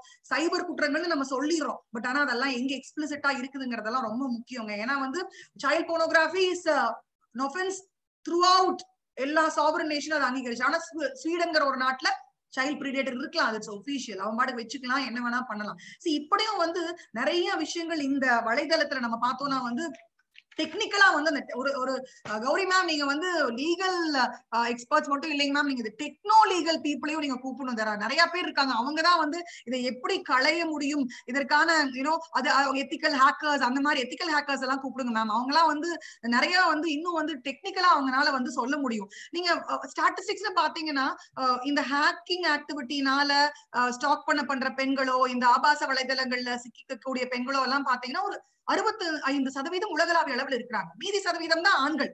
சோ அந்த ஏன் அந்த இடத்துலயும் வந்து ஒரு பெண்ணை வந்து ஒரு போக பொருளாவும் மூக பொருளாவும் பார்க்கின்ற அந்த மனநிலைமையினாலதான் பெண்களை வச்சு வியாபாரம் செய்யக்கூடிய ஒரு யுத்திய வந்து இன்னைக்கு உலகளாவிய அளவுல இன்னைக்கு இந்தியால இருந்து ஏன் உங்களுக்கு வந்து பியூட்டி பேஜென்ட்ல நம்மளதான் வந்து டாப்னு தூக்கி கொடுக்குறான் பெரிய பெரிய இடம் இந்த இங்க இங்க இ காமையும் இங்க வந்து ஒரு காமர்ஸையும் வளர்த்துறது எவ்வளவு ஈஸி இவ்வளவு பெரிய நாட்டுல வந்து ஒரு சந்தையா அதை ஆக்குறது வந்து எவ்வளவு ஈஸிங்கிறதுனாலதான் நம்மளே டார்கெட் பண்றான். அதனால வந்து நம்ம எல்லா தருணங்கள்லயும் அந்த பெண் அப்படி எனக்கு இன்னொரு விஷயம். மாரல் போலீசிங் பண்றது எனக்கும் சுத்தமா பிடிக்காதுங்க. என்ன வந்து அதுக்காக ஒரு பெண் அப்படிங்கறதுக்காக வந்து நீ ஏன் உன்னைய வந்து ஷேம் பண்ணி டே டேய் போட்டா போட்டுக்கடா. ஒரு ஆக்சிடென்ட் நடந்துருச்சு. நான் வந்து கம்ப்ளைண்ட் பண்ணுவேன். என் என் கூட வந்து இருக்காங்க. ஆதிலட்சுமி அக்கா மாதிரி கூட வந்து நியாயமா போராடுற வழக்குன்னு நான் தெரியும் நான் வந்து உன்னை நம்பி வந்து இந்த புகைப்படத்தை கொடுத்தேன். போட்டா நீ போட்டுட்டு போடான்னு சொல்லி நீங்க போலீஸ்ல தைரியமா கம்ப்ளைண்ட் கொடுங்க. அதுக்கப்புறம் இதை மறந்து இதை அழிச்சு இந்த மாதிரியான தவறுகள்ல திரும்ப ஈடுபடாதீங்க.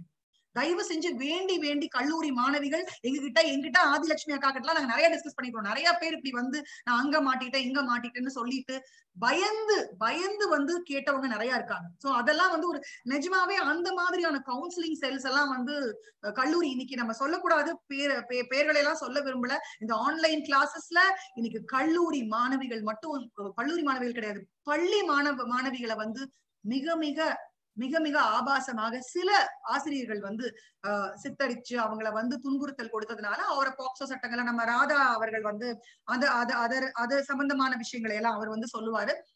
இன்னொரு பயங்கரமான வக்கரம் என்னன்னா இன்னைக்கு நம்மளுடைய இந்த அஹ், ஆபாச வலைதளங்கள் அப்படிங்கிறது வந்து எல் ஒரு கிட்டத்தட்ட forty percent of the internet உடைய ஸ்பேஸ வந்து வியாபிச்சிருக்கு.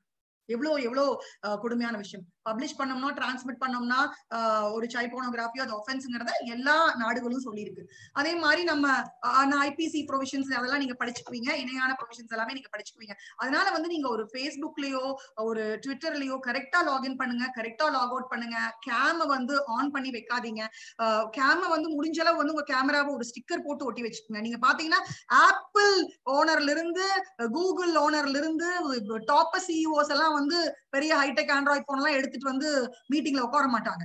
தெரியுமா? நம்ம தான் ஏதோ ஒன்று ஐபோன் வச்சிருக்கேன் அந்த போன் வச்சிருக்கேன் இந்த போன் வச்சிருக்கேன்னு சொல்லி பீத்திட்டு இருக்கோம். அவங்க எல்லாமே அவங்களுடைய இதுல எல்லாம் பாத்தீங்கன்னா அவங்களுடைய மீட்டிங் ஹால்ஸ்லயே பாத்தீங்கன்னா வந்து அவங்க என்ன பண்ணிருப்பாங்க அந்த கேமரா மேல வந்து அவங்க வந்து ஒரு ஸ்டிக்கர் போட்டு ஒட்டியிருப்பாங்க. எல்லா இடங்களிலுமே நீங்கள் வந்து கண்காணிக்கப்படுகிறீர்கள் நீங்கள் பார்க்கப்படுகிறீர்கள் உங்களை வந்து ஃபாலோ பண்ணிட்டே இருக்கிறாங்க. நீங்க ஏதோ ஒரு இடத்துல நீங்க போ- எடுத்து காரை பத்தி பேசிங்கன்னா உங்களுக்கு பிஎம்டபிள்யூ கார்ல இருந்து நானோ வரைக்கும் விலை வரும். சரி நானோ பாத்தீங்கன்னா இந்த இவங்க நானோ தான் வாங்க பிரியப்படுறாங்க போல இருக்கு டிஸ்கவுண்டோட வரும். இப்படி வந்து உங்களை வந்து உங்களை அப்படியே வந்து உங்களுடைய உங்களுடைய மூளை செலவை செய்து உங்களை அந்த பொருளை வாங்க வைப்பாங்க. அந்த மாதிரிதான் வந்து இந்த இந்த வக்கரங்கள் எல்லாம் வந்து நாளொரு மேனியும் பொழுதொரு வண்ணமுமாக வந்து எல்லா இடத்துலயுமே வந்து வியாபித்திருக்கு. சரி நம்ம என்ன பண்ணலாம்? ஒரு சைபர் குற்றத்துக்கு வந்து நம்ம என்ன போய் எங்க போய் நம்ம கம்ப்ளைண்ட் பண்ணணும்? கம்ப்ளைண்ட் மெக்கானிசம் வழக்குறிஞர்களா நீங்க எல்லாம் உங்களுக்கு தெரிஞ்சிருக்கும்.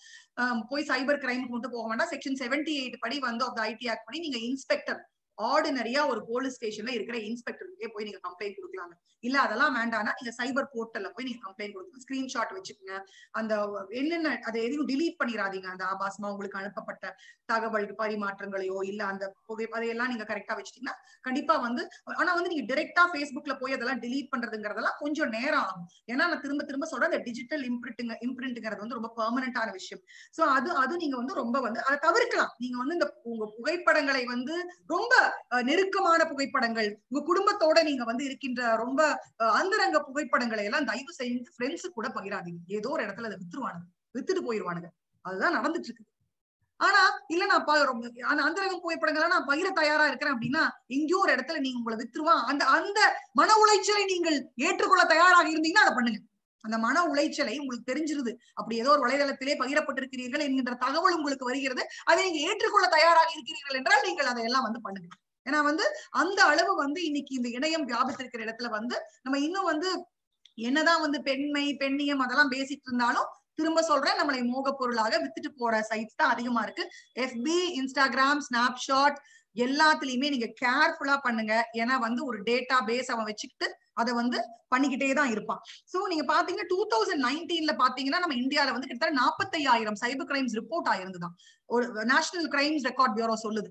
நான் சொல்லல. நேஷனல் கிரைம் ரெக்கார்ட்ஸ் பியூரோவுடைய ஸ்டாட்டிஸ்டிக் சொல்லுது. ஆனா வந்து அதுல எவ்வளவு தூரம் வந்து அதுல வந்து களையப்பட்டுச்சு ரிப்போர்ட் பண்ணப்பட்ட கிரைம்ஸ்ல வந்து அது அந்த மாதிரியான இன்ஃபர்மேஷன் எல்லாம் நிறைய இல்லை. ஏன்னா சட்டங்களுமே வந்து பாத்தீங்கன்னா இன்டர்மீடியரியோட ரோலை வந்து என்னன்னு சொல்றதுக்கான ரூல்ஸ் அந்த மாதிரியான விஷயங்கள் எல்லாம் இருக்கு. ஆனா வந்து இந்த போனோகிராஃபி ரிலேட்டட் ஸ்டாக்கிங் ரிலேட்டட் அதெல்லாம் வந்து ஒரு ஒரு நாலஞ்சு வருஷம் முன்னாடி ஏர்போர்ஸ் பால்பாரதி கேஸ் எல்லாரும் இது பண்ணிருப்பீங்க. சின்ன கல்லூரி மாணவர்கள் இல்ல, பள்ளி மாணவர்கள் வந்து எவ்வளவு தூரம் வந்து அந்த வக்கரமா அந்த தன்னுடைய தன்னுடைய சக மாணவி தோழி வந்து படம் பிடிச்சு வந்து பண்ணியிருந்தாங்கிறது வந்து அந்த வெப்சைட் போட்டு அந்த குழந்தைய அதே மாதிரி இன்னொன்னு இந்த பொள்ளாச்சி கேஸ் கூட வந்து அந்த பொள்ளாச்சி பாலியல் வன்முறையில கூட வந்து பாத்தீங்கன்னா அது ஒரு கைண்ட் ஆஃப் ரிவெஞ்ச் பான் தான். நல்ல காலம் அவன் வாட்ஸ்அப்ல இது பண்ணும்போது நம்ம நீதியரசர் ஐயா எல்லாம் வந்து அதை தடுத்து நிறுத்தி அஹ், அந்த குழந்தை வந்து அண்ணா அண்ணான்னு அந்த கதறினது. நல்ல காலம் டார்க் வெப்ல எல்லாம் விக்காம போனான். அந்த அது வரைக்கும் சந்தோஷம் நினைச்சுக்கலாம். அந்த அளவு அவனுக்கு எல்லாம் தெரியல போல இருக்குது. ஏன்னா அந்த அந்த அந்த மாதிரி அப்படி வந்து இதெல்லாம் நம்ம ஒவ்வொரு ஒவ்வொரு தளத்திலையும் ஒரு ஒரு தருணத்திலையும் பார்க்கும்போது நம்மளுக்கு வந்து ரொம்ப ரொம்ப வேதனையான பதிவுகளை தான் நம்ம சொல்ல வேண்டி இருக்கு சரி நான் வந்து எனக்கு இன்னொரு அரை மணி நேரம் தான் இருக்கின்றது பார்த்துக்கொண்டே இருக்கிற இருக்கிறேன் டைம் ஏன்னா ராஜா அவர்களுடைய ஸ்பேஸை நான் வந்து திருடிடக்கூடாது எடுத்துக்க கூடாது அவர் அதனால நான் வந்து கண்டிப்பா வந்து இப்ப வந்து ஒரு ரெண்டு நிமிஷத்துல வந்து உங்களுடைய ஆன்லைன் சேஃப்டியை பத்தி மட்டும் ஒரு ஃபியூ செகண்ட் சொல்லிட்டு நான் வந்து முடிச்சுக்கிறேன். நீங்க இது எல்லாமே உங்களுக்கு தெரியும் தான் உங்க பாஸ்வேர்டை ஸ்ட்ராங்கா வச்சுக்கோங்க. அனாவசியமா உங்க போட்டோஸ் யாருக்கும் ஷேர் பண்ணாதீங்க. ஒவ்வொரு முறையும் நீங்க வந்து தேவையான இன்ஃபர்மேஷனை மட்டும் தாங்க. சமூக வலைதளங்கள் சோசியல் நெட்வொர்க்கிங் சைட்ஸ்ல வந்து முக்கியமா ரெண்டு ரெண்டே ரெண்டுனா அதுக்குன்னு ஒரு இமெயில் ஐடி வச்சுக்கணும். அந்த இமெயில் ஐடி வேற யாருக்கும் கொடுக்காதீங்க.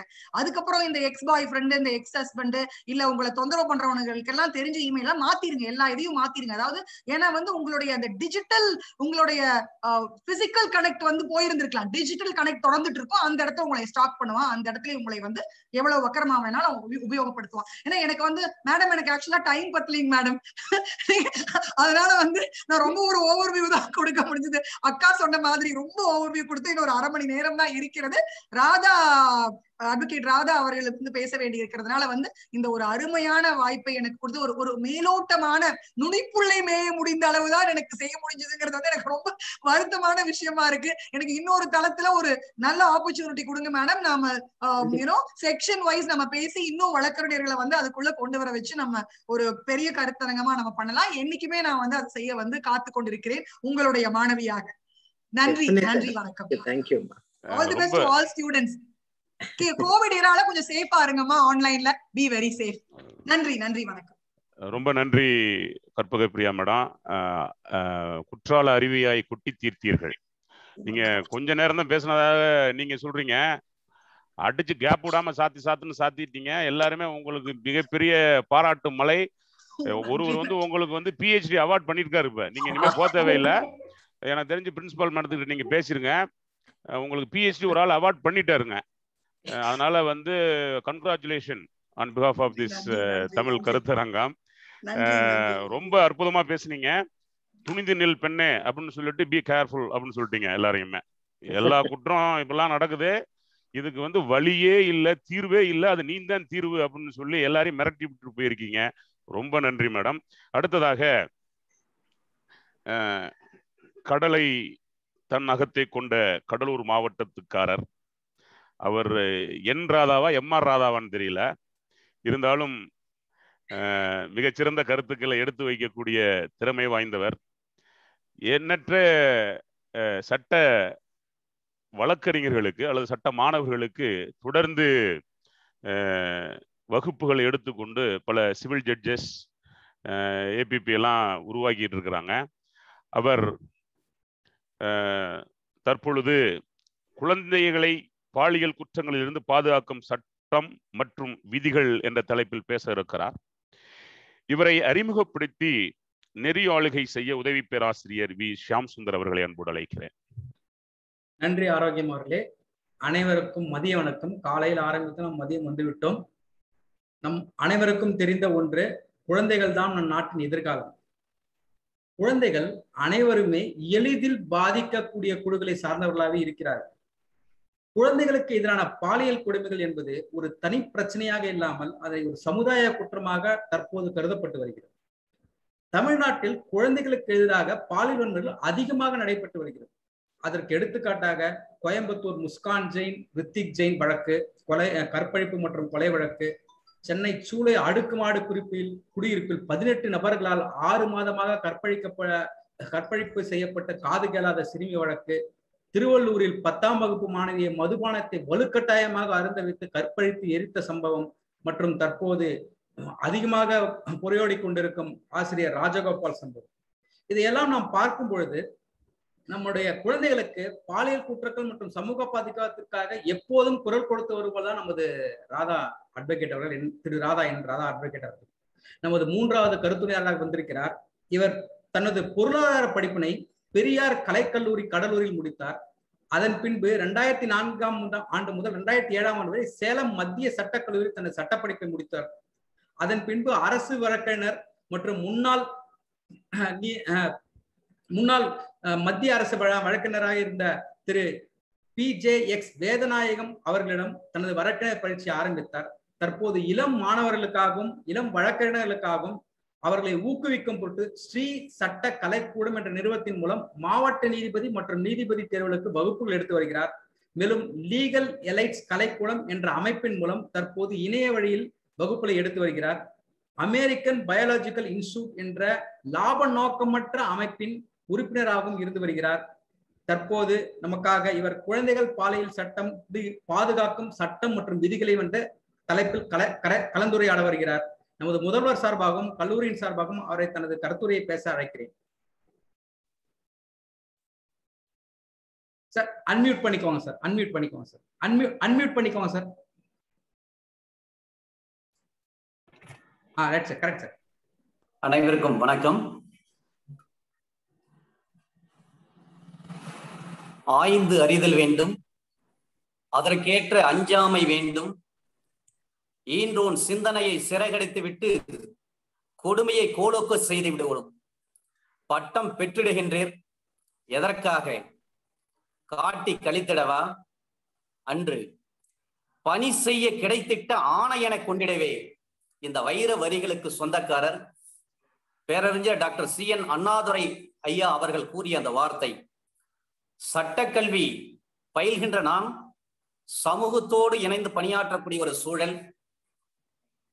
இந்த சமூகத்தினுடைய ஒடுக்கங்களை எல்லாம் போக்க வேண்டிய ஒரு நிலையில்தான் இந்த சட்டக்கல்வி ஒரு ஆயுதமாக நாம் பயன்படுத்த வேண்டும். ஈரோட்டு பாசறையில் வந்த நம்முடைய மாண்புமிகு நீதியரசர் ஐயா தமிழ் சினிமாவிற்கு எப்படி ஒரு இன்னிசை பாடகர் டிஎம்எஸ்ஓ அதை போல சென்னை உயர்நீதிமன்றத்தினுடைய தீர்ப்பு வழங்குவதில் நம்முடைய எம்எம்எஸ் அவர்கள் ஒரு சிறந்த தீர்ப்பு வழங்கிய ஒரு மாண்புமிகு நீதியரசர் அவர்களுக்கும் இந்த வாய்ப்புகளை கொடுத்த அனைத்து பெரியோர்களுக்கும் நன்றி கலந்த வணக்கத்தை தெரிவித்துக் கொள்கிறேன். இன்றைக்கு போக்சோ ஆக்டை பற்றி நாம் தெரிந்து கொள்ளப் போகிறோம். அதில் இருக்கக்கூடிய மிக முக்கியமான விஷயங்களையும் தெரிந்து கொள்ளப் போகிறோம். தயவு செய்து இந்த கருத்தரங்கத்தின் வாயிலாக இருக்கக்கூடிய சட்டம் பயின்று கொண்டிருக்கக்கூடிய சகோதர சகோதரிகள் ஒரு சில தீர்ப்புகளையும் நீங்கள் குறிப்பெடுத்துக் கொள்ள வேண்டும் என்பது என்னுடைய அன்பான வேண்டுகோள். சட்டத்திற்குள் நாம் கடந்து செல்வதற்கு முன்பாக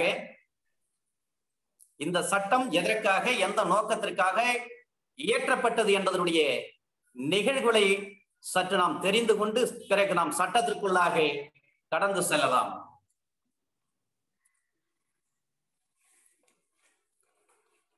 குழந்தைகளை பாலியல் குற்றங்களிலிருந்து பாதுகாக்கும் சட்டம். போக்சோ ஆக்ட் என்று சொல்வார்கள். சார் ஸ்கிரீன் ஷேர் பண்ணிருக்கீங்களா சார்? வீடியோ ஆஃப் ஆயிருக்கு yes yes yes screen share பண்ணுங்க. நீங்க பண்ணலாம். ஓகே நீங்க ஸ்கிரீன் ஷேர் பண்ணுங்க. ஷேர் ஸ்கிரீன் போயிட்டு அந்த இது ஓபன் ஆயிருந்தா அதை போட்டு பண்ணணும். இருக்கட்டும் சார் ஸ்கிரீன் வந்து நான் ஆஃப் பண்ணிட்டே பேசிடுறேன் okay sir right right right குழந்தைகளை பாலியல் குற்றங்களிலிருந்து பாதுகாக்கும் சட்டம். இந்த சட்டத்தை பார்ப்பதற்கு முன்பாக ஒரு இனிப்பான செய்தி இந்த இரண்டாயிரத்தி இருபத்தி ஒன்றாம் ஆண்டு நம்முடைய மேதக ஆளுநர் பன்வாரிலால் புரோஹித் அவர்கள் ஒரு ரிசர்வேஷன் பில்லுல கையெழுத்து போட்டிருக்காங்க. ஒப்புதல் கொடுக்கப்பட்டிருக்கிறது. ரெண்டாயிரத்தி இருபத்தி ஒன்றில் தேர்ந்தெடுக்கப்பட்டிருக்கக்கூடிய அரசு வழக்கறிஞர்களுக்கு எல்லாருக்குமே தமிழ் வழி கல்வியில் பயின்றவர்களுக்கு இருபது சதவீதம் முன்னுரிமை. அந்த சட்டம் பாஸ் ஆன உடனே ரெண்டாயிரத்தி இருபத்தி ஒன்று அரசு குற்றத்துறை வழக்கறிஞர்கள் தேர்வு.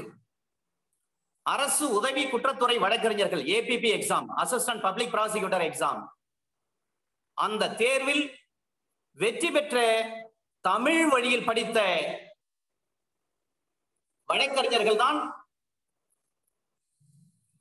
பெரும்பாலும் தேர்ந்தெடுக்கப்பட்டிருக்கிறார்கள். ரொம்ப ஹை ஸ்கோர் கூட பண்ணியிருந்தாங்க அந்த எக்ஸாம்ல ஏபிபி எக்ஸாம்ல ஆனால் தமிழ் வழியில் படித்த வழக்கறிஞர்கள் தான் ஏறக்குறைய எண்பது சதவீதத்திற்கு மேல் இன்றைக்கு ஏபிபி என்ற போஸ்டிற்கு தேர்ந்தெடுக்கப்பட்டிருக்கிறார்கள். தமிழ் வழி என்பது மிக முக்கியமானது. தாய் வழி கல்வி மிக முக்கியமானது. ஜப்பான்ல பார்த்தீங்கன்னா மெடிக்கல் படிக்கிறாங்கன்னு சொன்னா மருத்துவ படிப்பு ஜப்பானீஸ் அந்த மொழியில் தான் படிக்கிறார்கள். இன்றைக்கு உலகம் முழுவதும் சிறந்த டாக்டர்ஸ் சைனாவில் பார்த்தீங்கன்னா சைனீஸ் மொழியில தான் படிக்கிறாங்க. தாய்மொழி கல்வி மிக முக்கியம். தமிழ் மொழி மாதிரி ஒரு ஒரு சிறப்பான மொழி எதுவுமே கிடையாது. எனவே தமிழ் வழி கல்வியில் படிக்கின்ற மாணவர்கள் என்னை பொறுத்தவரை நூறு சதவீதம் கொடுத்து வைத்தவர்கள். நாங்கள் எல்லாம் தேர்வை எழுதுகின்ற பொழுது டிஸ்ட்ரிக்ட் ஜட்ஜ் எக்ஸாம் அல்லது ஜுடிஷியல் ஜட்ஜ் எக்ஸாம் அதாவது சிஜே என்று சொல்வார்கள். Civil judge exam APP exam இந்த மூன்று தேர்வுகளையும் எழுதுகின்ற பொழுது தமிழ் வழியில் படித்த நபர்களுக்கு மட்டும்தான் இருபது சதவீத இடஒதுக்கீடு. First preference will be given to them DSPM என்று சொல்வார்கள். எனவே தாய்மொழியில் படிக்கின்ற சட்டக்கல்லூரி மாணவர்கள் கண்டிப்பாக நூறு சதவீதம் இந்த நீதித்துறை தேர்வில் வெற்றி பெற முடியும். தமிழ் வழியில் கல்வி பயில்வது என்பது மிக முக்கியமான ஒரு விஷயம் நல்ல விஷயம். நாம் வெளியில் யாரிடம் வேண்டுமானாலும் மார்தட்டி கூறிக்கொள்ளலாம். நான் தமிழ் வழி தமிழ் வழியில் பயின்ற மாணவர் என்று சொல்லலாம். அது மட்டுமல்ல அரசு பணிகள் உங்கள் கரங்களிலே எளிமையாக கிடைக்கக்கூடியும் தமிழ் வழியில் படித்திருந்தால் மட்டுமே. மீடியம் ஆஃப் இன்ஸ்ட்ரக்ஷன் இஸ் வாட்னு ஒரு கேள்வி கேட்டிருப்பாங்க. நீங்க தமிழ் என்று சொல்லி நீங்க அதை டிக் பண்ணுகின்ற பொழுது உங்களுக்கு இருபது சதவீத ரிசர்வேஷன் இருக்குது சார் மறந்துவிடக்கூடாது. இரண்டாயிரத்தி ரெண்டாயிரத்தி இருபத்தி ஒன்றிலிருந்து நடைமுறைப்படுத்தப்பட்டு வருகிறது. ரைட் குழந்தைகளை பாலியல் குற்றங்களிலிருந்து பாதுகாக்கும் சட்டம். இந்த சட்டத்தை எதற்காக கொண்டு வந்திருக்கிறார்கள்? அதை நாம் தெரிந்து கொள்ள வேண்டும். Protection of children from sexual offences act two thousand twelve குழந்தைகள் என்று சொன்னாலே நமக்கு செல்லமாக மாமா என்று யாரை அழைப்போம் என்று சொன்னால் பஞ்சசீல கொள்கையினுடைய நாயகன் நேரு. அதிக காலம் இந்த நாட்டுடைய பிரதமராக இருந்த பண்டித ஜவஹர்லால் நேரு அவருடைய பிறந்த தினமான நவம்பர் 14 அந்த நவம்பர் 14ல தான் இந்த ரூல்ஸ் இந்த ஆக்டை கொண்டு வராங்க. ஏனென்று சொன்னால் இது குழந்தைகள் சம்பந்தப்பட்ட ஒரு சட்டப்பிரிவு. குறிப்பாக குழந்தைகள் தான் இன்றைக்கு பாலியல் வல்லூருக்கு ஆளாக்கப்படுகிறார்கள் பாலியல் தாக்குதலுக்கு ஆளாக்கப்படுகிறார்கள். அவர்களை பேணி பாதுகாக்க வேண்டும் என்ற உயரிய நோக்கத்தின் அடிப்படையில் தான் இந்த சட்டத்தை கொண்டு வந்திருக்கிறார்கள். நவம்பர் மாசம் 14 நவம்பர் 14 என்று சொன்னால் பண்டித ஜவஹர்லால் நேருடைய பிறந்த தினத்தை நாம் கொண்டாடுகிறோம். குழந்தைகள் செல்லமாக மாமா என்று அழைப்பார்கள். பஞ்சசீல நாயகன் இந்தியாவுடைய சிற்பி இந்த சட்டம் எதற்காக கொண்டு வரப்பட்டிருக்கிறது இன்றைக்கு ஒரு குழந்தைகள் வளர்கிறது என்று சொன்னால் பெண் குழந்தைகளை பொறுத்தவரை அவருடைய அந்த teenage thirteen fourteen fifteen sixteen seventeen eighteen nineteen இந்த பதின்நிலை ப- பதின்நிலை வயது தமிழில் பதின்நிலை வயது என்று சொல்வார்கள். இந்த வயது வரைதான் அவர்கள் வளர்கின்ற வீட்டில் பெற்றோரிடத்தில் சற்று சுதந்திரமாக விளையாடக்கூடிய ஒரு வயது சுதந்திரமாக இருக்கக்கூடிய வயது சமூகத்தினுடைய எந்த பொறுப்பு நிலைகளும் அவர்களுடைய தோளில் சுமக்கப்படவில்லை. இவ்வாறு இருக்கக்கூடிய சுதந்திரமாக தெரிந்து விளையாடக்கூடிய சிறு பிள்ளைகளைத்தான் பீடியபோலி என்று சொல்லக்கூடிய பாலியல் பூதம் தமிழகத்தினுடைய முன்னாள் முதலமைச்சர் அவர்கள் ஒரு ஊமையாக ஒரு வார்த்தையை சொல்லி இருக்கிறார் மனசாட்சி உறங்குகிற போதுதான் மனக்குரங்கு ஊர் சுற்ற தெரியும். மனசாட்சி இல்லைன்னா ஆட்டோமேட்டிக்கா அக்கிரமம் தான் அந்த நாட்டுல தலைவிரிச்சு ஆடும். அற்புதமான ஒரு ஓமை. அதை போல இந்த பாலியல் பூதம் என்பது அந்த குழந்தைகள் ஹாஸ்டல்ல வளர்ந்தாலும் அங்கே நடக்கும். வீடுகளில் வளர்ந்தாலும் அது நடப்பதற்கு வாய்ப்புகள் உண்டு. பள்ளியில் பயில பயில சென்றாலும் அங்கே அந்த குழந்தைகளுக்கு எதிரான பாலியல் தாக்குதல்கள் நடைபெறுவதற்கு வாய்ப்புகள் உண்டு. இதை நாம் பார்த்து கொண்டிருக்கிறோம். எனவே பெண் குழந்தைகளை காப்பாற்ற வேண்டும். பெண் குழந்தைகளை பாலியல் பலாத்காரத்திலிருந்து பாதுகாக்க வேண்டும். அதை தடுக்க வேண்டும் என்ற உயரிய நோக்கத்தின் அடிப்படையில் ஐக்கிய நாடுகளுடைய சர்வதேச பிரகடனம் யூனிவர்சல் டெக்ளரேஷன் கொடுக்கிறாங்க யூஎன் யுனைடெட் நேஷன்ஸ் அந்த சர்வதேச பிரகடனத்தின் அடிப்படையில் இந்தியாவில் இந்த சட்டத்தை கொண்டு வருவதற்கு இந்திய அரசாங்கம் அதற்கு ஒப்புக்கொண்டது. அசம்பிளி ஆஃப் யூஎன் என்று சொல்வார்கள். பதிமூன்று பன்னிரண்டு ஆயிரத்தி தொள்ளாயிரத்தி தொண்ணூற்றி ஒன்றில் இந்த யுஎஸ் பிரகடனம் வருகிறது. யூஎன் பிரகடனம் வருகிறது. இந்த பதிமூன்று பன்னிரண்டு ஆயிரத்தி தொண்ணூத்தி ஒன்றில் தான் இந்த கன்வென்ஷன்ல நாம என்ன பண்றோம்? ஒப்புதல் அளிக்கிறோம். அதற்கு ஏற்றாற்போல் குழந்தைகளை பாதுகாக்க வேண்டும் என்ற உயரிய நோக்கத்தின் அடிப்படையில் நம்முடைய இந்திய அரசாங்கம் பாராளுமன்றத்தின் மூலமாக இந்த போக்சோ என்றக்கூடிய இந்த சட்டத்தை இரண்டாயிரத்தி பன்னிரெண்டாம் ஆண்டு இயற்றப்பட்டது. இது பத்தொன்பது ஆறு ரெண்டாயிரத்தி பத்தொன்பதுல ரெண்டாயிரத்தி பன்னிரெண்டில் பத்தொன்பது ஆறு ரெண்டாயிரத்தி பன்னிரெண்டில் மேதகு குடியரசுத் தலைவர் அவர்கள் அவருடைய அசண்டை கொடுத்தார். அசண்ட் என்று சொன்னால் ஒப்புதல் என்ற அர்த்தம்.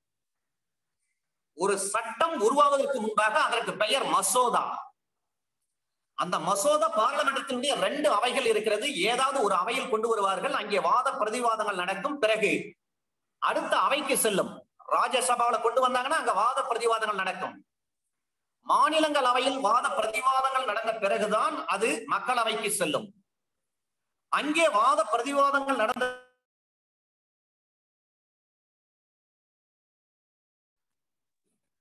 உறுப்பினர்கள் தெரிவிக்கின்ற பட்சத்தில் சிம்பிள் மெஜாரிட்டி இருந்தால் கூட ஐம்பத்தி ஒரு சதவீத மெஜாரிட்டி இருந்தால் கூட அந்த சட்டத்தை குடியரசுத் தலைவருக்கு அனுப்பி வைப்பார்கள். அதன் பேரில் குடியரசுத் தலைவர் அவர்கள் தனது ஒப்புதலை தனது கையெழுத்தை இடுவார். குடியரசுத் தலைவர் ஒரு பில்லுக்கு அதுவரை அதற்கு பெயர் மசோதா. ஒரு பில்லுக்கு ஒப்புதல் இடுவார் கையொப்பம் இடுவார். இதைத்தான் இந்திய அரசியலமைப்பு சட்டம் ஷரத்து நூற்று பதினொன்றில் சொல்லப்பட்டிருக்கிறது. ஷரத்து என்றாலும் உறுப்பு என்றாலும் ஒன்றுதான். Under article one eleven of constitution of India nineteen fifty ஆயிரத்தி தொள்ளாயிரத்தி ஐம்பது இந்திய அரசியலமைப்பு சட்டம் ஆயிரத்தி தொள்ளாயிரத்தி ஐம்பது அண்டர் ஆர்டிகல் ஒன் லெவன் அப்பொழுதுதான் அந்த பில்லு வந்து மசோதாவாக மாறும். அவ்வாறு மசோதாவாக இருந்த இந்த போக்சோ பில் ஆக்டாக மாறியது பத்தொன்பது ஆறு ரெண்டாயிரத்தி பன்னிரெண்டு. ஒரு சட்டம் வந்த பிறகு குடியரசுத் தலைவரிடமிருந்து கையொப்பு பெறப்பட்ட பிறகு அவற்றை அரசாங்கத்துடைய இதழ் அதுதான் அரசிதழ் என்று சொல்வார்கள் கெசட். அந்த கெசட் பப்ளிகேஷன் வரும். இந்த போக்சோ ஆக்டை பொறுத்தவரை இருபது ஆறு ரெண்டாயிரத்தி பன்னிரெண்டாம் ஆண்டு மத்திய அரசாங்கத்துடைய அரசு இதழில் கெசட்டில் பப்ளிஷ் பண்ணாங்க. பொதுவாகவே நாம் வழக்கறிஞராக இப்பொழுது வழக்கறிஞர் படிப்பிற்கு படித்துக் கொண்டிருக்கக்கூடிய மாணவ சூழ்நிலையில் இருந்தாலும் கூட ஒரு வழக்கறிஞராக பின்னிட்டு நீங்கள் இந்த சமூகத்தில் மிளிர செய்ய இருக்கிறீர்கள் என்பது உண்மை.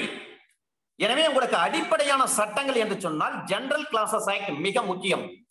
பொது வகைய சட்டம் என்று சொல்வார்கள். லிமிடேஷன் ஆக்ட் மிக முக்கியம். கால வரையறை சட்டம். இன்டர்பிரேஷன் ஆஃப் ஸ்டாச்சூட்ஸ் என்று சொல்லக்கூடிய சட்ட பொருள் விளக்கம். இந்த மூன்று சட்டங்களும் நீங்கள் தரவாக படித்துக் கொள்ள வேண்டும். அதுதான் பேஸ் எனவே ஒரு சட்டத்தில் வந்து குடியரசுத் தலைவர் கையெழுத்து போட்டு விட்டார் என்று சொன்னால் அன்றைய தினத்திலிருந்து அது நடைமுறைப்படுத்தப்படுகிறதா இல்லையா? அந்த சட்டம் எப்பொழுது கெசட்ல பப்ளிஷ் ஆகுதோ அந்த தேதியிலிருந்து தான் கமன்ஸ் ஆகும். Under section three subsection thirteen of general clauses act பொது வகைய சட்டம் பிரிவு மூன்று உட்பிரிவு பதிமூன்றின் படி commencement of act is when அப்படின்ற ஒரு கேள்வி வரும்.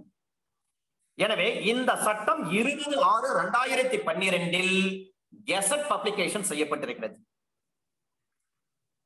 இதை நாம் ஜென்ரலாக தெரிந்து கொள்ள வேண்டும். இது மட்டும் கிடையாது. எந்த ஒரு சட்டமாக இருந்தாலும் சரி அவற்றை நாம் முழுமையாக தெரிந்து கொண்டு உள்ளே சென்றால்தான் நன்றாக இருக்கும். இப்ப இந்த கன்வென்ஷன் கொடுக்கிறாங்க.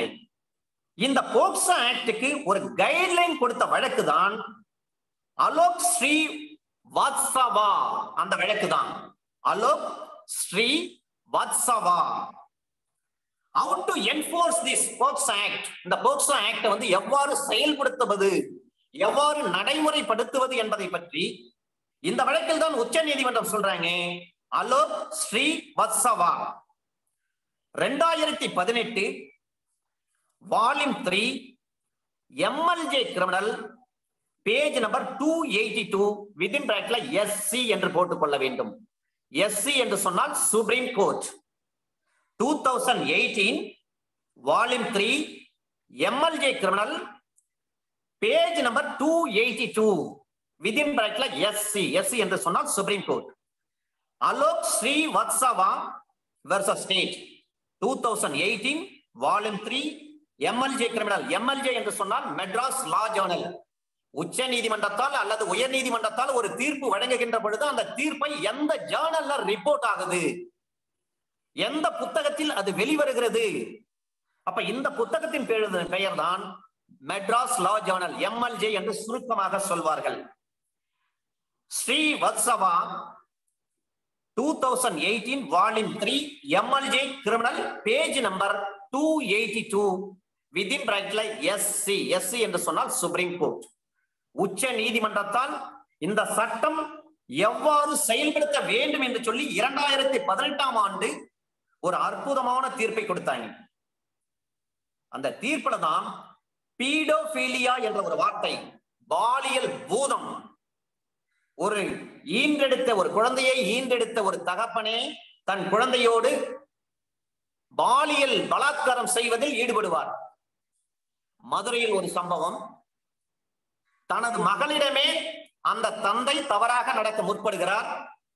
இவற்றை பார்த்த அந்த குழந்தையினுடைய தாயார் ஒரு அருவாமனையை எடுத்து தன் கணவரையே வெட்டி சாய்த்து விட்டார். கொலை மர்டர் அந்த கொலை நடந்த பிறகு அந்த அ- அருவாளோட அந்த அம்மா என்ன பண்றாங்க? போலீஸ் ஸ்டேஷனுக்கு போறாங்க. என் கணவரை நான் வெட்டி கொலை செய்து விட்டேன். இப்ப போலீஸ் ஆபீசர் கேக்குறாங்க எதுக்காக கொலை செய்தீங்க? என் மகளோட நான் பெத்த மகள் அவருடைய பொண்ணுதான். இரவு நேரத்துல என் மகளோடு அவர் தவறாக நடக்க முற்பட்டார். வேற வழியே இல்லை. அவரை கொலை செய்துட்டேன். இப்ப போலீஸ் ஆபீசர் என்ன சொல்றாங்க இந்த வழக்குல? நீங்கள் வீட்டுக்கு போங்க. உங்களை வந்து நாங்க கைது செய்ய முடியாது. ஏனென்று சொன்னால் இது பெண்களுக்கு எதிரான குற்றம். குறிப்பாக சிறு பிள்ளைக்கு எதிரான ஒரு குற்றம். குழந்தைகளை பாலியல் வன்கொடுமையிலிருந்து தடுக்க வேண்டும். இப்ப போலீஸ் ஆபீசர் பயன்படுத்தப்பட்ட வார்த்தை என்ன? நீங்கள் இந்திய தண்டனை சட்டத்தில் படி படித்திருப்பீர்கள். பிரைவேட் டிஃபென்ஸ் இருக்கிறது ஜெனரல் எக்ஸப்ஷன் எழுபத்தி ஆறு அண்டர் செக்ஷன் செவன்டி சிக்ஸ்ல இருந்து ஒன் நாட் சிக்ஸ் வரை நீங்க ஐபிஎஸ்ல படிச்சிருப்பீங்க. அதுல பிரைவேட் டிஃபென்ஸ் இருக்கு. நைன்டி சிக்ஸ்ல இருந்து ஒன் நாட் சிக்ஸ் வரலைங்க. அப்ப section hundred subsection three of ஐபிசின் படி இந்திய தண்டனை சட்டம் பிரிவு நூறு உட்பிரிவு மூன்றின் படி ஒரு பெண்ணினுடைய கற்புக்கு எதிராக ஏதேனும் பங்கம் ஏற்படுத்தப்பட்டால் அந்த நபர் அந்த ஆணை வெட்டி கொலை செய்தால் அது பிரைவேட் டிஃபென்ஸ் அவர் மீது எந்த வழக்கும் தொடுக்க முடியாது. அவரை சட்டத்தின் போர்வில் தண்டிக்க முடியாது. இதுதான் under section hundred subsection three of ஐபிஎஸ்ல சொல்லப்பட்டிருக்கின்ற விஷயம். இந்த வழக்கில் உயர் நீதிமன்றம் அந்த போலீஸ் ஆபீசரை கூப்பிட்டு ஒரு சற்று மென்மையாக கண்டித்தது. அந்த அம்மா மர்டர் பண்ணிட்டு வராங்க நீங்க ஃபார்மல் அரெஸ்டாக செய்திருக்கலாம் இல்லையா?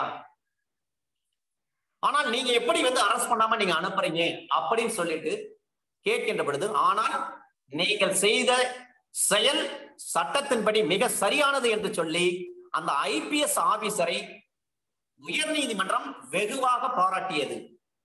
சட்டத்தை படிக்கின்ற பொழுது இது சம்பந்தமான சில விஷயங்களும் சேர்த்து பார்க்க வேண்டும். சிஆர்பிசில் எங்கெங்கே என்னென்ன விஷயங்கள் சொல்லப்பட்டிருக்கிறது ஐபிசியில் என்ன விஷயங்கள் சொல்லப்பட்டிருக்கிறது இந்தியன் எவிடன்ஸ் ஆக்ட்ல என்ன விஷயங்கள் சொல்லப்பட்டிருக்கிறது கான்ஸ்டியூஷன் ஆஃப் இந்தியா அதில் என்ன விஷயங்கள் சொல்லப்பட்டிருக்கிறது என்பதையும் நாம் சற்று கூடுதலாக தெரிந்து கொண்டால் எவ்வளவு பெரிய நீதிமன்றமாக இருந்தாலும் சரி அந்த நீதிமன்றத்தில் நாம் ஜொலிக்க முடியும் வெளியிட முடியும். அஸ்ரா கார்க் என்ற ஒரு ஐபிஎஸ் ஆபீசர் அவர் தான் கமிஷனரா இருந்தார். அஸ்ரா கார்க். அவர் தான் போலீஸ் கமிஷனரா இருந்தார். அவர் தான் இந்த வழக்கை வந்து கையாண்டார். ரொம்ப அற்புதமாக கையாண்டார். சரி இந்த வழக்கு இந்த சட்டம் இயற்றப்படுவதற்கு இந்திய அரசியலமைப்பு சட்டத்தில் எந்த இடத்தில் இதற்கு அனுமதி கொடுக்கப்பட்டிருக்கிறது? ஏனென்று சொன்னால் பேரண்ட் ஆக்ட் தாய் சட்டம் எது என்று சொன்னால் மேதை அம்பேத்கர் அவர்களால் இயற்றப்பட்ட இந்திய அரசியலமைப்பு சட்டம் ஆயிரத்தி தொள்ளாயிரத்தி ஐம்பது. அப்ப அந்த பேரண்ட் ஆக்ட மீறி எந்த ஆக்ட் ஏற்றினாலும் அதுக்கு வயலேட் பண்ற மாதிரி இருந்துச்சுன்னா அந்த சட்டம் செல்லாது. தாய் சட்டத்தை வந்து ஓவர்டேக் பண்ற மாதிரி ஓவர்லுக் பண்ற மாதிரி எந்த ஒரு ஆக்டையும் ஏற்றக்கூடாது. ஏற்றினால் அந்த சட்டம் செல்லாது. இது ஜென்ரலா எல்லாருக்கும் தெரிஞ்ச விஷயம். அப்ப இந்திய அரசியலமைப்பு சட்டத்தில் எந்த இடத்தில் இவர்களுக்கு அனுமதி கொடுக்கப்பட்டிருக்கிறது என்பதை பற்றி நாம் தெரிந்து கொள்ள வேண்டும். Under article fifteen sub article three of constitution of India nineteen fifty இந்திய அரசியலமைப்பு சட்டம் ஆயிரத்தி தொள்ளாயிரத்தி ஐம்பது. ஒரு சட்டத்தை நாம் பேசுகின்ற பொழுது அந்த சட்டம் எந்த வருடத்தில் வெளிவந்தது என்பதை பற்றியும் அந்த வருடத்தை கண்டிப்பாக குறிப்பிட வேண்டும். இந்திய அரசியலமைப்பு சட்டம் என்று நாம் சாதாரணமாக சொல்லிவிடக் கூடாது. இந்திய அரசியலமைப்பு சட்டம் ஆயிரத்தி தொள்ளாயிரத்தி ஐம்பது என்றுதான் சொல்ல வேண்டும். அதை போல போக்சோ ஆக்ட் என்று சொல்லிவிடக் கூடாது. POCSO act two thousand twelve என்று சொல்ல வேண்டும். எனவே இந்திய அரசியலமைப்பு சட்டம் ஷரத்து பதினைந்து உட்பிரிவு மூன்றின் அடிப்படையில் தான் பெண்களுக்கும் குழந்தைகளுக்கும் சிறப்பு சட்டங்களை இயற்றலாம். அப்ப ஆர்டிகல் போர்டீன் வந்து இதுல பொறுத்து வராதுங்களா? ஒரு கேள்வி. ஆர்டிகல் போர்டீன் சொல்றாங்க ஆல் ஆர் ஈக்குவல் பிஃபோர் லான்னு சொல்றாங்க. ஆனாலும் அதுல ரீசனபிள் கிளாசிபிகேஷன் ரீசனபிள் லெஜிஸ்லேஷன் செய்யலாம். ஒரு நியாயமான வகைப்பாடு செய்யலாம். ஒரு குடும்பத்தில் நான்கு குழந்தைகள் இருக்கிறது ஒரு பெற்றோருக்கு. ஒரு குழந்தை மட்டும் பலகீனமா இருக்கிறது. ஒரு குழந்தை மட்டும் சரியான வளர்ச்சி அடையவில்லை. அப்ப அந்த தாய் என்ன செய்வாங்க? அந்த தகப்பன் தந்தை என்ன செய்வார்? எந்த குழந்தை வீக்கா இருக்கிறதோ அந்த குழந்தைக்கு தான் நல்ல சத்தான ஆகாரத்தை தருவார்கள். நல்ல புஷ்டியான உணவை தருவார்கள். அதை போலத்தான் வீக்கர் செக்ஷன் ஆஃப் பீப்புள் என்று சொல்லக்கூடிய பெண்களும் குழந்தைகளும் மன ரீதியாக உடல் ரீதியாக பலகீனமானவர்கள். அவர்களுக்கு போதிய பாதுகாப்பை வழங்குவது குடியாட்சி தத்துவத்தினுடைய அமைப்பு. அந்த குடியாட்சி தத்துவத்தின் அமைப்பில் தான் இந்திய அரசியலமைப்பு சட்டம் இயங்குகிறது. அதை பேஸ் பண்ணி தான் இந்திய அரசியலமைப்பு சட்டம் இயற்றப்பட்டிருக்கிறது இதைத்தான் பார்லிமெண்ட்ரி சொல்றாங்க. எனவே வீக்கர் செக்ஷன் ஆஃப் பீப்புளாக இருக்கக்கூடிய பெண்களுக்கும் குழந்தைகளுக்கும் சிறப்பு சட்டம் இயற்றலாம் என்று சொன்னால் தாராளமாக இயற்றலாம். ஆர்டிகல் 14 அதுக்கு வந்து குறுக்கே வருமே என்று சொன்னால் வராது. ஆர்டிகல் 14 இஸ் பர்மிட் எனவே அதன் அடிப்படையில் தான் இந்த போக்சோ ஆக்ட் இரண்டாயிரத்தி பன்னிரண்டு இயக்கப்பட்டது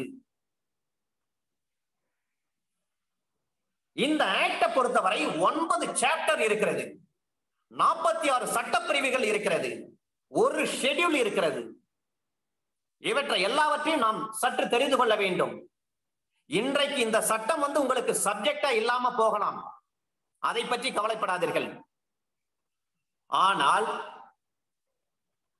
இந்த சட்டத்தின் மூலம் நிறைய விஷயங்களை நீங்க வந்து பிராக்டிஸ் பண்றப்ப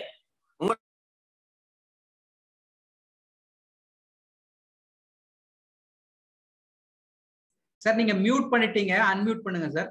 நீங்க மியூட் பண்ணிட்டீங்க அன்மியூட் பண்ணிக்கோங்க சார். ராதா சார். பொறுத்தவரை செக்ஷன் லார்டு மெக்காலே அவர்கள் அவர்களால் இயற்றப்பட்ட இந்திய தண்டனை சட்டத்தை பொறுத்தவரை ஆயிரத்தி எண்ணூற்று அறுபதில் அந்த சட்டத்தை பொறுத்தவரை லார்டு மெக்காலே சில சட்ட பிரிவுகளுக்கு தண்டனை என்று தனியாக வகுத்துரைக்கிறார்.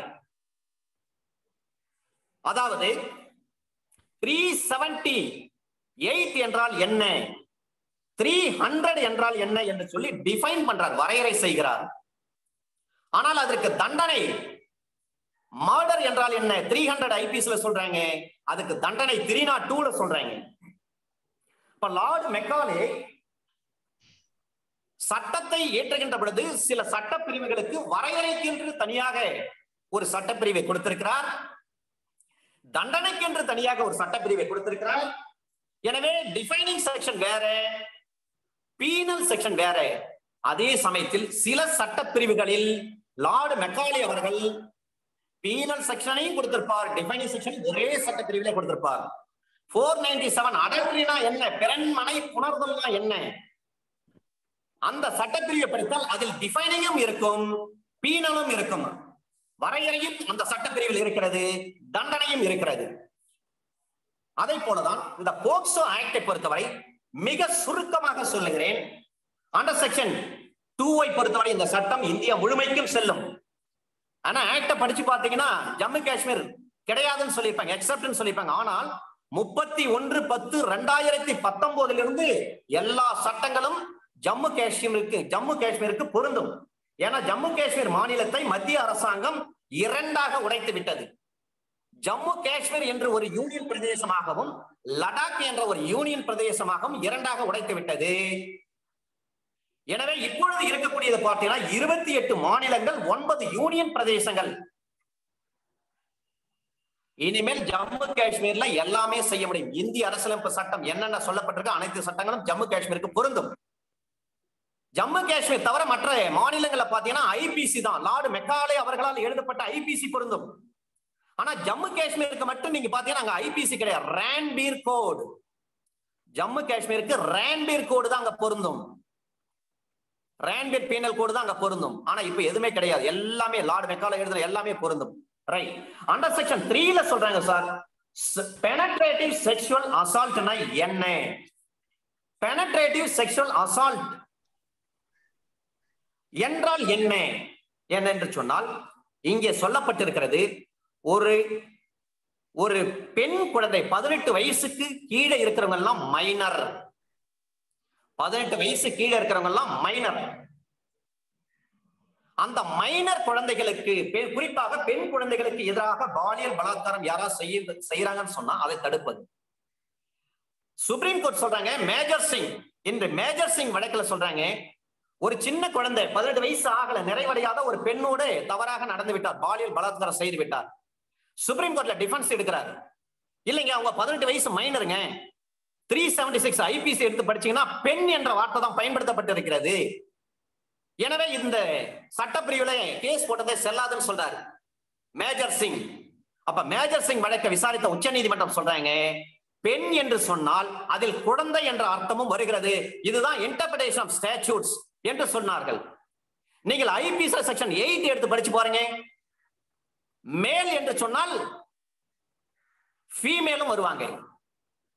ஃபீமேல் என்று சொன்னால் மேலும் வருவாங்க. ஹீ என்று சொன்னால் ஷீயும் வருகிறார். ஷீ என்று சொன்னால் ஹீயும் வருகிறார். இதுதான் சட்ட பொருள் விளக்கம். அதுதான் தெளிவா படிக்கணும் ஆரம்பத்தில் சொன்னணும் எனவே இந்த சட்டத்தை இயற்றியதனுடைய நோக்கமே குழந்தைகளை இழித்தகவு செய்யக்கூடாது. குழந்தைகளுக்கு எதிராக எந்த ஒரு வன்முறையும் ஏற்படுத்தக்கூடாது தாக்குதலும் ஏற்படுத்தக்கூடாது. இதில் யார் குற்றவாளிகளாக வருவார்கள்? நான் ஜெனரலாக பேசுறேன். போதிய நேரமின்மை காரணத்தினால். இந்த சட்டம் வந்து ஒரு சிறப்பு சட்டம். ஸ்பெஷல் ஆக்ட் என்றைக்குமே அதாவது ஜெனரலியா ஸ்பெஷலி பஸ் நாட் டீரஹெட் என்று சொல்வார்கள். ஒரு legal maxim special act will prevail over general act சிறப்பு சட்டம் எப்பொழுதும் பொது சட்டத்தை விட மேலோங்கி நிற்கும். ஜெனரலியா ஸ்பெஷலி பஸ் நான் டீரகட் என்ற லீகல் மேக்ஸிம் சிறப்பு சட்டம் என்பது பொது சட்டத்தை விட மேலோங்கி நிற்கும். ஆனா இந்த சட்டம் சிறப்பு சட்டம். எனவே எல்லா சட்டத்தை விட இது மேலோங்கி நிற்கும். இந்த சட்டத்துல யார் எதிரிகளாக இருப்பார்கள் என்று சொன்னால் ஒரு ஆண் அல்லது ஒரு பெண் அல்லது ஒரு திருநங்கை. ஒரு ஆண் வந்து ஒரு பெண் குழந்தைகளுக்கு எதிராக பாலியல் பலாத்காரம் செய்ய ஈடுபடுவார். அதை போல ஒரு பெண்ணும் ஈடுபடுவார். அதை போல ஒரு திருநங்கை டிரான்ஸ் ஜெண்டர் என்று சொல்லக்கூடிய திருநங்கையும் ஈடுபடுவார். அப்ப அக்யூஸ்ட் யாரா வருவாங்க? இந்த ஆக்டை பொறுத்தவரை ஒரு ஆண் அல்லது ஒரு பெண் அல்லது ஒரு திருநங்கை. அதை போலவே இதே சட்டத்துல விக்டிம் என்று சொல்லக்கூடிய நீங்க சிஆர்பிசி படிச்சீங்கன்னா under section two W A victim பாதிக்கப்பட்டவர். பாதிக்கப்பட்டவர்களாக இந்த சட்டத்தின்படி யார் இருப்பார்கள்? அதே பெண் இருப்பார்கள். பாதிக்கப்பட்ட பெண் குழந்தைகள் பெண் ஆண் இருப்பார்கள். ஆண் குழந்தைகள் சிறு குழந்தைகளை கூட சில பேர் வந்து தவறாக பயன்படுத்துவாங்க. ஆண் குழந்தைகளை. அதை போல திருநங்கையை டிரான்ஸ்ஜெண்டர் அவர்களும் இந்த சட்டத்தின்படி விக்டிமாக வருவதற்கு வாய்ப்பு உண்டு. பாலியல் பலாத்காரம் என்று சொன்னால் என்ன? இதில் ஆங்கிலத்தில் சொல்லப்பட்ட வார்த்தைகள் இருக்கிறது. ஒரு பெண்ணுடைய பிறப்புறுப்பில் வந்து ஒருவர் டச் பண்ணாலோ தொட்டாலோ அல்லது ஒரு பெனிஸ வந்து பெனட்ரேட் பண்ணாலோ அல்லது தொட்டாலோ அல்லது லீக் பண்ணினாலோ இது எல்லாமே குற்றம். அதுல வந்து முழுமை அடைந்திருக்க வேண்டும் அவசியம் கிடையாது. த்ரீ செவன்டி சிக்ஸ் படிக்கிறீங்கன்னு சொன்னா அந்த அஃபன்ஸ் வந்து கம்ப்ளீட் ஆகணும் அவசியம் கிடையாது. குற்றவியல் சட்டத்தை படிக்கின்ற பொழுது four points in criminal law என்று சொல்வார்கள். ஒரு மென்சரியா இருக்கணும். உள் எண்ணம் இன்டென்ஷன் இருக்கணும். ஒரு ப்ரிப்பரேஷன் இருக்கணும். தயார் நிலை இருக்க வேண்டும். ஒரு அட்டம் இருக்கணும். அந்த கமிஷன் செய்வதற்கு முயற்சி இருக்கணும். அந்த கமிஷன் வந்து ஹேஸ் டு பி டன் முடிவு பெற்று இருக்க வேண்டும். ஒரு எண்ணம் இருக்கணும். ஒரு ஒரு சண்டை போட வேண்டும் என்று ஒரு எண்ணம் இருக்கணும். அதற்கு ஆயுதங்களை திரட்டி வச்சிருப்பார் ப்ரிப்பரேஷன் அதற்கு முயற்சி பண்ண ஒரு அடிக்க தாக்குதல் பண்றார். அதன் பிறகு அடிச்சு முடிச்சிட்டார். கமிஷன் டன் இதுதான் four points in criminal law என்று சொல்வார்கள். எனவே இந்த போக்சோ ஆக்ட்ல நீங்க வந்து முழுமை அடைந்திருக்கணும். அந்த அஃபென்ஸ் வந்து கம்ப்ளீட் ஆனாதான் குற்றம் கிடையாது. நீங்க டச் பண்ணாவே குற்றம். மும்பை நீதிமன்றத்தின் மூலமாக ஒரு வழக்கு புஷ்பாவி கணினி வாலா என்ற ஒரு நீதி நீதிபதி அம்மா அவங்க சொல்றாங்க இந்த போக்சோ ஆக்டுக்கு அவங்க எப்படி இன்டர்பிரேஷன் கொடுத்துருக்காங்கன்னா ஸ்கின் டு ஸ்கின் டச் பண்ணாதான் அது குற்றம். இங்க சொல்லப்பட்டது பன்னெண்டு வயசு ஒரு சிறு பெண். அந்த பெண்ணுடைய மார்பகத்தை ஒரு ஆண் என்ன பண்றான்? பிரஸ் பண்ணிட்டான். இதுதான் குற்றம். அப்ப இந்த வழக்கு அந்த அம்மா கிட்ட போகுது. பாம்பே ஹைகோர்ட்ல அப்ப இந்த வழக்கை விசாரித்து மாண்புமிகு நீதியரசர் புஷ்பா வி கனிடி வாலா அந்த அம்மா என்ன எப்படி இன்டர்பிரேஷன் பண்றாங்கன்னு சொன்னா ஸ்கின் டு ஸ்கின் டச் இருந்தாதான் போக்ஸ் ஆக்டே வரும். இல்ல த்ரீ பிப்டி போர்ல போடுங்க. அப்படின்னு சொல்லிட்டு த்ரீ பிப்டி போர்ல நான்கு ஆண்டு காலம் சிறை தண்டனை கொடுக்குறாங்க. இது மிகப்பெரிய பிரச்சனை ஆகுது இந்தியா முழுவதும். அதன் பிறகு சுப்ரீம் கோர்ட் அதை என்ன பண்றாங்க? அதை ஓவர் ரூல் பண்றாங்க. இதை இன்டர்பிரேஷன் பண்றாங்க. புஷ்பாவி கனிடி வாலா அந்த நீதிபதியால் இந்த சட்டத்திற்கு பொருள் விளக்கம் கண்டது தவறு. அங்கே ஸ்கின் டு ஸ்கின் டச் என்ற வார்த்தை நேரடியாக உடம்ப தொடணும்னு அவசியம் கிடையாது. ஏன்னா ஒரு பெண் குழந்தையாக இருக்கும் பட்சத்தில் அவங்க உடம்புல துப்பட்டா இருக்கும் ட்ரெஸ் இருக்கும் சேரி இருக்கும். இது எல்லாமே இருக்கும் பட்சத்தில் நீங்க அதையெல்லாம் வந்து அந்த சேரீ எல்லாம் நீக்கிட்டு உடம்ப தொட்டாதான் குற்றம் கிடையாது. நீங்க அந்த சேரீ மீதோ அல்லது அந்த துப்பட்டா மீதோ நீங்க தொட்டாலே அது குற்றம் அப்படின்னு சுப்ரீம் கோர்ட் தெளிவா சொல்லியிருக்கிறாங்க. இந்த ஆக்ட் அது மட்டும் கிடையாது சார் இந்த பாலியல் பலாத்காரம் என்பது அதுக்கு முழுமை அடையணும்னு அவசியமே கிடையாது. இதுக்கு நிறைய கேஸ்லாஸ் இருக்கு. எனக்கு போதிய நேரம் இல்லை. இல்லைன்னா ஒவ்வொரு சட்டப்பிரிவுக்கும் இருக்கக்கூடிய ஒவ்வொரு கேஸ்லாஸையும் நான் தெளிவாக சொல்வேன். இந்த சட்டத்தின்படி எப்படி பிரஷ்யூம் பண்ணுவாங்கன்னு சொன்னா நீங்க இந்தியன் எவிடன்ஸ் ஆக்டை எடுத்து படிச்சு பாத்தீங்கன்னா ஷால் பிரஷ்யூம் மே பிரிஷ்யூம் என்று இருக்கும்? மே பிரிஷ்யூம்னா இருந்தாலும் இருக்கலாம் இல்லாமல் போனாலும் போகலாம். ஷால் பிரிஷ்யூம் என்று சொன்னால் கண்டிப்பாக என்று அர்த்தம். மேண்டட்டரி என்று அர்த்தம்.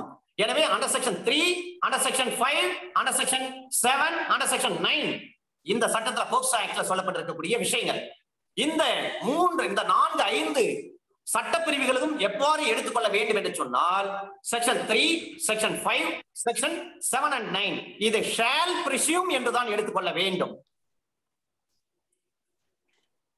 அது மட்டுமல்ல இந்த சட்டத்தின்படி அந்த குழந்தையுடைய முகத்தை வெளியில வந்து மீடியா காட்டக்கூடாது. அதை காட்டுறாங்கன்னா குற்றம். அப்ப ஐபிசில எந்த செக்ஷன்ல கேஸ் போடுறாங்க? அந்த section two twenty eight capital A பாதிக்கப்பட்ட குழந்தையுடைய முகத்தையோ பேரையோ வெளிப்படுத்த கூடாது நிர்பய மாணவி நிர்பயா என்று சொன்னால் தைரியமான பெண் என்ற அர்த்தம். அவங்களுடைய உண்மையான பேர் வந்து ஜோதி சிங். அப்ப அந்த பெயரை வெளிப்படுத்துதல் குற்றம். அவருடைய புகைப்படத்தை வெளிப்படுத்தினால் குற்றம். ஆனால் நீதிமன்றம் அனுமதி கொடுத்தால் அல்லது பாதிக்கப்பட்ட அந்த குழந்தையினுடைய பெற்றோர் அனுமதி கொடுத்தால் அந்த பாதிக்கப்பட்ட குழந்தையினுடைய பெயரை வெளியிடலாம் அந்த பாதிக்கப்பட்ட குழந்தையினுடைய புகைப்படத்தை வெளியிடலாம். அது எதற்காக தான் நீதியின் நலனுக்கு உகந்தது என்று தெரிந்தால் வெளியிடலாம். அது மட்டுமல்ல பொய் கேஸ் கொடுப்பாங்க சில நேரங்கள்ல. இப்ப பொய் வழக்கு கொடுக்குறாங்க சொன்னா under section twenty two of the act POCSO act படி எந்த குற்றம் சம்பந்தமாக பொய் வழக்கு கொடுத்தாங்களோ எந்த செக்ஷன் மேட் அவுட் ஆகுதோ அந்த செக்ஷன் படி அவங்களும் தண்டிக்கலாம். செக்ஷன் டுவெண்ட்டி டூல தெளிவாக சொல்லப்பட்டிருக்கிறது பொய் புகார் கொடுக்குறாங்க அப்படின்னு சொன்னா ஆறு மாசம் தண்டனை. இதுவே அந்த குற்றத்துக்கு உடந்தையா இருக்கிறாங்கன்னு சொன்னா under section seventeen of the POCSO act படி அவங்க எந்த குற்றத்துக்கு உடந்தையாக இருக்கிறாங்களோ போக்ஸ் ஆக்ட்ல எந்த ஆக்ட் மேட் அவுட் ஆகுதோ அதே தண்டனை கொடுக்கணும். செக்ஷன் டுவெண்ட்டி டூல ஆறு மாசம் தான் தண்டனை கொடுக்க முடியும். அது புகார். இந்த வழக்கை யார் விசாரிப்பாங்க? செஷன்ஸ் கோர்ட் செஷன்ஸ் கோர்ட் தான் ஸ்பெஷல் கோர்ட்டை கான்ஸ்டியூட் பண்றாங்க. நேரடியாக வந்து கமிட்டல் பண்ணுமானா கமிட்டல் பண்ண வேண்டிய அவசியம் கிடையாது. ஏன்னு சொன்னா செக்ஷன் ஃபைவ் ஆஃப் சிஆர்பிஎஸ்ல தெளிவா சொல்லப்பட்டிருக்கிறது. ஒன் நைன்டி த்ரீ சிஆர்பிஎஸ் பொறுத்தவரை செஷன்ஸ் கோர்ட்டுக்கு கமிட்டல் பண்றதுக்கு அதிகாரமே கிடையாது. அவங்களுக்கு வந்து நேரடி ஜூரி செக்ஷன் கிடையாது. ஆனால் special act under section five special act படி சிஆர்பிஎஸ்ல செக்ஷன் ஃபைவ் வந்து அதுக்கு அலோவ் பண்றாங்க. அவங்க தான் விசாரிப்பாங்க. இதுக்கு அதிகபட்சம் தூக்கு தண்டனை கொடுக்க முடியும். இப்ப வந்து தூக்கு தண்டனை கொடுக்க முடியும். பிறகு எனக்கு நேரம் கொடுக்கப்படும் பட்சத்தில் நான் அதை பற்றி குறிப்பாக சொல்வேன். இப்பொழுது காலத்தின் அருமை கருதி இந்த செஷனை இத்தோடு முடிக்கலாம் என்று நான் நினைக்கிறேன். ஆனால் இதில் ஒரு விஷயத்தை நீங்கள் குறிப்பாக செ- தெரிந்து கொள்ள வேண்டும். பாதிக்கப்பட்ட பெண்ணாக இருக்கும் பட்சத்தில் தகவல் கண்டிப்பாக கொடுக்கணும். தகவல் கொடுக்கலாம் குற்றம். பாதிக்கப்பட்ட பெண்ணிற்கு மருத்துவ உதவி செய்யணும். மருத்துவ உதவி செய்யலாம் under section one sixty seven oh sorry under section one sixty six class பியின் படி குற்றம். பாதிக்கப்பட்ட பெண்ணை அண்டர் செக்ஷன் டுவெண்ட்டி செவன் படி நீங்க உடனடியாக மருத்துவ பரிசோதனை செய்யணும். இததான் அண்டர் செக்ஷன் பிப்டி செவன் சிஆர்பிஸ்ல சொல்றாங்க. அதே போல இதில் இந்த குற்றத்தில் ஈடுபட்ட ஒரு ஆணாக இருக்கும் பட்சத்தில் நான் அக்யூஸ்டி வந்து under section fifty three capital A of CrPC படி அந்த அக்யூஸ்டியும் நம்ம என்ன பண்ணும்? மருத்துவ பரிசோதனைக்கு அழைத்து செல்ல வேண்டும். பாதிக்கப்பட்ட பெண்ணிற்கு மருத்துவ பணிகளோ மற்ற இதர காம்பன்சேஷனை கொடுக்க முடியுமான்னு சொன்னா இதுல போக்சோ ரூல்ஸ் இருக்கு.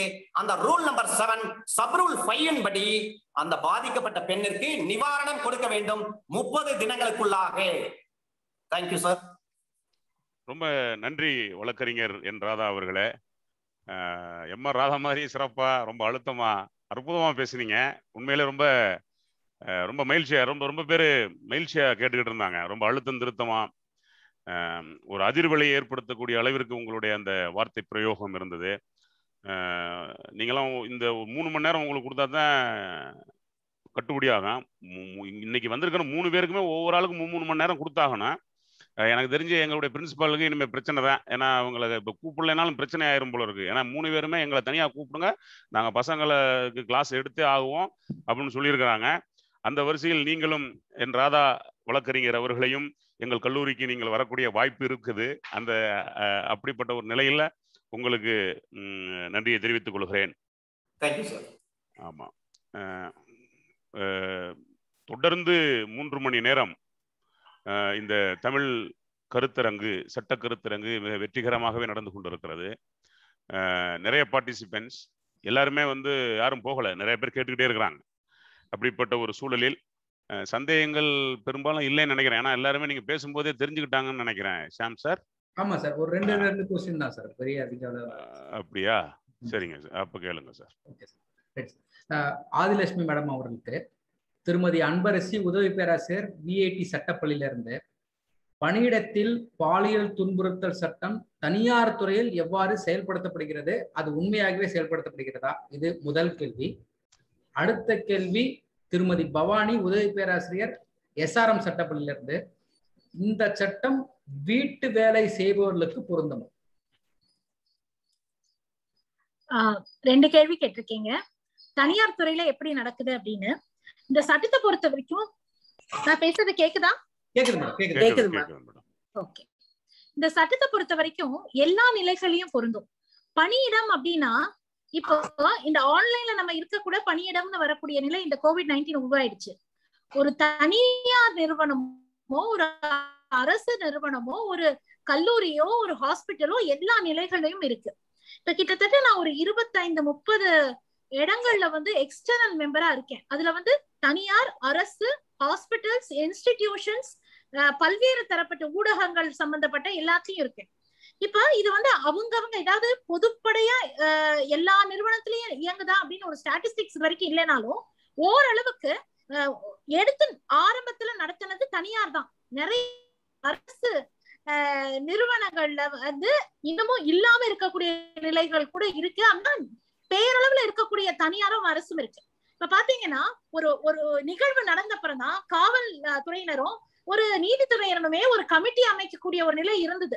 என்னன்னா இந்த மாதிரி சமூகத்துக்கு நலன் பயக்கக்கூடிய சட்டங்கள் அதுவும் பெண்களுக்கு பாதுகாக்க காக இருக்கக்கூடிய சட்டங்கள் பார்க்கும்போது ஒரு ஹாஸ்பிட்டாலிட்டி இண்டஸ்ட்ரி ஒரு ஹோட்டல்ல ஹோட்டல்ல ஒரு பெரிய பெரிய ஹோட்டல் இண்டஸ்ட்ரி அது. அதுல வந்து ஒரு பிரச்சனைன்னு என்னை கூப்பிடுறாங்க. நான் போய் அந்த பிரச்சனையை தீர்க்கிறேன். ஒரு வழக்கறிஞரா இல்ல ஒரு எக்ஸ்டர்னல் மெம்பரா போனாலும் எக்ஸ்டர்னல் மெம்பருக்கு ஒரு ஊதியம் கொடுக்கணும். அவங்களுக்கு அந்த ஊதியத்தை பில் ரைஸ் பண்ணும்போது அங்கிருந்து எனக்கு வந்து அந்த சேர் பர்சன் சொல்றாங்க எங்களுக்கு பட்ஜெட் அலோகேஷனே இல்ல மேடம் இதை நீங்க ஃப்ரீயா தான் செய்வீங்கன்னு நினைச்சிட்டோம். அப்படின்னு சொல்ற மாதிரி. இதுல எதனால இந்த சிக்கல்கள் பிரச்சனைகள் வருது அப்படின்னா இதை எடுத்துக்கொண்டு போகக்கூடியது வந்து அரசு சொல்லிதான் செய்யணும்னு இல்ல. எல்லாரும் எடுத்துட்டு போகணும். எல்லாரும் உங்க கையில நம்மளோட பெண்களை நாம பாதுகாக்கணும். நம்ம பெண்ணுக்கு தனிப்பட்ட முறையில பிரச்சனை வந்தாதான் குரல் கொடுக்கணும்னு இல்ல. இப்ப பாத்தீங்கன்னா பொள்ளாச்சி இன்சிடென்ட்ல நான் கற்பக பிரியா எல்லாம் நாங்கெல்லாம் பெட்டிஷனர்ஸ் நாங்களே வழக்கு தொடுத்த வழக்கறிஞர்கள். அதனால எங்களுக்கு நிறைய சிரமங்கள் வந்தது. எங்களை நிறைய இடங்கள்ல தப்பு செய்யக்கூடிய நிலையில இருக்கவங்கள எங்களை அவதூறா பேசி அது ஒரு தனி நிலையா போச்சு. அப்ப கேள்வி கேட்கக்கூடிய நிலையில இருக்கும் பொழுது அவர்களை பாதிக்க அடையிற ஒரு நிலைமையும் இருக்கு நம்ம நாட்டுல. அப்ப இருக்கும்போது பாதிக்கப்பட்ட பெண்களுக்கு யார் குரல் கொடுப்பாங்க? அந்த நிறுவனம் எடுத்து நடத்தணும். தனியார் நிறுவனங்கள் நான் இருக்கக்கூடிய நிறுவனங்கள் பெரிய பேருக்கு சொல்லணும்னா என்னோட ப்ரொஃபைல இருந்தது எல்என்டி அசோக் சென்னை பெட்ரோலியம். அதே மாதிரி ஹோட்டல் இண்டஸ்ட்ரீஸ் பாத்தீங்கன்னா நிறைய ஹோட்டல் இண்டஸ்ட்ரீஸ் எல்லாம் வந்து அங்க வந்து சிறப்பா நடத்தணும்னு கேக்குறேன். அதனால எக்ஸ்டர்னல் மெம்பரா நிறைய இடத்துல வழக்கறிஞர் எப்படி நடத்தணும்? எப்படி கமிட்டி மீட்டிங் ஒரு குவார்டர்லி மீட்டிங் நடத்தணும்? இந்த மாதிரி அது நடக்கக்கூடிய ஒரு நிலை கண்டிப்பா இருக்கு. அடுத்த கேள்வி என்ன கேட்டாங்க? ஒரு நிமிஷம் படிங்க. மேடம் வீட்டு வேலை செய்பவர்களுக்கு இந்த சட்டம் பொருந்தும்?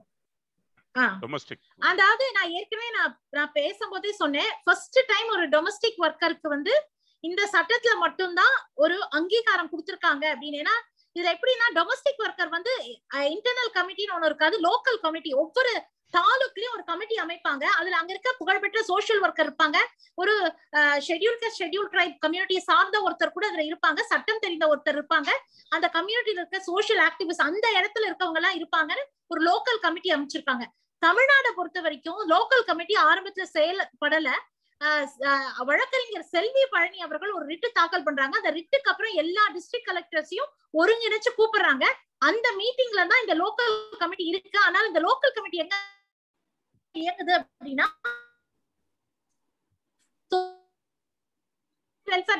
சமூக நல அதுல ஏற்கனவே டொமஸ்டிக் வயலன்ஸ் ஆக்ட்ல ப்ரொடெக்ஷன் ஆபீசர் இருக்காங்க இல்லைங்களா? அவங்களே additional welfare of senior citizens and parents act அதுல ஒரு வெல்ஃபேர் ஆபீசர்னு ஒரு ரெண்டு மூணு ரோல போட்டிருக்காங்க. இப்ப இதெல்லாம் எப்படி நம்ம அரசு கொண்டு போகணும் அப்படின்னா அரசு முடிவுல நீங்க கொடுத்தீங்கன்னா இந்த மாதிரி வந்து சமூக நலப்பை சட்டங்களை கொண்டு வந்தா பத்தாது. இந்த சட்டங்களுக்கான இன்ஃப்ராஸ்ட்ரக்சர் அந்த இன்ஃப்ராஸ்ட்ரக்சரை டெவலப் பண்ணா அதுக்கான ஆபீஸ் நியமிக்கப்படும்னா சட்டம் படித்து எத்தனையோ பேர் வந்து ஆஹ் பணி செய்யாம இருப்பாங்க. அப்படிப்பட்டவங்களுக்கு மாதிரி சட்டம் படிச்சிருப்பாங்க? மாஸ்டர் ஆஃப் சோஷியல் ஒர்க் படிச்சிருப்பாங்க. இவங்க எல்லாம் வந்து ஒரு- ஒரு இந்த மாதிரி ஜாபுக்கு வந்து அவங்கள நியமிச்சீங்க அப்படின்னா இத வந்து வலியுறுத்துறது ஈஸியா இருக்கும். அதே மாதிரி ஒருத்தர் ரெண்டு பேரும் நீங்க நியமிக்க கூடிய நிலை இருக்கு இன்னைக்கு. அவங்கள வந்து நிறைய பேரை நியமிச்சாதான் இன்னைக்கு எனக்கு நிறைய வந்து வழக்குகள் வரும்போது ஆஹ் ஒருத்தரே வந்து நூறு வழக்கு ஒரு மாசத்துக்கு வந்தா பார்க்க முடியுங்களா? சிரமம். நம்ம இந்த இன்ஃப்ராஸ்ட்ரக்சரை டெவலப் பண்ணணும். அந்த மாதிரி ரெக்கமெண்டேஷன்ஸ் எல்லாம் வந்து நம்ம அப்பப்ப லா கமிஷன்ஸுக்கும் நம்ம அரசுகளுக்கும் நம்ம நம்ம ஒரு கல்லூரியா நீங்க இதை கொண்டு போய் இந்த டெலிபரேஷன் முடிச்சு முதல் சட்ட கருத்தரங்கன்னா கண்டிப்பா இதுக்கு வந்து இன்னைக்கு நீங்க சீஃப் மினிஸ்டருக்கு ஒரு கடிதமே எழுதலாம். இந்த மாதிரி ஒரு ஏன்னா பெண்களுக்கு நான் கண்டிப்பா பிரத்யேகமா நான் ஆட்சிக்கு வந்தா நான் கண்டிப்பா பண்ணுவேன்னு சொல்லக்கூடிய ஒரு நிலையில் இருக்கிறது. அவருக்கு கண்டிப்பா நம்ம இந்த டெலிபரேஷன் போட்டோம். இதுல இப்படி வந்ததுன்னு எடுத்தா கண்டிப்பா கவனிப்பாங்க. என்னன்னா நம்ம கவனத்துக்கு கொண்டு போறத அரச குறை சொல்லிடுறோம். எந்த அரசும் குறையான அரசு கிடையாது. எந்த அரசாங்கமும் குறையான அரசாங்கமும் கிடையாது. அத வந்து கவனத்துக்கு கொண்டு போகணும். எத்தனை முறை நீங்க இருக்க லாயர்ஸோ இல்ல லா ஸ்டூடெண்ட்ஸோ நீங்க வந்து நீங்க வந்து ஒரு லா கமிஷனுக்கு ஒரு விஷயத்த கொண்டு போயிருப்பீங்க பரிந்துரை பண்ணிருப்பீங்க ஒரு போஸ்ட் கார்டுல எடுத்த ஒரு ஒரு கருத்துரை தான் ரைட் டு இன்ஃபர்மேஷன் ஆக்டாவே மாறுச்சு. அப்ப நம்ம கருத்துக்களை பதிய வைக்கணும். வேற யார்கிட்டயும் பப்ளிக் கிட்ட போய் கேட்கலனாலும் ஒரு மூத்த நிலையில இருக்கக்கூடிய ஒரு வழக்கறிஞர் கிட்டத்தட்ட ஒரு இருபத்தெட்டு இருபத்தொன்பது ஆண்டுகளா வழக்கறிஞர் தொழில இருக்கேன். உங்ககிட்ட கேட்டுக்கிறேன் லா ஸ்டூடெண்ட்ஸ் நீங்க தான் எதிர்காலம். கண்டிப்பாக நீங்க இந்த கேள்விகளை நீங்க லா கமிஷன் விமன்ஸ் கமிஷன் இந்த மாதிரி சைல்ட் வெல்ஃபேர் கமிட்டி உங்க கருத்துக்களை அங்க கொண்டு போய் பதிவிடுங்க. நான் அப்படிதான் வளர்ந்துருக்கேன். ஒரு கருத்து இருக்குன்னா உடனே அதை ஓப்பனா அதை வந்து தெரிவிக்க எப்பவுமே தயங்க மாட்டேன். சிரமங்கள் வரும். கேள்வி கேட்பாங்க. ஆனா நீங்க ஒரு ஆள் கிடையாது. ஒருத்தர் கூட எனக்கு பிரைவேட்டா மெசேஜ் அனுப்பிச்சிருக்குவாங்க வீட்ல வந்து பிரச்சனைன்னு சொன்னா நீங்க வந்து எனக்கு டைப்பிங் இன்ஸ்டியூட் போயிட்டு இருந்தேன். அந்த பொண்ணு எனக்கு தனிப்பட்ட முறையில சாட் பாக்ஸ்ல போட்டிருந்தாங்க. என்ன வீட்டுல அந்த டைப்பிங் இன்ஸ்டியூட்ல இருந்தே நிறுத்திட்டாங்க. என்ன மாதிரி பெண்களுக்கெல்லாம் என்ன விழிப்புணர்வு அப்படின்னா முதல்ல பெற்றோர்களுக்கு தான். இப்ப இத்தனை பிரச்சனை என்னை சுத்தி வருது. எங்க அப்பாவோ என் மாமனாரோ என் கணவரோ இல்ல என்னோட மகனோ யாரோ ஒரு ஆண் வந்து வேண்டாம்னு சொல்றாங்க. இல்ல வீட்டுல இருக்க பெண்ணே வேண்டாம்னு சொன்னா ஆதிலட்சுமி மாதிரி கற்பக பிரியா மாதிரி பெண்கள் வெளியே வர முடியாது. கௌரி மேடமை பொறுத்த வரைக்கும் அவர்களுக்கு எவ்வளவு ஒரு சப்போர்ட் அவருங்க தந்தையார் கொடுத்தாங்க. படிக்கிற காலத்துல இருந்தே கூட இருந்து பார்த்திருக்கேன். அதே சப்போர்ட் எனக்கும் என்னுடைய தந்தையார் கொடுத்த அதனால குடும்ப அமைப்பு வந்து அந்த பெண்ணை நம்பணும். அதே மாதிரி உங்க குடும்பம் நம்பலையா? அப்படிப்பட்ட பெண்கள்லாம் எங்க கிட்ட வாங்க உங்க அப்பா அம்மாக்கு நாங்க புரிய வைக்கிறோம். கவலைப்படாதீங்க. உங்களுக்கு ஏதாவது பிரச்சனை இருக்கா? அவங்களுக்கு உட்கார்ந்து பாடம் எடுக்கிறோம். நிறைய நேரத்துல அப்பா அம்மாவுக்கு தான் நாங்க பாடமே எடுக்கிறோம். அது இந்த மாதிரி தைரியமா நீங்க வெளியே வரும்போது உங்களுக்கு சப்போர்ட் இல்லைன்னு பயப்படாதீங்க. உங்ககிட்ட சொல்ற ஒரே விஷயம் தன்னம்பிக்கை. யாரும் உங்களை சப்போர்ட் பண்ண வேணாம். நானும் கற்பக பிரியாவும் நடுவுல ஒரு சாட் பண்ணிட்டோம். அக்கா நீங்க நல்லா பேசுனீங்க. நானும் நல்லா பேசினேன்ல. We pat on our back ஏதாவது இப்ப ஒரு பேட் கொடுத்துருப்போம். பேக்ல ஒரு தட்டு கொடுத்துப்போம் நாங்களே தான். வேற யாரும் கிடையாது.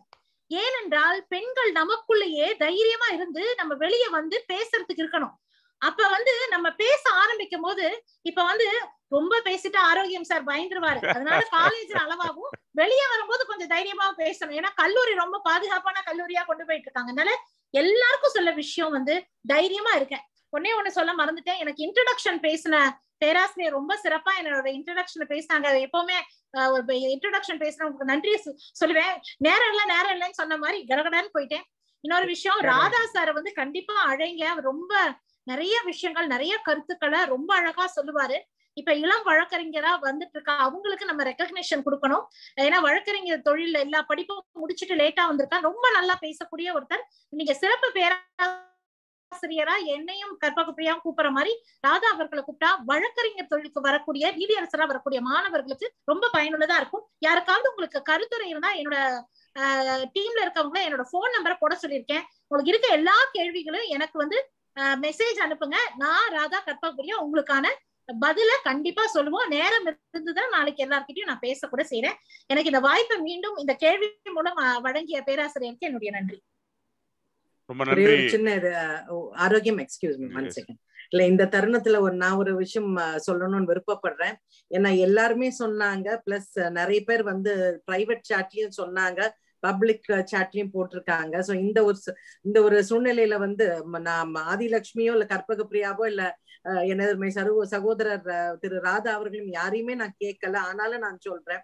அடுத்த மாதம் கண்டிப்பாக அவங்க எல்லாருடைய வேண்டுகோளுக்கு இணங்க இதே போல இன்னும் வந்து ஒரு ஒரு டெக்னாலஜிக்கல் பீப்புளோட இன்னும் ஒரு கருத்தரங்கத்தை கண்டிப்பாக நாங்கள் செய்வோம். அதுக்கு தயவு செய்து எல்லாரும் இதே மேல ஒரு ஒரு ஒரு கோஆபரேஷனை கொடுங்க ஒத்துழைப்பை கொடுங்க அப்படிங்கறது இப்பயே நான் வந்து இங்க பதிவு செய்ய விரும்புகிறேன். நன்றி. நன்றி மேடம். உங்களுடைய நீங்க கேட்டுக்கொண்டதின்படி எங்களுடைய பிரின்சிபால் அவர்கள் வந்து அதற்கான ஆணையை இன்று அளித்திருக்கிறார். இன்னும் ஒரு ரொம்ப இந்த இந்த இந்த துணிந்து நில் பெண்ணே என்று தொடங்கிய இந்த கருத்தரங்கம் சட்ட கருத்தரங்கம் எங்களுடைய கல்லூரி முதல்வர்களுடைய பிரெயின் சைல்டு அவர்களுடைய குழந்தை. இது அற்புதமாக வேரூன்றி இன்று இருக்கிறது. இப்போ முடியும் போது அது எந்த துணிந்து நில் பெண்ணே என்பதற்கு பதிலாக துணிந்து சொல் பெண்ணே என்று ஆதிலட்சுமி மேடம் அவங்க வந்து இப்போ முடிச்சிருக்காங்க. உங்கள் பிரச்சனைகள் அனைத்தையும் துணிந்து சொல்லுங்கள் அப்படிங்கிற தலைப்பில் தான் அப்படி அந்த மாதிரி தான் ஒரு லெவலில் வந்து ஆதிலட்சுமி மேடம் அவங்களும் நம்ம கற்பக பிரியா மேடம் அவங்களும் பேசியிருக்கிறாங்க. இப்படிப்பட்ட ஒரு அற்புதமான ஒரு நிகழ்வு. இந்த நிகழ்வை கலந்து கொண்ட அனைவருக்கும் நன்றி உரையாற்றுவதற்காக எங்களுடைய கல்லூரியினுடைய மூத்த பேராசிரியர் ரொம்ப அமைதியாக பேசுவார். ஆனா பேரை கேட்டா மூத்த பேராசிரியர் என் அன்பிற்கினிய நண்பர் அதிகமான கேள்விகளை கேட்க கேட்கக்கூடியவர் இன்று உங்களையெல்லாம் நன்றி உரையாற்ற வருகிறார். என் அன்பிற்கினிய பேராசிரியர் உதவி பேராசிரியர் திரு கே சுபாஷ் சந்திரபோஸ். நன்றி கேப்டன் ஆரோக்கியம். அனைவருக்கும் வணக்கம். மதிய உணவு நேரம் நெருங்கிவிட்டது. இருந்தாலும் இதற்கு கூட நமது திருவள்ளுவர் செவிக்கு உணவு இல்லாத போது சிறிது வயிற்றுக்கும் வியப்படும் என்கிறார். ஆக நமது ஆரோக்கியம் ஆரம்பித்து தற்போது இறுதியாக கருத்து வழங்கிய திருவாளர் ராதா வரை நமது செவிக்கு அதிக அளவு உணவு அளித்துள்ளார்கள்.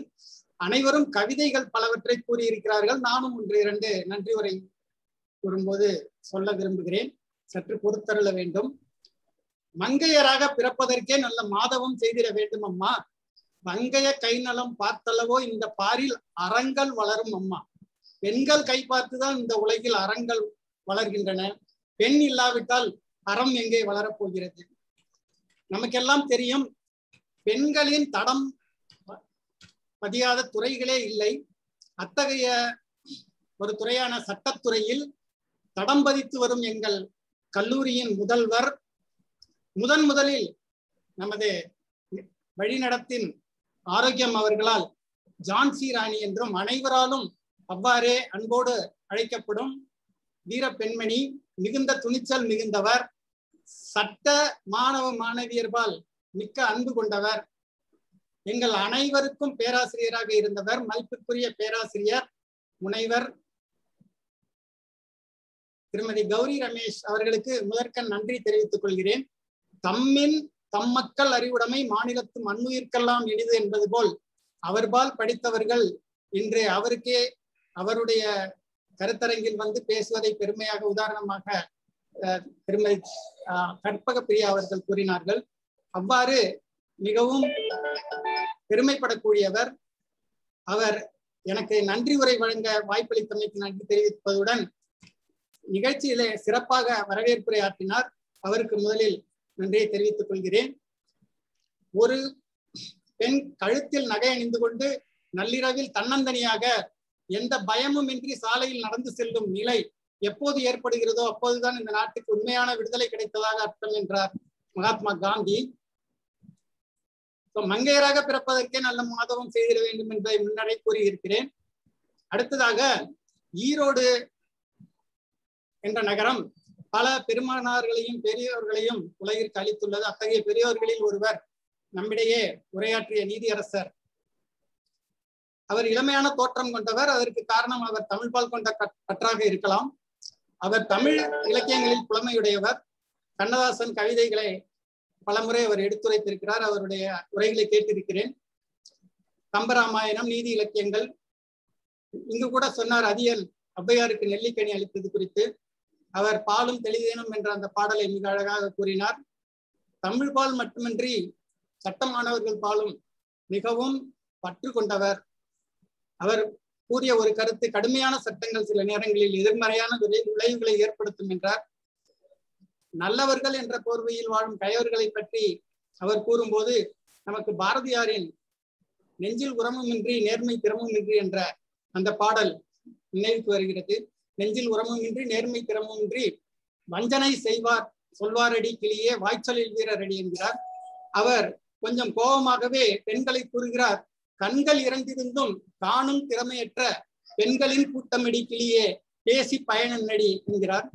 அதே அதே போல தேவியர் மானம் என்றும் தெய்வத்தின் பக்தி என்றும் நாவினால் சொல்வதெல்லாம் கிளியே நம்புதல் அற்றாரடி என்றும் அவர் கூறுகிறார்.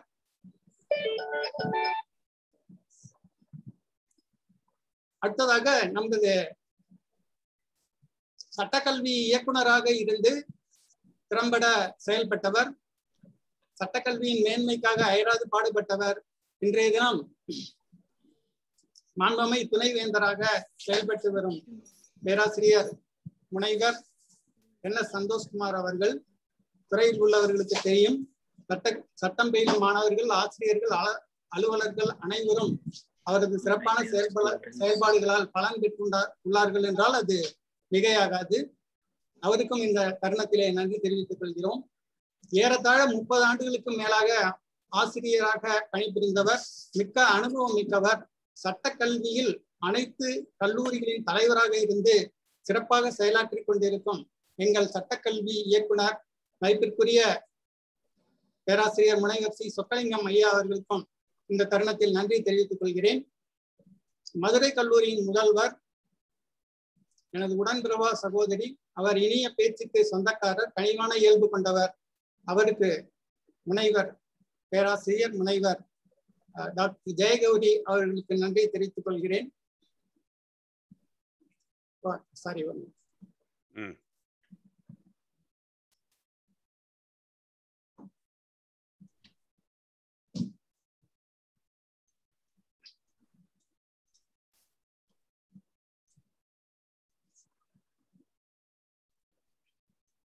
சட்ட கருத்தரங்கின் முதல் கருத்துரையாளர் திருமதி ஆதிலட்சுமி லோகமூர்த்தி அவர்கள் நமது முதல்வரின் தோழி என்றும் உடன்பிறவா சகோதரி என்றும் கூறினார்கள். அவர்கள் தன்னுடைய அனுபவங்களில் இருந்தும் நமக்கு பல விஷயங்களை கூறினார்கள். மிகவும் கருத்தாழமிக்க பேச்சாக இருந்தது. அவருக்கு நமது கல்லூரியின் சார்பாக அனைவரின் சார்பாகவும் நன்றியை தெரிவித்துக் கொள்கிறேன். நெறியாளராக பணியாற்றிய திருமதி என். ஏகாகினி அவர்களுக்கும் நன்றியை தெரிவித்துக் கொள்கிறேன். திருமதி எஸ். கற்பக பிரியா பெண்களுக்கு எதிரான இணையவழி குற்றங்கள் என்பது குறித்து பேசும்போது பல டிப்ஸ் என்று கூறுவார்கள். அவற்றையெல்லாம் கூறினார்கள். எவ்வாறு நடந்து கொள்ள வேண்டும் இணையதளத்தில்? அவர் கூறிய ஒரு கருத்து நாம் இப்பொழுது இந்த ஜூம் மீட்டிங் நடந்து கொண்டிருக்கும் போது கேமராவை ஆன் செய்து வைத்துவிட்டு அப்படியே ஜூம் மீட்டர் முடித்து விட்டு போய்விடுவோம். ஆனால் ஹேக் செய்து நீங்கள் அந்த ரூமிலோ அல்லது அந்த அறையிலோ என்ன செய்கிறீர்கள் என்பதை யார் வேண்டுமானாலும் பார்க்கக்கூடிய அளவுக்கு டெக்னாலஜி வளர்ந்திருக்கிறது என்பதை எடுத்துரைத்தார். ஆகவே ஒன்று அந்த கேமராவை சுவரை நோக்கி திருப்பி வைத்து விடுங்கள் அல்லது அதை நீக்கி விடுங்கள் என்று அழகாக கூறினார்கள். அவ்வாறு பல கருத்துக்களை திரு எஸ் கற்பகப்பிரியா அவர்கள் கூறினார்கள். அவர்களுக்கு நன்றி. அதனை ஒருங்கிணை ஒருங்கிணைத்து தந்த எம் திருமதி எம் பிருந்தாதேவி அவர்களுக்கும் நன்றியை தெரிவித்துக் கொள்கிறேன். மூன்றாவதாக திரு என் ராதா வழக்கறிஞர் கடலூரில் இருந்து பேசினார்கள். குழந்தைகளை பாலியல் குற்றங்களிலிருந்து பாதுகாக்கும் சட்டம் மற்றும் விதிகள் என்பது குறித்து அவர் ஒரு பெரிய ஒரு ஒரு பாடமே நடத்திவிட்டார். நமது கல்லூரி முதல்வர் அவர்கள் அவர்களுக்கு தெரியும். அப்படி ஒரு ஒரு துணிச்சலாக இந்த இடத்திலே அவர் வந்து பல விஷயங்களை பகிர்ந்து கொண்டார். அவருக்கு நெஞ்சார்ந்த நன்றியை தெரிவித்துக் கொள்கிறோம். அதன் நெறியாளராக இருந்து பணிபுரிந்த நமது கல்லூரியின் பேராசிரியர் முனைவர் வி ஷியாம் சுந்தர் அவர்களுக்கு நன்றி தெரிவித்துக் கொள்கிறேன். மற்றும் இன்னும் ஒரு ரெண்டு நிமிஷத்துல முடிச்சிடுறேன்.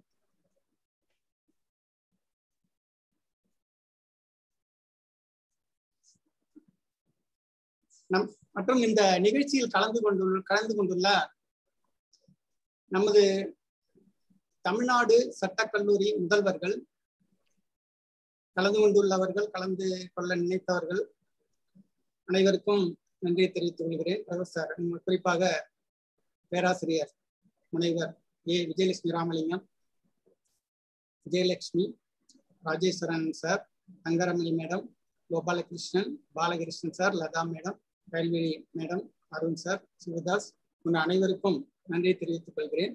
மற்றும் பல்கலைக்கழக பேராசிரியர்கள் சட்ட தமிழ்நாடு டாக்டர் அம்பேத்கர் சட்ட பல்கலைக்கழகத்தின் பேராசிரியர்கள் துறை துணை துறை தலைவர்கள் மற்றும் இந்நிகழ்ச்சியில் கலந்து கொண்ட வழக்கறிஞர்கள் மாணவ மாணவியர் அவர் தம் பெற்றோர்கள் பெரியோர்கள் எங்கள் கல்லூரியின் பேராசிரியர்களில் மூத்த பேராசிரியர்கள் திருமதி உஷா தேவி ரேகா பேராசிரியர்கள் வேகம் சாமிநாதன் மற்றும் பேராசிரியர்கள் ஆரோக்கியம் அசோக் பிருந்தா தேவி ஏகாகிரி மேடம் ஹெப்சிபா சித்திகா மதுமிதா மனோ ரம்யா ஷியாம் விஜயஸ்ரீ கௌரவ விரிவுரையாளர்கள் வடிவேலு கார்த்திக் முத்துசாமி செல்வகுமார். இவர் அனைவருக்கும் நன்றியை தெரிவித்து இந்த நிகழ்ச்சியில் கலந்து கொண்ட அனைவருக்கும் நன்றி தெரிவித்து என்னுடைய பணிவான இந்த நன்றி உரையை முடித்துக் கொள்கிறேன். நன்றி வணக்கம். நன்றி நன்றி சுபாஷ் சந்திரபோஸ் சார். ஒரு அற்புதமான துணிந்து நெல் பெண்ணே என்ற பெண்கள் பாதுகாப்பு சட்ட கருத்தரங்கத்தை இன்று சட்டக்கல்லூரியின் வரலாற்றில் பதிவு செய்த நம் கல்லூரி முதல்வர் முனைவர் பேராசிரியர் கௌரி ரமேஷ் அவர்களுக்கு உங்கள் அனைவரின் சார்பாகவும் நன்றியினை மீண்டும் உரித்தாக்கி. இது போன்ற இணையவழி தமிழ் சட்ட கருத்தரங்கங்கள் மென்மேலும் வளர்ந்திட வேண்டும் அதிகம் வேண்டும் என்ற மாணவர்களுடைய கோரிக்கையும் வருங்காலத்தில் முதல்வர் அவர்களுடைய செயல்பாட்டால் நிறைவேறும் என்ற உறுதியை முதல்வர் சார்பாக அளித்தும் சென்னை டாக்டர் அம்பேத்கர் அரசு சட்டக்கல்லூரி புதுப்பாக்கம் நடத்திய இந்த முதல் இணையவழி தமிழ் சட்ட கருத்தரங்கம் இனிதே நிறைவேற இருக்கிறது. இந்த நிகழ்வு தேசிய கீதத்துடன் நிறைவேறுகிறது அனைவரும் தேசிய கீதத்திற்கு எழுந்து நிற்போம்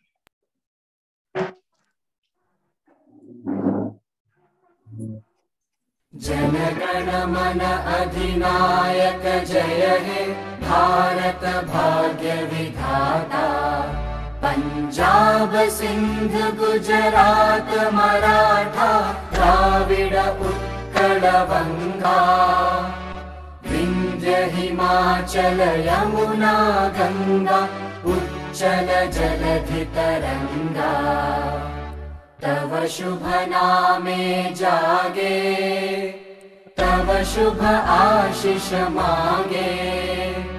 गाहे तव जय गाथा जन गण मंगलदायक जय हे भारत भाग्य विधाता जय हे जय हे जय हे जय जय जय जय हे